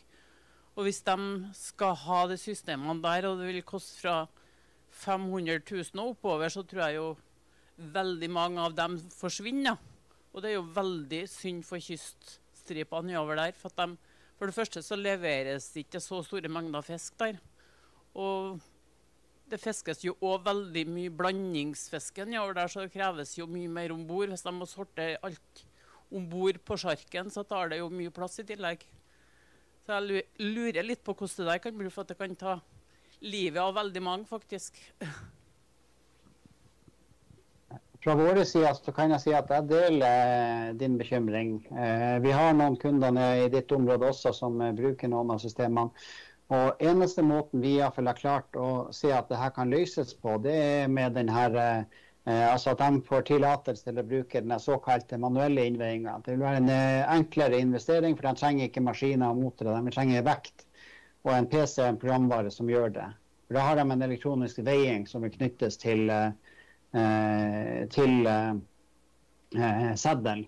Og dermed har de ryggen fri. Og de har unntaksbestemmelser, eller foreslått unntaksbestemmelser med minimumsomsetning osv. Men jeg mener at eh, uten at jeg kan det regelverket på, til fingerspissene, så er det snakk om omsetning mellom Altså Hvis du er under 3 millioner, tror jeg det var, så tror jeg du eh, slipper unna kravet til automatisk veiing. Men det er jo ting som bør diskuteres. Men jeg vil også si at ditt område med Helgeland er jo mindre fangster. Men du kan jo gå enda lenger ned til eh, Sørlandet, hvor de eh, skriver to hyser og en torsk på en seddel. Og fire seier. Det er ting som de her oppe ikke ville brydd seg om eh, engang, men som i sør er helt vanlige fangster. De har jo ofte 15-20 fiskeslag på en eh, seddel. Sånn at de, de her store systemene, hvis jeg går, viser de her automatiske anleggene som er i Nordvågen f.eks., det vil jo være helt meningsløst for et anlegg der nede å ha en sånn system for å veie inn fire hyser og to torsker og så 300 kilo reker. Eh, sånn at vårt forslag der er jo at de bruker en såkalt manuell eh, stasjon med elektronisk datafangst. Sånn at de i hvert fall slipper unna penn og papir. At de er nødt til å kjøre det på vekta før de kan eh, skrive seddelen på det. Da har vi i hvert fall fått noen flere elektroniske spor og noen flere ting som kontrollmyndighetene kan eh, følge opp før de fatter tiltak der eller tror det er mye fiskefusk. Men grunnlaget for det her, sånn som jeg i hvert fall vet det, er jo at de, eh, det skjer så mye fusk i næringa. De har konkludert med at det ikke lar seg gjøre å ha inspektører på kaia overalt, så de er nødt til å se hvordan kan de sitte på eh, kontorene sine og overvåke data for å se eh, hvor tror vi det altså ting eller alle ikke har rent mel og hvor bør vi rette tiltakene våre. Det er vel egentlig det de jakter etter. Og med datafangst gir iallfall grunnlag for å eh, lage en sånn beslutning. Men det er klart at hvis jeg skulle gjort den opprinnelige vurderinga, så ville jeg sagt at du kan gjerne ha automatisk veisystem.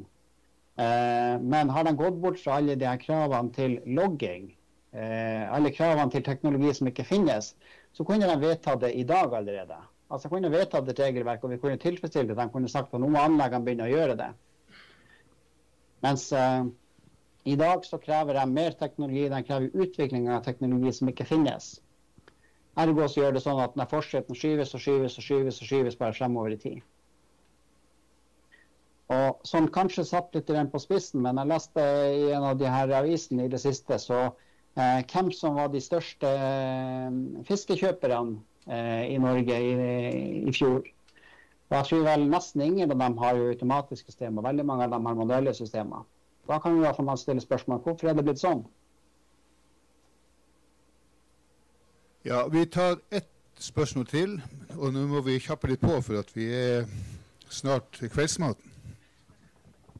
Ja, Øyvind Hansen fra Nord Fiskarlag. Eh, I det her arbeidet som har foregått i forbindelse med forskriften, er det i disse systemene bakt inn eh, tanken om rettssikkerhet? For Det høres ut som et system for å lage bevis mot seg sjøl. Nei, det har ikke vært tatt stilling til noe med rettssikkerhet. Det har kun tatt utgangspunkt i at det skal være veiedata som ligger til grunn. Og alle veiedataene skal rapporteres direkte til, eh, til, direktoratet. Så uansett hva som kommer å vekte, om det er rett eller galt, så skal det rapporteres.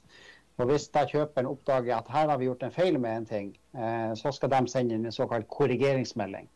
Altså de skal korrigere rapportene til direktoratet. Men eh, det har ikke vært gjort noen vurderinger på det i denne prosessen, nei. Eller i alle fall ikke fra prosjektets side, og ikke fra uh, direktoratets side, så langt jeg kjenner til. Ok, men Da setter vi sluttstrek der. Takker deg, Børge, for et flott, eh, engasjert innlegg.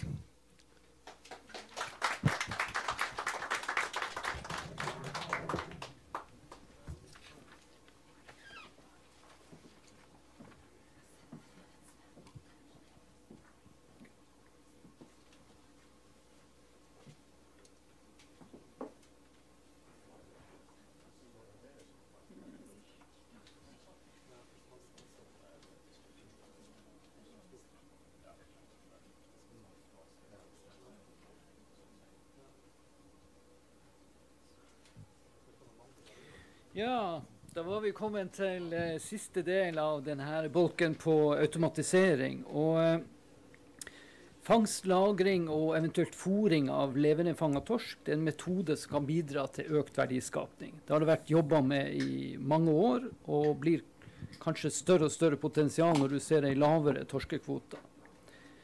Eh, det har vært uh, viktig å utvikle et system som kan forenkle når du registrerer mottak og håndtering av levende fisk.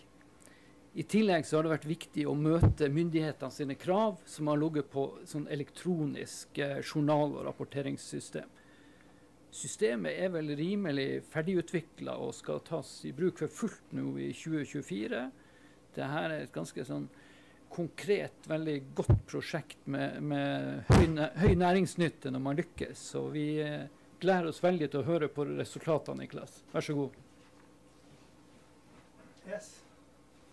Tusen takk for invitasjonen til, for å komme og snakke for dere og presentere et eh, prosjekt vi er veldig stolte av. Både i eh, Egg og utvikling og Code Cluster. Uh, mitt navn for dere som ikke kjenner meg, er Niklas Thomsen. Jeg jobber som uh, senior prosjektleder i Egga utvikling. Uh, jeg skal prøve å ikke blafre for mye i den bibelen jeg har med meg. Jeg lagde en fine presentasjonskort i går, men uh, dattera mi fant ut at de var ikke ferdig før jeg hadde fått en melkeglass over seg i morges. Så jeg skal prøve å ikke blafre for mye i det. Um, ja, jeg skal som sagt snakke om elektronisk journal. Um, skal gå gjennom bakgrunnen for prosjektet. Eh, litt om det tekniske. Jeg skal vise dere litt eh, hvordan eh, journalen skal brukes, og hva den skal brukes til. Hvilke fordeler eh, en elektronisk journal vil ha kontra det man har brukt fram til nå.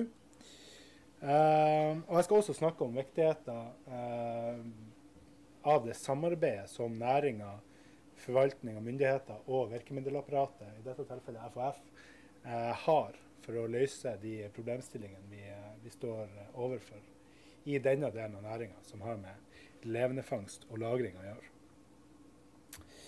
Aller først eh, kjapt om, eh, om Egga utvikling. Eh, Egga er prosjekteier her. Eh, I 24 år har Egga uh, gitt råd til næringsliv og offentlig sektor og kobla dem med finansiering, uh, forskning og samarbeidspartnere. Og de prosjektlederne og rådgiverne og forretningsutviklerne i Egga eh, veileder små og store bedrifter, gründere og offentlig sektor. Fra idé til, um, til realisering. Uh, med en djup forståelse for næringslivet, uten å, uten å skryte. uh, for det lokale næringslivet så jobber vi tett sammen for å oppnå det potensialet som, som faktisk ligger i regionen her. Jeg har jobba også med flere uh, prosjekter innenfor fiskeri, havbruk og sjømat. Bl.a. Cod Cluster, som jeg skal si noen ord om. Eh, også leverandørnettverket Yngle, Arena Nordland og eh, flere andre utviklingsprosjekter som elektronisk journal. Cod Cluster, han eh, Ørjan som prata i sted, er styreleder for en nasjonal hvitfiskklynge med, med, nesten 100 medlemmer. Um, der hovedfokuset er på torsk, sei og hyse som uh, bærekraftige ressurser for fiskeflåten, som råstoff til fiskeforedling og uh, restråstoffindustrien, og som sunn mat til verdens befolkning.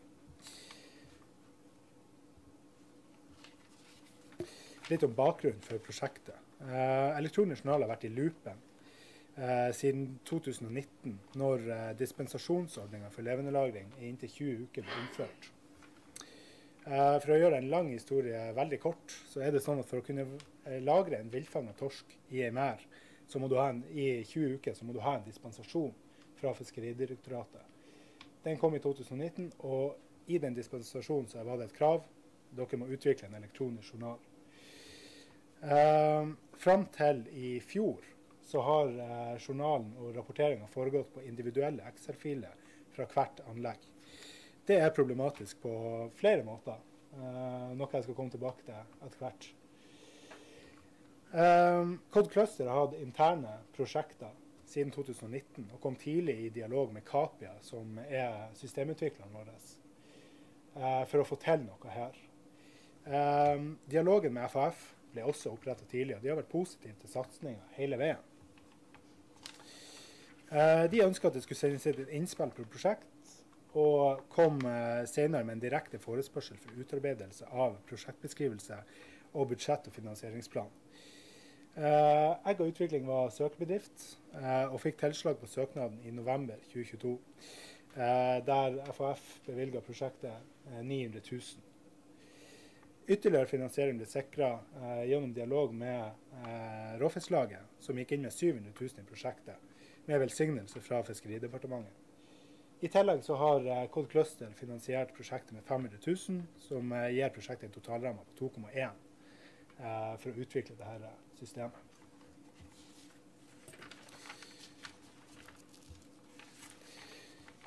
Skal vi se. Der. Prosjektet. Systemet er utvikla som et produksjonsstyringssystem. Der det primære målet er at systemet skal forenkle registrering av mottak og håndtering av fisk, i tillegg til å møte myndighetenes krav til et elektronisk journal- og rapporteringssystem. Eh, som jeg nevnte i sted, så er, var det tidligere ført i individuelle Excel-filer. Eh, det blir utvikla en god mal for å føre eh, journalen. Men uansett hvor god malen er, så vil det være forskjeller fra anlegg til anlegg på hvordan man fører det. Og fra person til person hvordan man fører en journal. Eh, da er det utfordrende for forvaltninga å skal eh, tolke data som blir sendt inn. Eh, og Derfor ønsker de en, et standardisert system eh, for å gjøre det lettere for seg sjøl.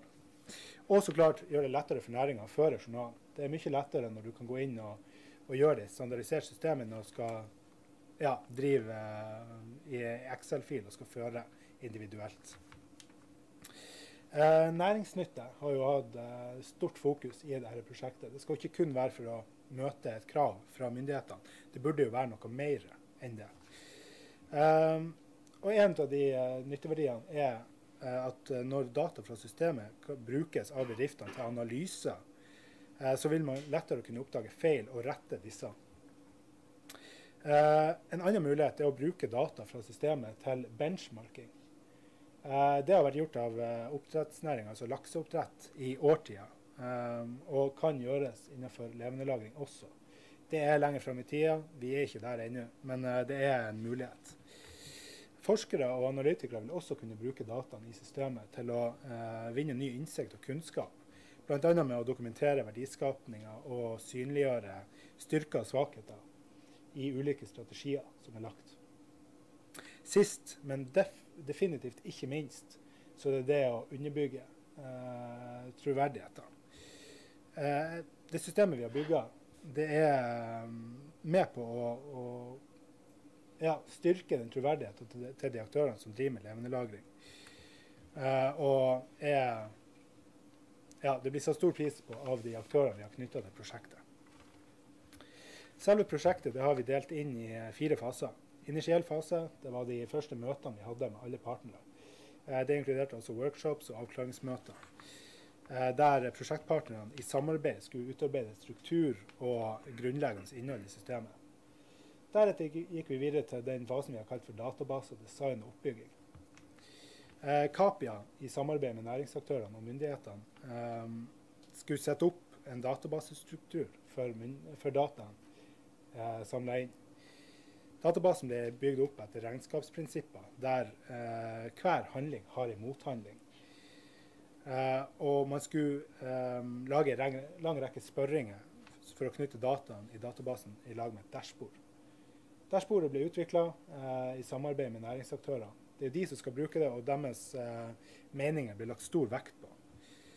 Um, Blant annet så skal jo systemet vise status, Jeg ha løsninger for løpende dataføring, innlegging av data, og ikke minst ha uh, løsning for rapportering og journalføring.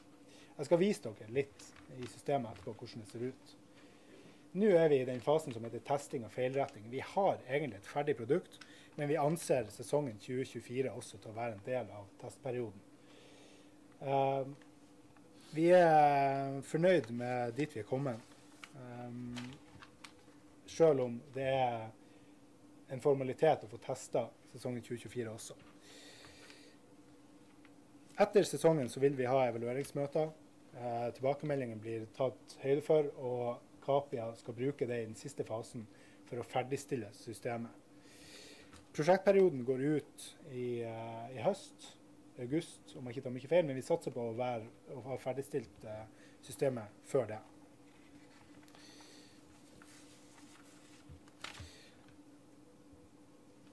Her ser dere hvordan vi har organisert prosjektet. Vi har knytta til oss alle næringspartnere som planlegger og driver med levendelagring i eh, 2023 eller 2024. Det er Gunnar Klo, Båtsfjordbruket, Lerøy Norway Seafoods, Tobefisk, Nick Haug og så er Ecot Cluster selvsagt også inne med, med sin kompetanse og uh, nettverk der. Myndighetene de er selvsagt de som har lagt kravet for at vi holder på med dette. Fiskeridirektoratet og Mattilsynet. Og så er Råfisklaget også inne eh, som medfinansiør. Og FAF på virkemiddelapparatsida er en uh, selvskreven del av uh, referansegruppa. Så systemet. Det er litt mørkt. Det har vi uh, fått, det er vel kanskje en av få kritikker vi har fått. At det er litt vanskelig å se på, spesielt hvis sola skinner på skjermen. dette er det første man ser når man logger inn på, på systemet. Jeg har fått uh, opprette en egen testlokalitet til meg sjøl. Den ligger fint rett utenfor Tromsøya. Uh, og heter testlokalitet. Der kan man se um, Her er det litt blanding av fiktive og ikke-fiktive bedrifter. Hvem som eier fisken, hvor mye de eier. Uh, og man kan òg gå inn og se når uh, fisken blir satt i merd. Man kan også se Det vises ikke, men hvis dere ser her oppe, så kan man se på status og historikk. Det er der det viktigste ligger. Her kan man se merden. Du kan kalle dem hva de vil. Vi har valgt å kalle dem for mer 1 til 5. Antall fisk i per mer, kvantum i per mer, snittvekta.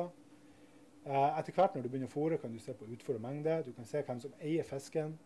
Og du ser landingssedlene knytta opp eh, mot landingen i hver mer. Eh, deretter kommer tidslinja. Eh, fra første isett til kvotebonusen slår inn, til du må begynne å fôre fisken etter fire uker og siste slaktedato da etter 20 uker. Eh, du kan også gå inn og registrere nye isett. Du kan eh, registrere slakt, hele eller deler av merda. Du kan flytte fra ei merd til ei anna. Eh, Du kan skifte eier hvis fisken blir solgt underveis i lagringsperioden. Og så klart, du kan gå inn og, og registrere fòring og røkting.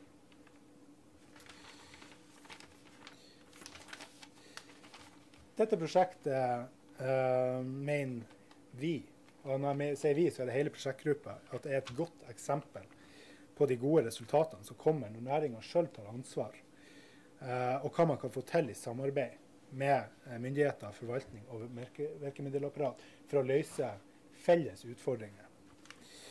Uh, alle parter i prosjektet har innsett at dette prosjektet er nødvendig for at næringa skal ha ei framtid.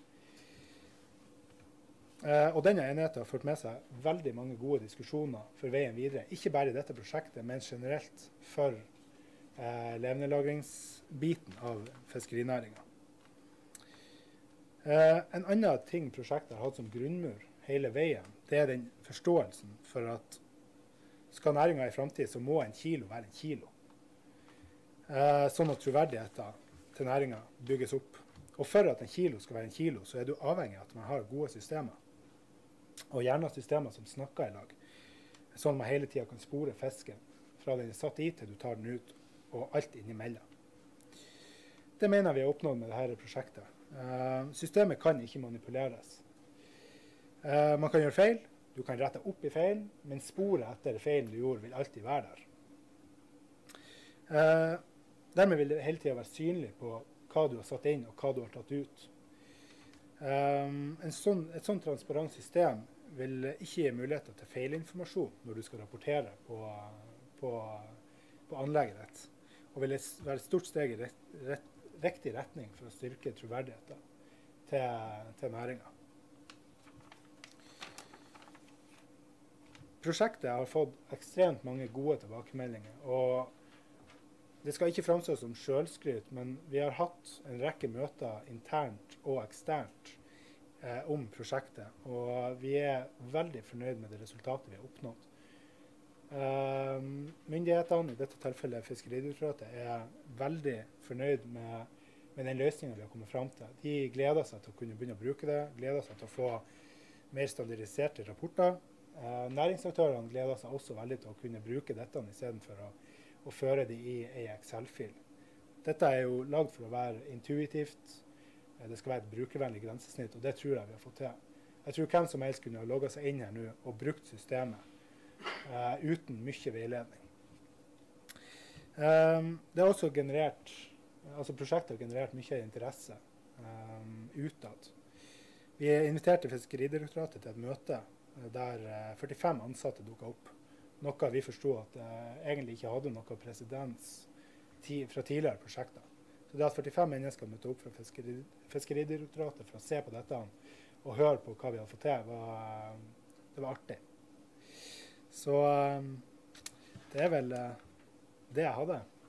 Hvis dere er eh, interessert i å høre mer, så ta gjerne kontakt.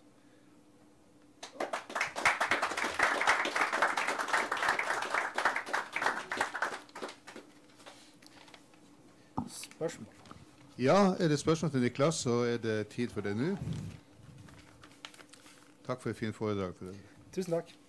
Veldig tydelig og klart. Ja, er det ingen Kan du tenke Ja, det er Charles igjen fra Ja. Råfisklaget. Ja.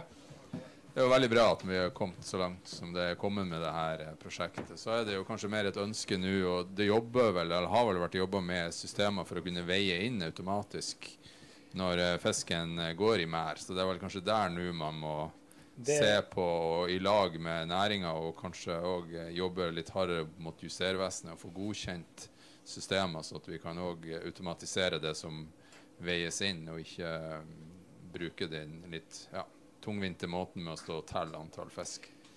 Det det er jo litt um, ironisk at vi har ei snittvekt og kan vise det i snittvekt i systemet, for snittvekta er jo egentlig ikke reell. Du teller fisken på tur inn, og du anslår ei vekt, men du vil jo ikke ha ei reell vekt. Så det er den neste flaskehalsen vi jobber mot. Det er å få automatisk, eh, automatisk veiing og telling inn i mer. For Får du det, så har du et mye bedre utgangspunkt når du da skal slakte den. Eh, både for eh, altså, produksjonsstyringa. Du vet hva du har i mer, du vet hva du kan selge. Eh, du, vet, du vet så mye mer. Så det er den neste flaskehalsen. Og Der har vi prosjekt pågående i Code Cluster som, som vi, vi må bare få justervesenet på glid. Vi er på tur, men jeg tror vi kommer dit i år.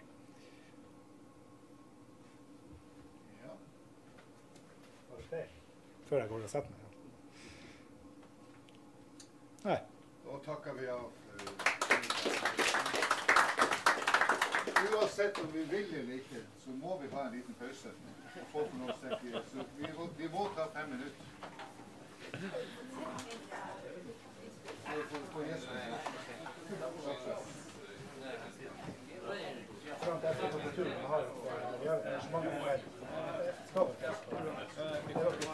Fram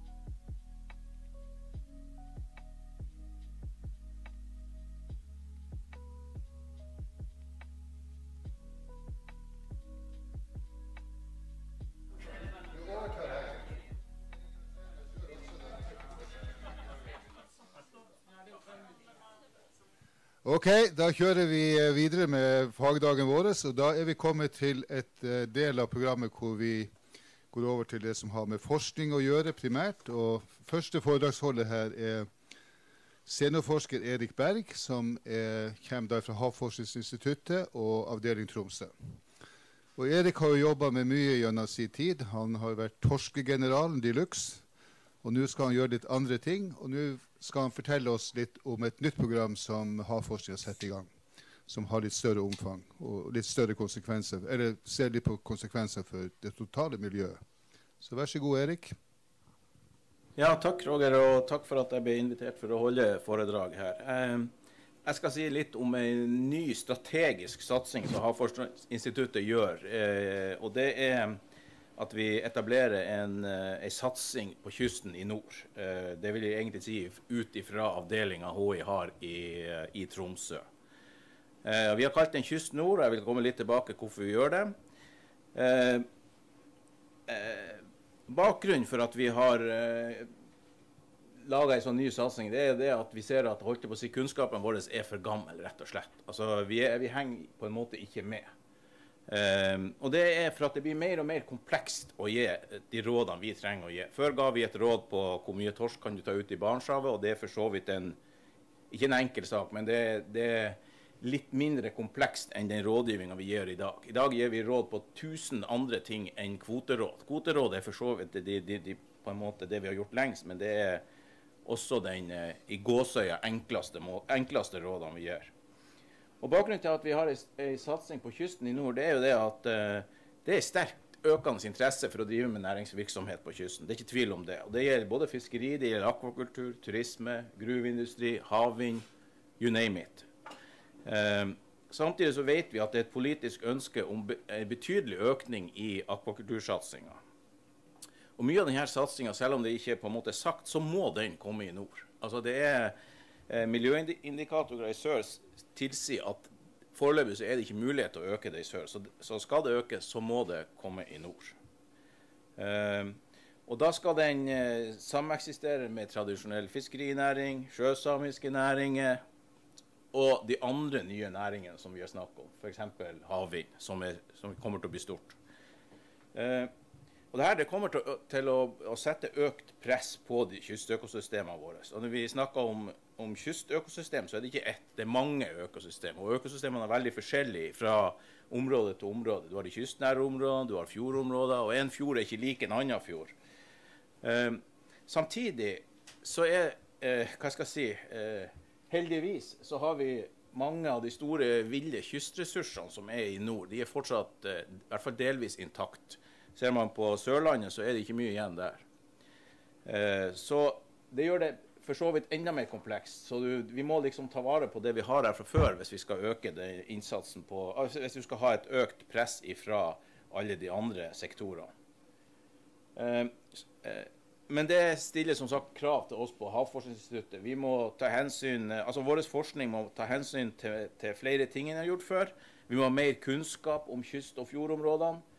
Eh, hvordan de påvirkes av de ulike sektorene eh, etc. Og vi må ha mye mer eh, hva skal jeg si, helhetlig tenkning når vi skal gi et råd. Både til myndigheter, men også til næringa når vi skal gi råd til næringen. Og bare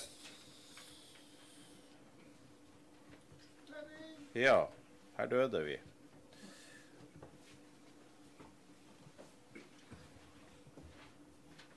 Sikkert bare pause på TV-en. Som et eksempel på, på, at det blir mer komplekst, kan jeg si at eh, hvis vi tenker 30 år tilbake, så siden vi er her på, på torsk, så kan jeg bruke torsk som et, et, eksempel. Hvis, hvis vi ser 30 år tilbake, så ga vi råd på torsken i Barentshavet. Hvor mye kvote kan du ha der? Hvis du går 25 år tilbake, så vi, begynte vi også å gi råd på kysttorsk. Eh, eh, det neste vi kommer til å være nødt til å gi råd på, det er på enda eh, si, mindre områder. F.eks. hvor mye torsk kan du ta ut i Andfjorden? Av kysttorsk. Det, det, kommer antageligvis. Og så kan man gå enda lenger ned. Hva, det som kommer etter det, er kanskje hva, hva er konsekvensen for, øk, eh, for, eh, for, torsken i Andfjord av at det blir et ekstra oppdrettsanlegg der? Så må vi svare på det. Og så kan vi tenke at det blir enda mer komplekst. Hva, hva, kommer, hva skjer med økosystemet i Andfjord hvis det kommer et ekstra oppdrettsanlegg? Og hvis vi går enda mer ned, så kan du tenke deg at vi blir spurt om eh, hvis, du, hvis du øker med 10% f.eks. påvirkning fra det kan være oppdrett, eh, eh, deponering av avfall, turisme etc. Hvis du øker det med 10% i en fjord, hvor mye mindre kan du ta ut av de ville ressursene som er der? Det er utrolig komplekst. Det, I dag har vi ikke sjans å svare på det. Men det er sånne typer råd vi må eh, På ikke så lang sikt så må vi være i stand til å, til å svare på det. Eh, jeg kan bare si kort om hvordan vi gjør det i dag. Altså, alle kjenner jo til at vi, vi driver jo overvåkning på kysten. eh, Og vi gir råd på eh, alt ifra miljø, plankton, tare, skalldyr, kystsel, ressurs, kystbestander av fisk. Og vi kartlegger også naturtyper, viktige gyte- og oppvekstområder. Eh, og vi har også starta med marine grunnkart. Det er en ting vi forventer skal bli litt større og, uh, og kreve mer ressurser. Men, uh, men foreløpig så har vi bare starta en liten start på det. Vi driver jo også og kartlegger genetisk struktur på og bruker eh, det vi kaller e-DNA, altså miljø-DNA. Og det er jo for å skille Det første med vanlig genetikk det er jo for å skille de ulike bestandene og forvaltningsenhetene. Vi har også en ganske stor kartlegging av fritidsfiske og turistfiske. Og det er kanskje ikke det, si, det viktigste for forvaltninga av lokale ressurser i nord, men i sør er det ekstremt viktig. Mens det her oppe kan, kan være uttak av kanskje ja, 10-15% av, av det, det kommersielle uttaket av, av bestandene, så kan det i sør være oppe i 90, kanskje 95 av uttaket. Så det, og der har vi litt dårlig kartlegging, for å si det mildt. Og det nytter ikke å gi, på en måte, å lage bestandsvurderinger av eh, de ulike artene hvis vi ikke har kontroll på fritids- og turistfiske. Men vi har jo også andre typer jeg si, satsinger i nord. og Det ene satsingen det er noe vi har kalt for Coast Watch. Og Coast Watch det er egentlig å komplementere dagens overvåkning ved hjelp av ny teknologi. Og det er det store. Eh, vi er bedt eh, om å kutte CO2-avtrykket vårt med 50% som mange andre, innen 2030. Og i praksis så vil det si færre toktdøgn. Eh, vi har ikke så veldig mye annet CO2-avtrykk enn båtene våre. Og det, oss, det lager ganske store utfordringer for oss. Så det vi er nødt til, det er å gå over til ny teknologi. Og noe kan du erstatte, noe kan du kanskje ikke erstatte. Men det finnes eh, mye fin teknologi som i dag delvis er utprøvd, men masse som ikke er utprøvd. Så vi er i en fase nå der vi prøver inn ganske mye ny teknologi. Det vil vi også gjøre i det her Kyst Nord-prosjektet. Eh, vi har også, eh, som jeg vil komme litt tilbake til, vi har sårbarhetsanalyser for de viktigste artene. Og vi skal risikovurdere og beregne samla påvirkning fra ulike sektorer. Og det er også en utrolig kompleks, eh, komplekse beregninger. Og det er jo sånn som vi har gjort det, kan du si, Dette er jo sånn som vi har gjort det på de ville ressursene. Men vi har jo også, eh, vi har jo også ei, og, og der har vi gitt råd hva jeg skal si, i 100 år. Mens eh, vi har jo også ei an, annen side, og det er akvakultur. Der vi egentlig ikke har gitt råd mer kanskje enn i 10-15 år. Eller i hvert fall eh, For akvakultur har jo gått fra å være hva skal jeg si, produksjonsbiologi til å, til å skal bli en bærekraftig næring. Så, De siste årene så har vi jo gitt en del råd der, og det har, jo, eh, det har jo vært litt støy rundt det, for å si det mildt. Eh, men eh, du kan si bærekraftsmålene det er operasjonalisert gjennom trafikklyssystemet og de risikovurderingene vi gjør. Og de er blitt mer og mer komplekse fra at du hadde at det bare tok hensyn til hvor mye lakselus det var, til nå så man, skal man prøve å risikovurdere f.eks. Eh, torskeoppdrett. Hvordan, hvordan risiko er det for f.eks. villtorsk? Og Det er jo også komplekse ting. Alle de tingene jeg nevner nå, det, er, det, det, det tilsier at vi trenger mer og mer kunnskap om kystøkosystemene og de lokale variasjonene som er. Samtidig så vi skal ha mindre overvåkning, mindre tokt. Så det, det er ikke bare enkelt. Men vi har jo to, har to store program når det gjelder akvakultur egentlig på Havforskningsinstituttet. og Det, det ene er eh, altså miljøeffekter av fiskeoppdrett. Og det har, eh, mens det andre programmet er liksom framtidens oppdrett. Og det er jo eh, miljøeffekter av fiskeoppdrett som er den tingen vi må ta inn i det her Kysten, Kysten Nord-prosjektet. Vi må vite eh, alle effekter av oppdrett. Ikke bare på villfisk, men også på, på bunnfauna etc. Så der er og det, det, benyttes som sagt i de risikovurderingene som vi, som vi gjør, og de rådene vi gir i dag. Eh, men hvordan skal vi gi en sånn helhetlig risikovurdering? Eh, hvordan er den samlede påvirkningen fra fiskeoppdrett? Er den lav, er den høy, er den moderat? Og hva er risikoen for f.eks. at torskeoppdrett eh, eh, fra, Hva er risikoen fra torskeoppdrett eller fra fremtidig oppdrett av andre arter? Så det, det er utrolig komplekst, det her økosystemene. Og, og påvirkning, vi kjenner ikke påvirkningen godt nok, og det er masse kunnskapshull i det. Så det vi har tenkt å gjøre i det her Kyst Nord-prosjektet, det er å lage et sånn eksperimentelt område der dere ser de ringene. det er i Kvænangen-området. Der er et prosjekt allerede som er kalt Salkod. og det, det prosjektet vil utvides for å prøve å tette de her kunnskapshullene. Hva er det egentlig vi trenger å vite for å gi et totalt råd for Kvænangen? F.eks. Eh, hva skjer hvis det kommer et oppdrettsanlegg? Kan man fiske mer eller mindre reker der? Sånne ting. Um, så det vi vil gjøre der, det er å satse altså Mesteparten av den forskninga vi gjør eh, i nord, kommer til å kanaliseres inn mot dette området. Sånn at det ikke er liksom at vi gjør noe forskning i Andfjorden, noe forskning i Porsanger og noe forskning i Altafjorden og litt i Barstad. Så vi vil prøve å konsentrere mest mulig i dette området for å gi svar på, på utfordringer vi har for å gi helhetlig rådgivning. Og du kan si, Det er jo ikke bare, det er jo ikke bare hva skal jeg si, det er jo ikke bare, det er jo ikke bare de her ressursene og de akvakulturen som man skal ta vare på. Vi har jo en, en, en vanvittig storslagen natur òg. Den må òg tas vare på. Og eh, Sånne bilder som det her, det er jo ikke bare vi som syns de er veldig fine. Er jo, vi har jo noe som kalles turisme òg. Hvor, hvor mye påvirkning får vi fra turisme? Det er ganske mange som har lyst til å se de her tingene som vi ser her. Eh, men sånn eh, samla påvirkning og beregne, altså beregne samla påvirkning og hva som, eh, hva som, er over og under tålegrensen for de forskjellige artene, er ganske komplisert. Og Hvis man tenker sånn påvirkning fra en, en sektor, eller ja, f.eks. en sektor, så er det, det sammensatt av hvor mye eksponering har du, og hva er effekten av en eksponering. For eksempel, det sier seg selv at Hvis du får oljesøl, om du, om du søler én liter olje, så betyr ikke det så mye. Men søler du ti millioner tonn olje, så, er det, så er, det, er det, en del forskjell. Og hvor mye effekt har et sånt oljesøl på en art, f.eks. Eh, så det, det, er jo bare, det er jo bare ett eksempel. Men, eh, og eksponering er jo sammensatt av hvor utbredt er den, hvor ofte skjer den, og hvor lang tid er en sånn eksponering.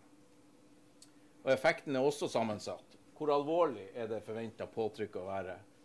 Og eh, hva er gjenopprettinga hvis du først får et sånt påtrykk på et økosystem? Og Her viser en figur hvor eh, komplisert det er. Eh, og Det er faktisk sånn det er når man skal beregne det. Og det, Til venstre har vi ulike sektorer.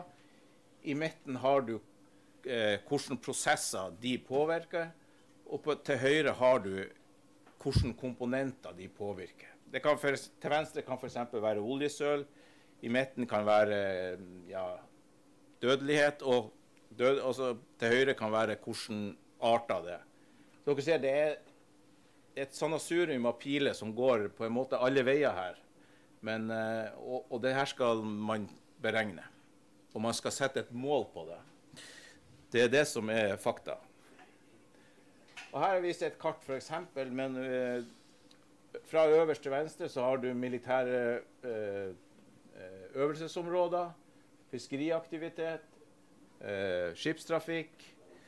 Alt det her er det vi kaller for pressures. Altså det er påvirkninger på økosystemene, og det må tas hensyn til. Nede til venstre har vi akvakulturområder.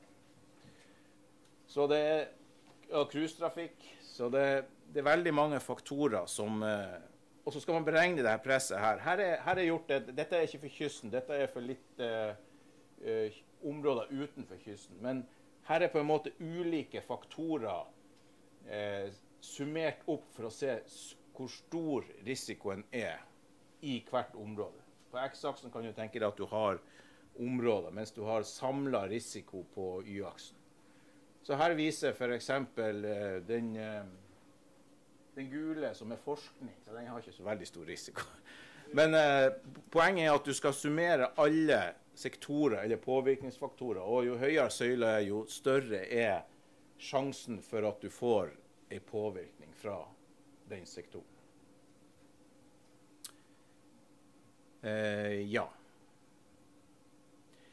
Og så, så de, her, de her økosystemene er utrolig, uh, utrolig sammensatt. Og som jeg har sagt det, det, som er det største problemet, er jo at uh, de økosystemene her er så forskjellige. Altså, F.eks.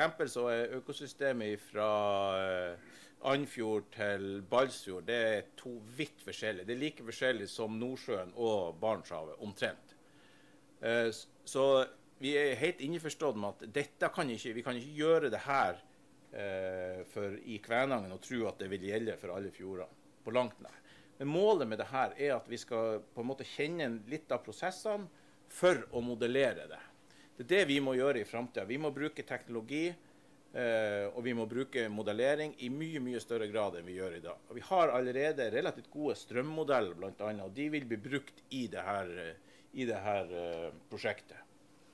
For vi ser jo at vi, vi får ikke mer toktid, så der er det teknologi som må til. og vi kan ikke kjenne alle, alle fjordene. Vi kan ikke ha teknologi i alle fjordene heller. Så vi, vi, er nødt til å bruke modellering.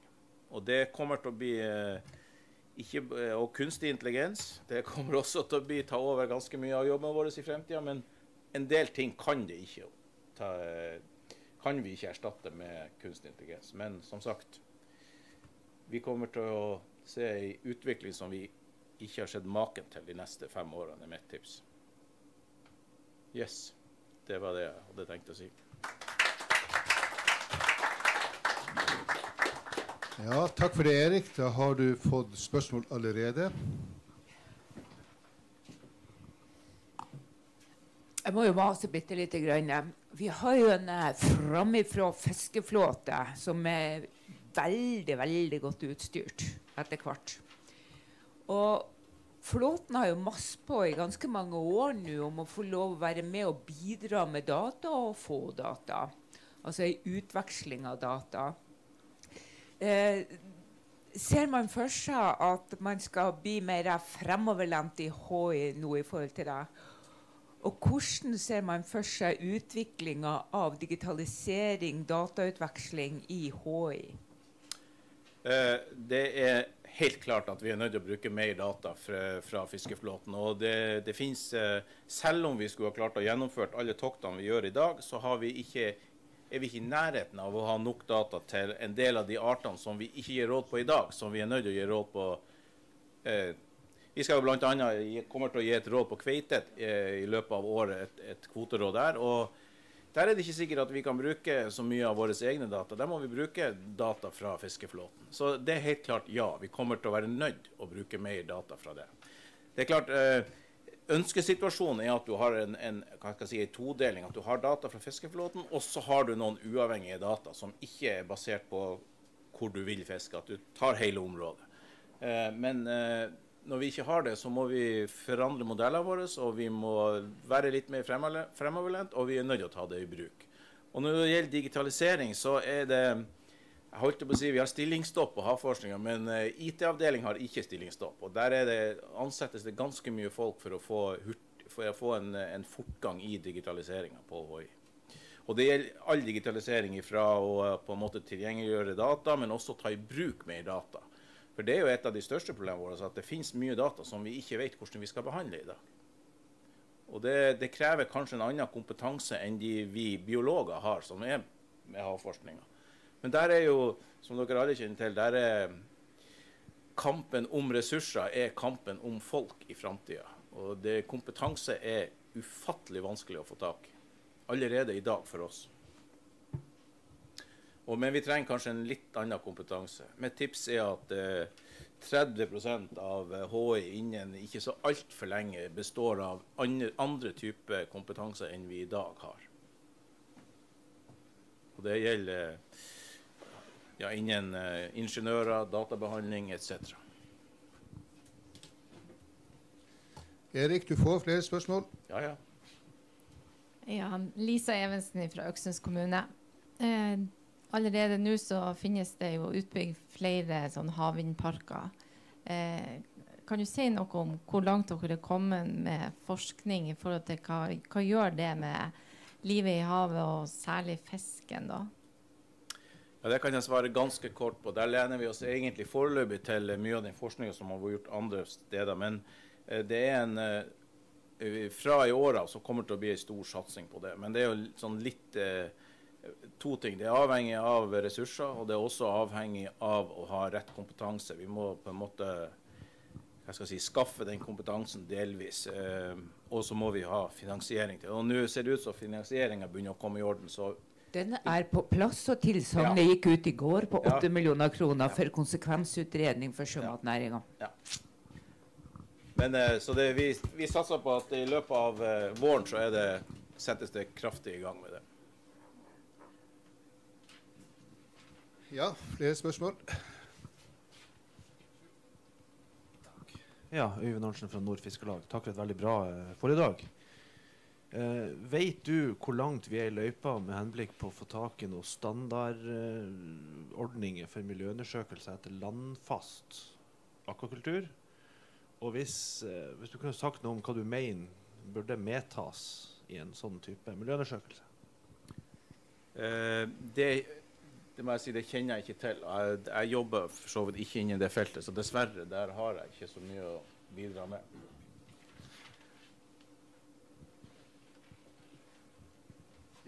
Charles, du skal få låne mikrofonen et øyeblikk. Ja, Charles Aas i Råfisklaget. Kanskje like mye bekymring som et spørsmål. Men eh, du nevnte jo at det skal settes TAC på kveita. Og vi har jo fått nå de siste årene TAC på både brosme og lange. Det er vel kanskje noen arter man eh, betegner som datafattig, og selvfølgelig har man jo føre var-prinsipper som må legges til grunn når man skal sette kvoter på de her artene. Men risikerer vi å sette TAC-er da med bakgrunn i at vi har for lite data for så lavt at vi ikke får utnytta potensialet? Og eventuelt har vi midler nok til å gjøre nok eh, forskning på de her artene? Br- Breiflabb er kanskje òg en art som vil bli aktualisert. Og, for vi ser jo nå med nedadgående torskekvoter, så er det jo sånn at flåten trenger jo andre arter å fiske på. og Det er òg politisk bestemt at vi skal jo utnytte alle artene godt nok. Men altså, går vi glipp og risikerer vi at båtene blir liggende i kai og ikke får utnytta de her ressursene? Det er et godt spørsmål, men, men svaret på det er at uh, hvis, du ser, hvis du ser ti år tilbake, så var vel uh, prinsippet det at uh, hva skal jeg si, Hvis ikke de store og tunge modellene vi har for f.eks. torsken i Barentshavet, hvis ikke de kan brukes, så bruker man veldig veldig, veldig enkle modeller. Og da er usikkerheten ekstremt stor, så den må man ta høyde for. Så da er det, hvis du kan fange 10 000 tonn av noe, egentlig så du, setter du det ganske mye ned for å være på den sikre sida. Men i dag så er det laga en rekke, altså hundrevis av modeller for datafattig tilnærming, kan du si. Det er klart, eh, og, og ingen av disse er på en måte eh, like god som det, det man har for torsken i Barentshavet. Det er greit. Men, men for, man finner alltids en modell som, eh, der de dataene du har, kan brukes. Og eh, det er blitt en veldig stor innsats internasjonalt på det. Og ICS har bestemt at eh, hva skal jeg si, du har en sånn løype du skal følge med Har du de dataene, så gjør sånn. Har du de dataene, så gjør sånn. Og så videre. Så, og der er det Jeg vil si de er ganske gode, de modellene. Og det, de passer for flere og flere av de artene som du Bl.a. de du nevner. Så jeg tror ikke Altså, ja. Hvis du er, har veldig usikre data, så kommer du til å ha en, måtte ha en litt høyere sikkerhetsmargin. Men alternativet er jo at du ikke gjør noe, og at det blir borte helt. Eller eh, f.eks. med kveita, så, så er vi vel kanskje, for å si det mildt, at vi er oppe på et nivå som muligens ikke er bærekraftig. Eh, og, eh, så der kommer det et kvoteråd. Jeg skal ikke si hva det blir, men, men det, kommer, det kommer nok muligens til å være litt lavere enn fangsten var i fjor. Men eh, det er jo ikke sånn at det, at det kommer til å kollapse helt. eller sånn, men ja. Nei, det finnes modeller, og jeg tror, eh, jeg tror ikke man er, man er nødt til å ha så kjempehøye sikkerhetsmarginer som man hadde før. Ja, er vi kommet til veis ende av spørsmålsrunden. Eh, så takker vi Erik for flott foredrag. Og da har jo vi nå to kjempeviktige foredrag igjen her. Eh, vi skal slippe til Fiskerihøgskolen fra Universitetet i Tromsø til å holde foredrag. Og Da har jeg jo gleden av å introdusere en ny eh, foredragsholder. Han heter Roger Larsen og skal da prate.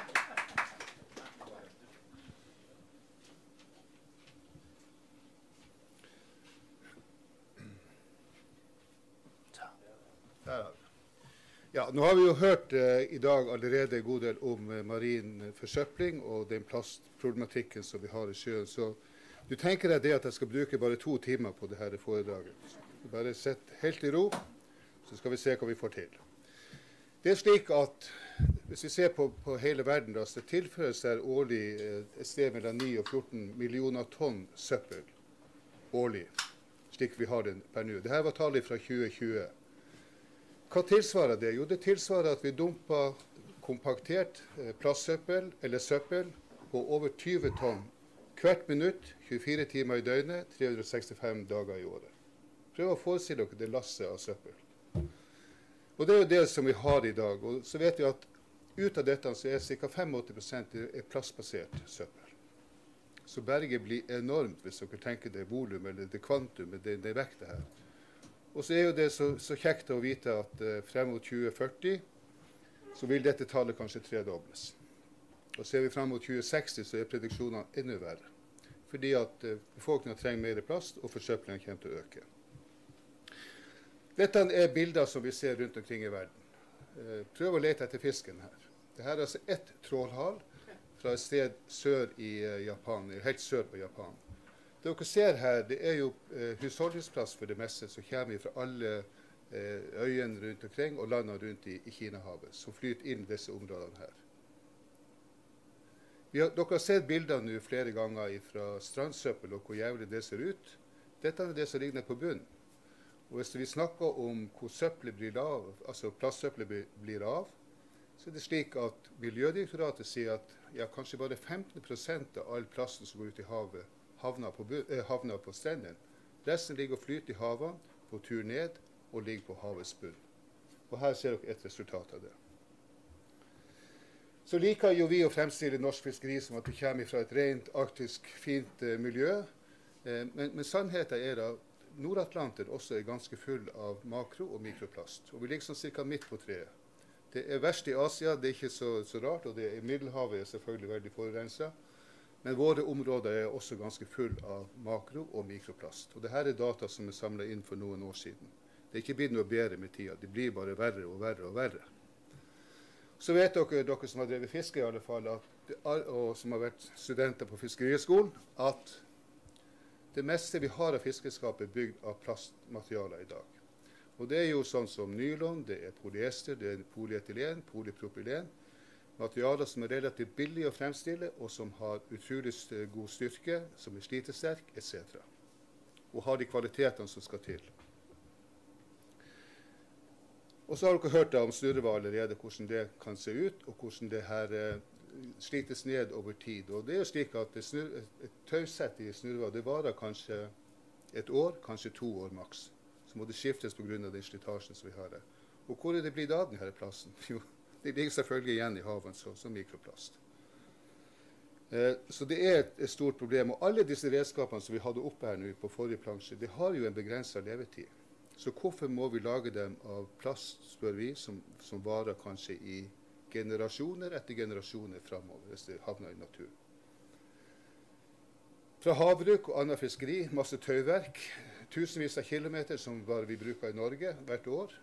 Hva gjør vi med det når, det, når levetida er over? Kan vi gjenbruke noe? Kan vi gjenvinne? Kan vi forbrenner vi det? Eller er det landdeponi som det havner i? De to siste kategoriene er veldig populære. Dette er fra rekefiske i Barentshavet og bifangst av snøkrabbeteiner som tapte teiner i, snø, snøkrabbefiskeriet. Dette betyr jo, det bildet dere ser her, det betyr jo masse tid for å greie det her ut av redskapene, rydde opp i redskapene, kanskje reparere trålen i et trippeltrålsystem. Pluss at du får et, et søppelberg om, etter hvert om bord. Hvor skal du gjøre alt? Her, her oppe på helikopterdekket er stua fullt av tapte teiner. Så ligger det en dunge her. Hvis man får 1000, eh, 100 teiner til, hvor gjør man av det? Jeg vet hvor det havner. Og det vet dere òg. Vi, nettopp, vi kommer fra et forskningstokt i Barentshavet nå. Og Der fant vi et sånt nett sånn som det her. Det her er altså det som russerne brukte frem til ja, langt inn på 80-tallet. Det er en form for nylon som heter kapron eller perlon, alt etter hvor vi er i verden.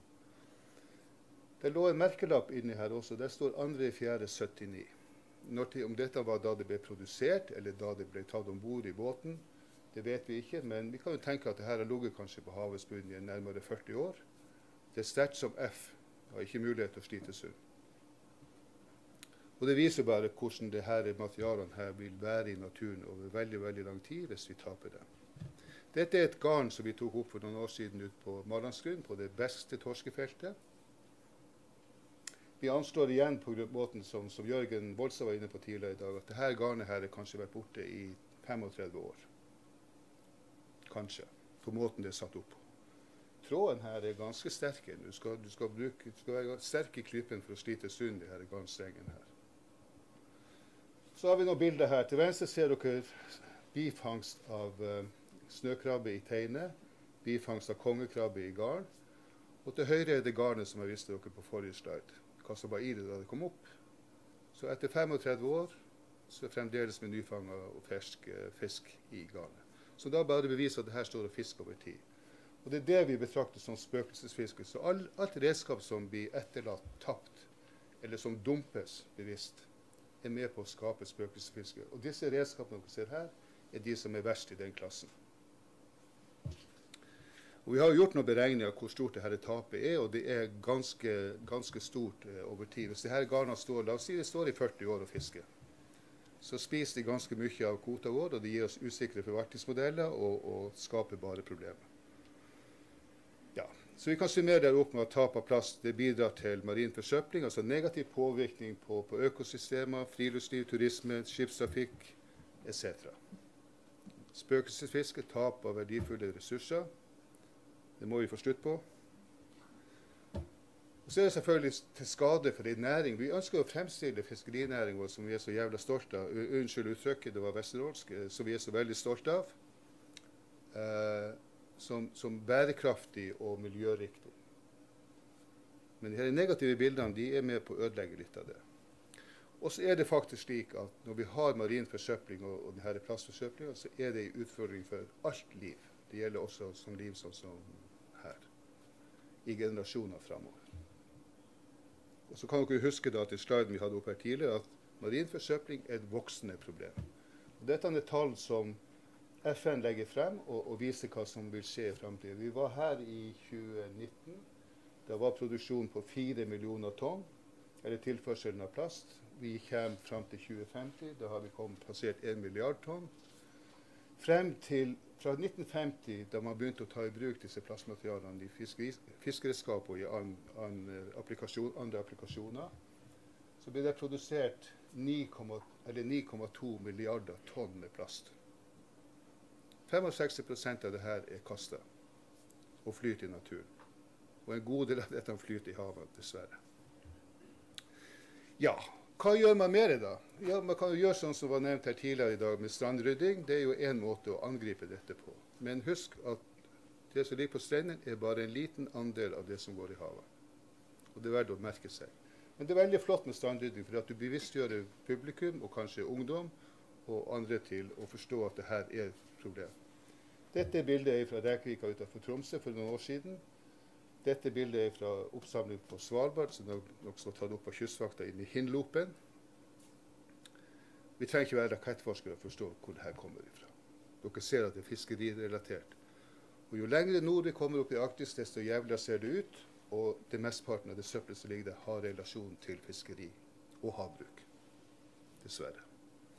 Så av den plasten som blir plukka opp her, altså var altså 95% ja, det søppelet som blir opp her, så var 95% plast og polystyre. Så kan vi drive offentlig opprensking, sånn som Fiskeridirektoratet gjør. Eh, siden 1983, altså i løpet av 40 år, så har de tatt opp mer enn 1000 tonn med søppel fra havet. Og de går jo på de posisjonene som er innrapportert av fiskerne, og der de antar at fiskeskapet er tapt, og samler opp. Men klarer de å ta opp alt? Nei, selvfølgelig gjør de ikke det. Men som et eksempel, da, i løpet av disse årene så har de tatt opp mer enn 24 000 fiskegarn. Ganger det med 27,5 meter på tellene, så får dere en lengde på 700 km. Så det er en anselig mengde som ville ha stått og fiska med mindre at det ble tatt opp. Jørgen Volstad var her tidligere i dag og snakka om hva han så her om dagen. Der er et av de bildene han ga meg fra ei lenke som vi tok opp, som har stått kanskje et par år. Full av gamle vrak og, og nyfanga fisk for øvrig også. Så det, det, det er ille. Ja, det er på tide å rydde opp i eget reir. Disse bildene her brukes jo veldig ofte for å vise hvor ille det er. Men det er altså bare en del av hvor, hvor jævlig det er med det marine forsøkene. Og dette, det her er jo tråd som mange mener kommer fra de her labbetussene som vi bruker i dag på trålsekkene. Men det er også selvfølgelig fra tauverk og andre biter som, som, kommer. Så vi må etter hvert begynne å lære de her, uh, her fuglene her til å gå over til naturlige fibre når vi skal bygge reirene sine. Det blir en vanskelig prosess.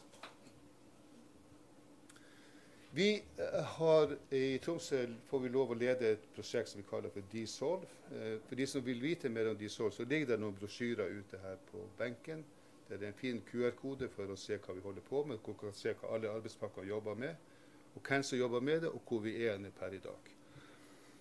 Dette er et sånt prosjekt som vi kaller for uh, et senter for forskningsbasert innovasjon. Det betyr at dette går over lang tid og involverer mange miljøer i et sånt prosjekt. Så det vi er ute etter her, da, det er jo å komme litt til livs det her med, med marin forsøpling og spøkelsesfiske som er forårsaka av fiskeri og havbruk. Og Målsettingen med det her, da, det er jo, det her er jo finansiert stort sett av norske midler gjennom Forskningsrådet og universitetet og industrien. Det er jo at vi skal sette Norge da i en ledende posisjon og utvikle nye, smarte bionedbrytbare materialer til anvendelse i fiskeri og havbruk. Og Konsortiet vårt ser slik ut. Det er masse bedrifter inne. Men vi har fem forskningsinstitusjoner fra Norge inne her. Vi har tre internasjonale. Vi har uh, flere uh, fiskeri, altså alle fiskeredskapene representert, stort sett, akvakultur. Og vi har leverandørindustrien med oss. Så det er stort engasjement for å være med og prøve å finne frem til, til nye løsninger her. Og så har vi en del sånn internasjonale og nasjonale rådgivningsorganer som, som hjelper oss med det her. Dette programmet her går over åtte år. Vi har holdt på i snart fire år, og vi vet ingenting. Hva vet vi etter åtte år? Nei, jeg skal slutte å tulle med det. Vi har kommet ganske langt når det gjelder dette. Når vi har fått materialer som er bionedbrytbare, vi tester dem i garn, vi tester dem i liner, vi tester dem i snurrevad, vi tester dem i trål. Eh, og vi ønsker også å komme i gang med å teste der det er mulig å erstatte den ordinære plasten med bionedbrytbar plast, så, så, skal vi gjøre det. Men det er klart de som driver oppdrettsnæring, de vil ikke høre om bionedbrytbar materiale i, i, i, i oppdrettsnot. Det vil være ille. Men igjen, oppdrettsnøter skiftes også etter fem til åtte år. Så hvorfor skal de lages av et materiale som varer i ja, som Miljødirektoratet sier, i 600 år hvis du taper nylon i, i det marine miljøet? Så vi er på vei inn her og, og ser på materialer som er bionedbrytbare. Det kan enten være fossilbasert, men vi vil helst over til det som er biobaserte materialer, som også er bionedbrytbare. Og Bionedbrytbar det betyr at det er en prosess som foregår fra sånn Hvis du mister noe plast i havet, så foregår det først en mekanisk eh, påkjenning og nedbrytning. Sollys hjelper til, UV-stråling, bevegelser og alt det her som, som skjer i sjøen. Og du får her fragmentert opp til makroplast, mikroplast etter hvert. Og så er det en enzymatisk prosess som skjer via at bakterier går løs på det her. Eh, liker jo plast, selvfølgelig. Bakterier. Og den enzymatiske prosessen er med på å fortsette nedbrytinga. Det vi ønsker å komme frem til, da, eller som vi vet vi kommer frem til, da, det er et produkt som består av eh, CO2, vann og mineraler. Og null mikroplast. Og det er veldig viktig at vi får det til. Ja, nå har jeg eh, brukt opp tida mi nesten, så jeg slutter her og viser dere Gå inn på denne hjemmesida, så finner dere hva, eh, hvor vi er henne i prosjektet, og hva som, eh, hvordan de ulike eh, miljøene jobber for å komme frem til, til løsninger her. Og Vi er veldig optimistiske sammen med næringa på at vi skal komme bra i mål når programmet er ferdig i 2028. Da er jeg også bionedbrutt. Så takk for oppmerksomheten. Ja, er det spørsmål til han der, Roger Larsen?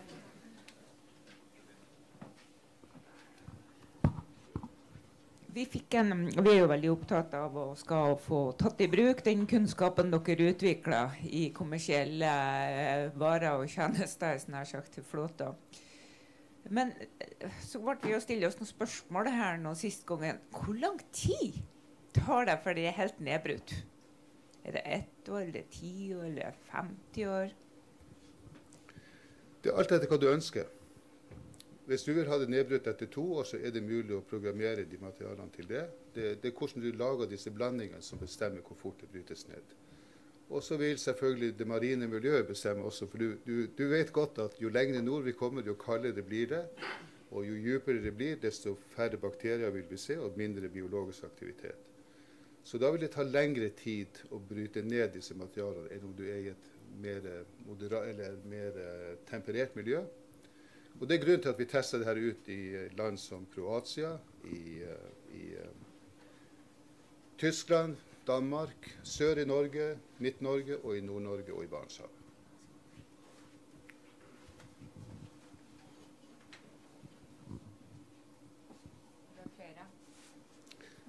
Det er ingen flere spørsmål. Da takker vi Roger Larsen av, og så introduserer og så introduserer vi professor uh, Bjørn Petter Finstad. Vil du komme frem? Det vil jeg. Ja. Du, skal, du, kan si du introduserer temaet ditt sjøl. Vær så god. Kun spredt applaus, men det er jeg jo vant til.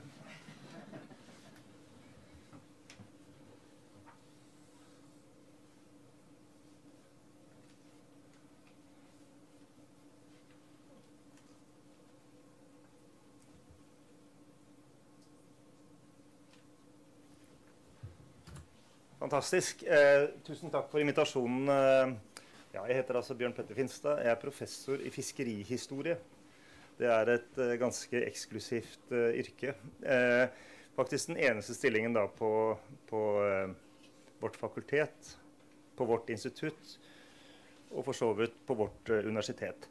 Eh, det jeg skal snakke om nå, er ikke et forskningsprosjekt, men jeg skal snakke om en annen veldig viktig ressurs, nemlig studentene våre, og hvordan vi forbereder studentene på det livet som kommer etter endt utdanning. Og det sitter studenter i salen, hyggelig å se dere, eh, som har vært med på dette opplegget, dette praksisopplegget. Jeg skal begynne med et tall. 267. Hva er dette tallet?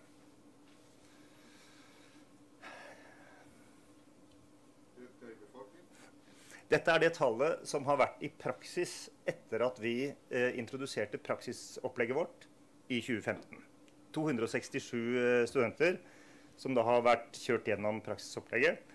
Eh, ikke veldig stort tall, men, eh, men, ganske stort. Og det vi er i ferd med nå, er å kartlegge eh, de langsiktige virkningene av det at studenter har vært i praksis.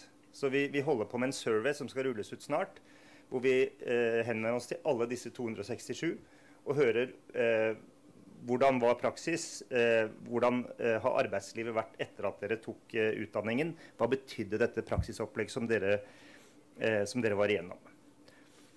Eh, ja. Bakgrunnen for dette er jo Alle snakker om at sjømatnæringa trenger nye folk. At det er et økt kompetansebehov. Og det er gjort masse kartlegging, og det, og det er stadig vekk i mediene om dette store behovet. Så vi mener at vi bidrar da med eh, praksisopplegget vårt så bidrar vi til eh, å hva skal vi si, eh, møte noen av disse utfordringene. Samtidig som vi styrker eh, studentenes konkurranseevne eh, i markedet om nye jobber. Og dette her er også da i tråd med Universitetet eh, i Tromsø sin strategi, nemlig at vi skal legge til rette for samhandling med arbeidslivet. Bidra til at flere unge tiltrekkes eh, til arbeidsplasser i landsdelen og blir her. Ja, bare sånn, altså denne, denne presentasjonen er da krydret med litt sånn eh, bilder av studenter som har vært i praksis eh, siden vi starta opp dette her i 2015. Eh, I kvalitetsmeldingen for eh, høyere utdanning som kom i 2016, så ble vårt pilotprosjekt da eh, viet en hel boks. Boks 317. Og det var vi kjempestolt over. Tenk hvor mange utdanninger som er i, i Norges land. Og så velger de da ut eh, vårt praksisopplegg som vi startet opp i 2015, velger de jo ut som et eksempel. Så dette her pleier jeg å vise fram på skrytelista når, vi, når jeg presenterer dette opplegget. Litt om bakgrunnen for, med praksis på Norges fiskerihøgskole. Eh, tidligere, på det gamle fiskerikandidatstudiet, så var det altså slik at praksis var inngangsbilletten til å begynne på studiet. Det hadde ikke noen pedagogisk eh, funksjon, men det var altså rett og slett eh, fra den gruppen man ønsket å rekruttere studenter. Det var de som allerede hadde praksis, enten fra fiske, enten fra industri eller forvaltning osv. Og i starten så var det eh, et krav om 18, 18 måneders praksis. Og så ble det redusert til et år. Og så ble det redusert enda mer, og så ble det fjernet.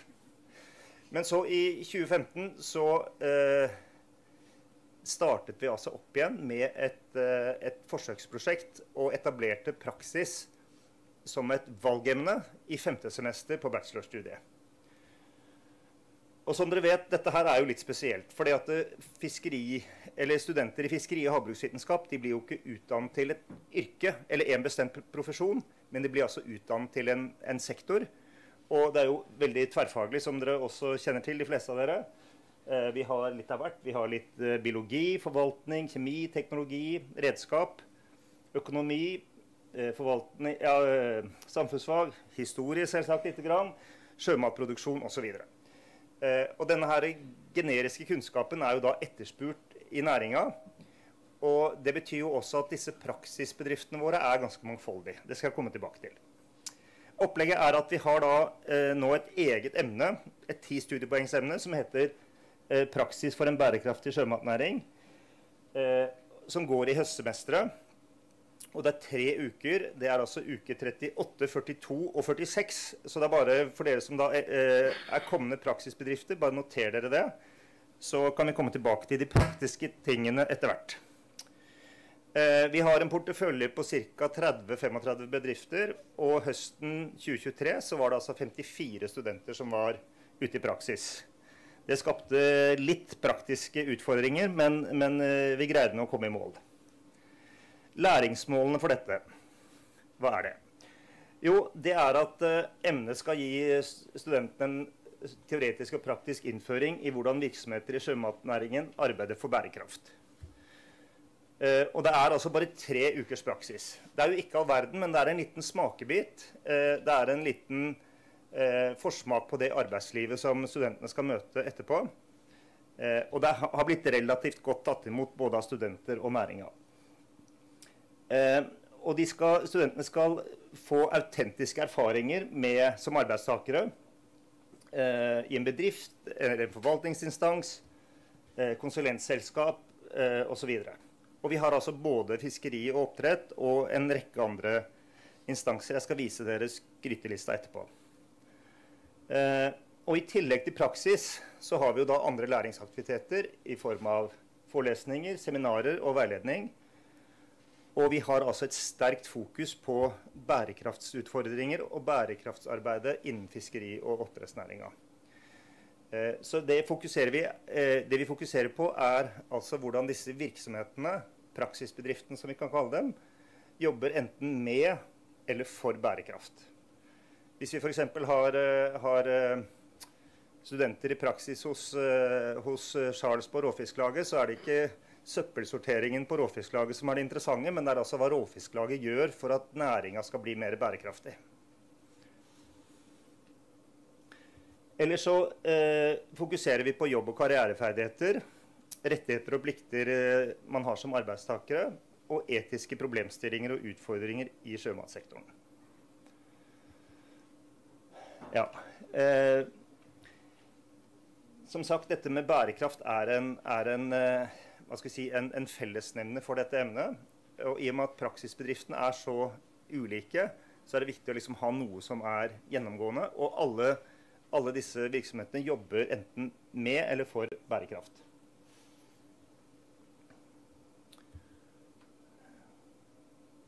Ja, dette er litt sånn uh, igjen, men poenget er at studentene skal kunne uh, analysere og vurdere i et kritisk og uavhengig perspektiv hvordan dette arbeidet for bærekraft foregår. Og dette med kritisk og uavhengig perspektiv det er ganske viktig. Fordi at eh, Selv om studentene er da ute i virksomheter eh, og får et veldig godt forhold eh, til sine praksisbedrifter, så skal de bevare sin kritiske og uavhengige studentposisjon. Jeg er veldig opptatt av det. Sjømatnæringa er veldig politisert og, og er gjenstand for mye medieoppmerksomhet. Eh, og studentene skal vurdere dette på selvstendig vis.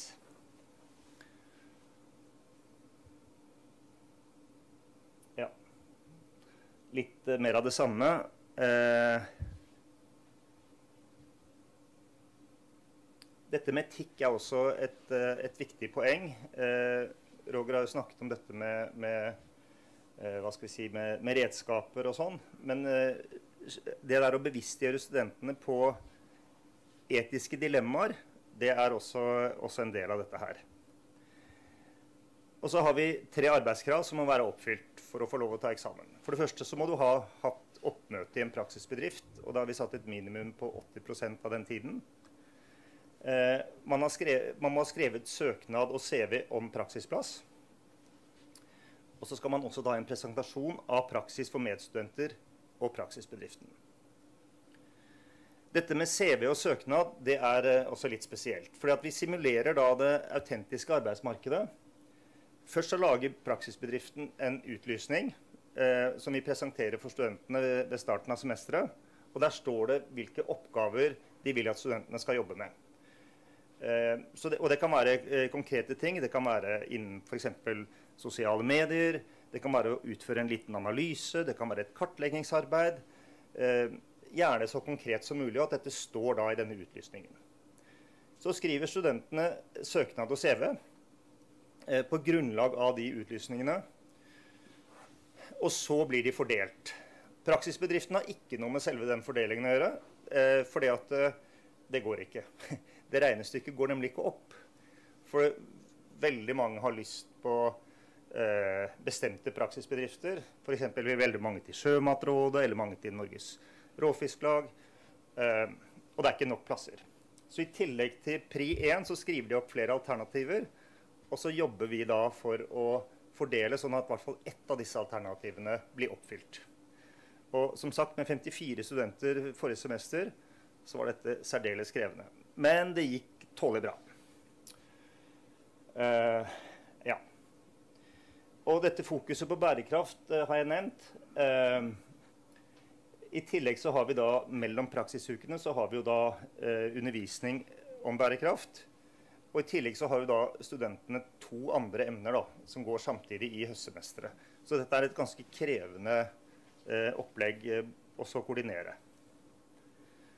Og det som jeg sa, Studentene er altså ikke ansatte, de er studenter og, og skal bevare den uavhengige studentposisjonen også når de er i praksis. Eh, til eksamen så har vi eh, mappevurdering. og Da eh, lager de ett eh, notat om bærekraftsarbeidet i praksisbedriften. Og så har de et refleksjonsnotat om egen læring. Dette har vi lagt om litt grann nå i det siste. Eh, og mappevurdering det betyr at de får tilbakemelding på arbeidene, og så blir det eh, endelige versjonen levert inn til en frist og vurdert av eh, faglærere og ekstern sensor. Hva er så utbyttet av praksis for studenter og bedrifter? For studentene så er det slik at de får jo inngående kjennskap til denne bedriften. De opplever mestring eh, i, i, arbeidslivet. De klarer å omsette teorien i praksis. De klarer å lære seg kodene. De skjønner at de har noe å bidra med. Det de har lært på, på studiet, kan de faktisk eh, de følge med i diskusjoner. Og det er veldig mange av studentene som sier det, at de, at de faktisk opplever at, er, at, de blir lyttet til. Og de har oppdatert kunnskap som mange av disse praksisbedriftene faktisk eh, mangler. De lærer seg jobb- og karriereferdigheter, og de lærer seg også såkalte transversale ferdigheter, det som vi kaller 21st century skills. Eh, og så blir de tryggere på hva de skal velge etterpå, eventuelt hva de ikke skal velge etterpå. Eh, og det er også en, veldig, eh, også en veldig viktig ting.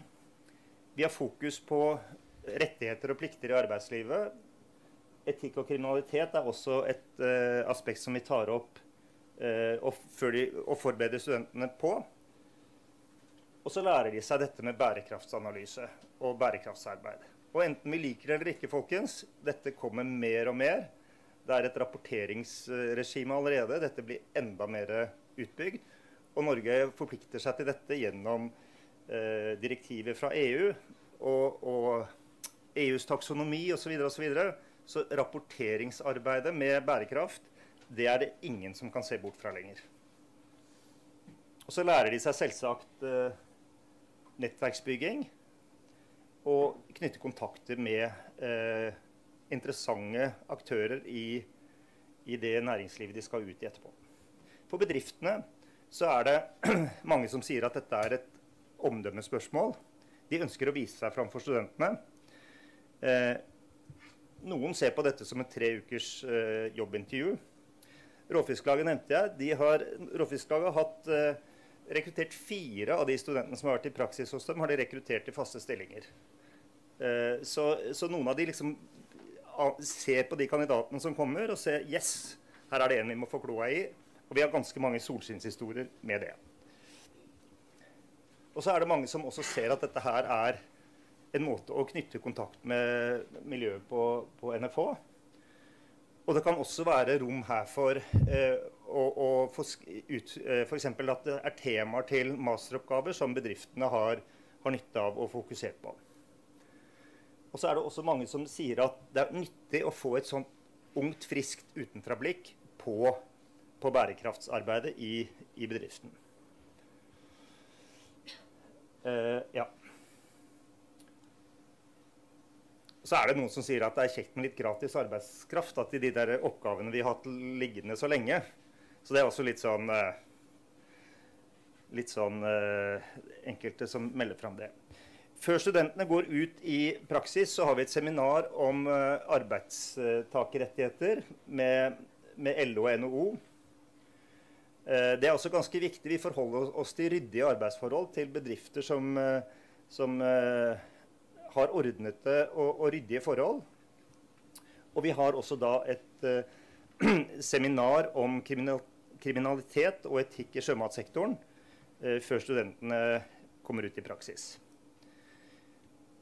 Hvilke bedrifter er da aktuelle som praksisbedrifter? Og det er jo egentlig uansett bedrifter som da har en uh, Eller uh, hvor det er aktuelt for disse bedriftene å ta inn ferdig utdannede kandidater fra oss. Så det er egentlig det som er det, er det viktigste, eller første kravet. At dette er en mulig framtidig arbeidsplass for utdannede kandidater fra Norges fiskerihøgskole. Og dette har vi vært igjennom. Eh, men vi forutsetter da at det er lovlige, ryddige bedrifter med gode arbeidsforhold og så er det viktig med rolleavklaring. Hva som er liksom bedriftens ansvar, og hva som er vårt ansvar som utdanningsinstitusjon. Vi har da en eh, praksiskoordinator, Ingrid Hovda Lien. Hun er eh, helt eh, avgjørende for, eh, for dette opplegget. Eh, og det er hun som er bindeleddet mellom, mellom praksisbedriftene og studentene i, i, stort og smått, og tar seg av det mye av det praktiske og administrative arbeidet, mens jeg har det faglige ansvaret. Og her har vi Ingrid. Eh, vi har en ganske stor portefølje av praksisbedrifter. Men folkens, her er det plass til flere. Og vi savner særlig hvitfiskbedrifter, så det er derfor veldig relevant å være på Skreikonferansen, eh, Roger. Så hvis det, er, det er, hvis det er noen her som, som kjenner sin besøkelsestid, så ta kontakt. Det som er litt utfordring med hvitfiskbedriftene, er jo selvsagt at dette praksisopplegget det er på høsten. Og da er det ofte litt uh, rolig og litt stille aktivitet. Eh, men vi trenger flere. Eh, og det er jo overvekt av, av oppdrettsbedriftene, som dere ser. Men vi har jo også da disse konsulentselskapene, disse kompetanseselskapene, ja, Egga, Salt. Eh, og så har vi jo eh, Nærings- og fiskeridepartementet, direktoratet, vi har eh, HI, eh, fylkeskommunen osv. Så, videre. så det, vi har en ganske bred portefølje. Den skiftes ut litt år for år. Av og til så er det noen praksisbedrifter som sier at dessverre i år kan vi ikke ta imot studenter. Eh, og det er greit. De skal bare ta imot studenter hvis de har tid til det og har ressurser til det. Eh, men, eh, ja, men vi, trenger, eh, vi, trenger, stadig flere, så det er bare å hive seg rundt. Som jeg sa, så lager altså da bedriftene eh, en utlysning eh, i forkant av, av praksisopplegget. Og som studentene blir presentert for. Og så skriver de CV og søknad til den bedriften. Uh, ja. Vi har også da de senere årene, de siste tre årene så har vi hatt et uh, prosjekt uh, som er støttet av Direktoratet for høyere utdanning, som heter Sampraksis. Hvor vi jobber med å skaffe mer kunnskap om hvordan fungerer praksis som læringsform i høyere utdanning. hva skal til for å øke kvaliteten på praksis? Eh, osv. osv. Og vi lager også nå, er i ferd med å rulle ut nå et digitalt opplæringsprogram for de som skal veilede studentene våre mens de er i praksis. Så, eh, og det er, kommer til å bli ferdig nå i løpet av, i løpet av eh, våren. Så fra høsten av så er dette programmet ferdig, og det er en åpen nettressurs som alle kan bruke. Og der får man da eh, tips og råd om hvordan man kan best tilrettelegge for studentene når de er i praksis. Og det, Roger, det var det jeg hadde tenkt å si. Takk for oppmerksomheten.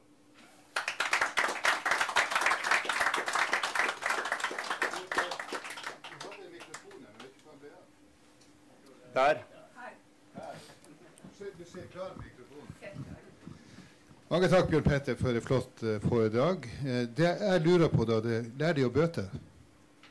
Selvsagt. Nei, det gjør de ikke. Det, det må du lære dem.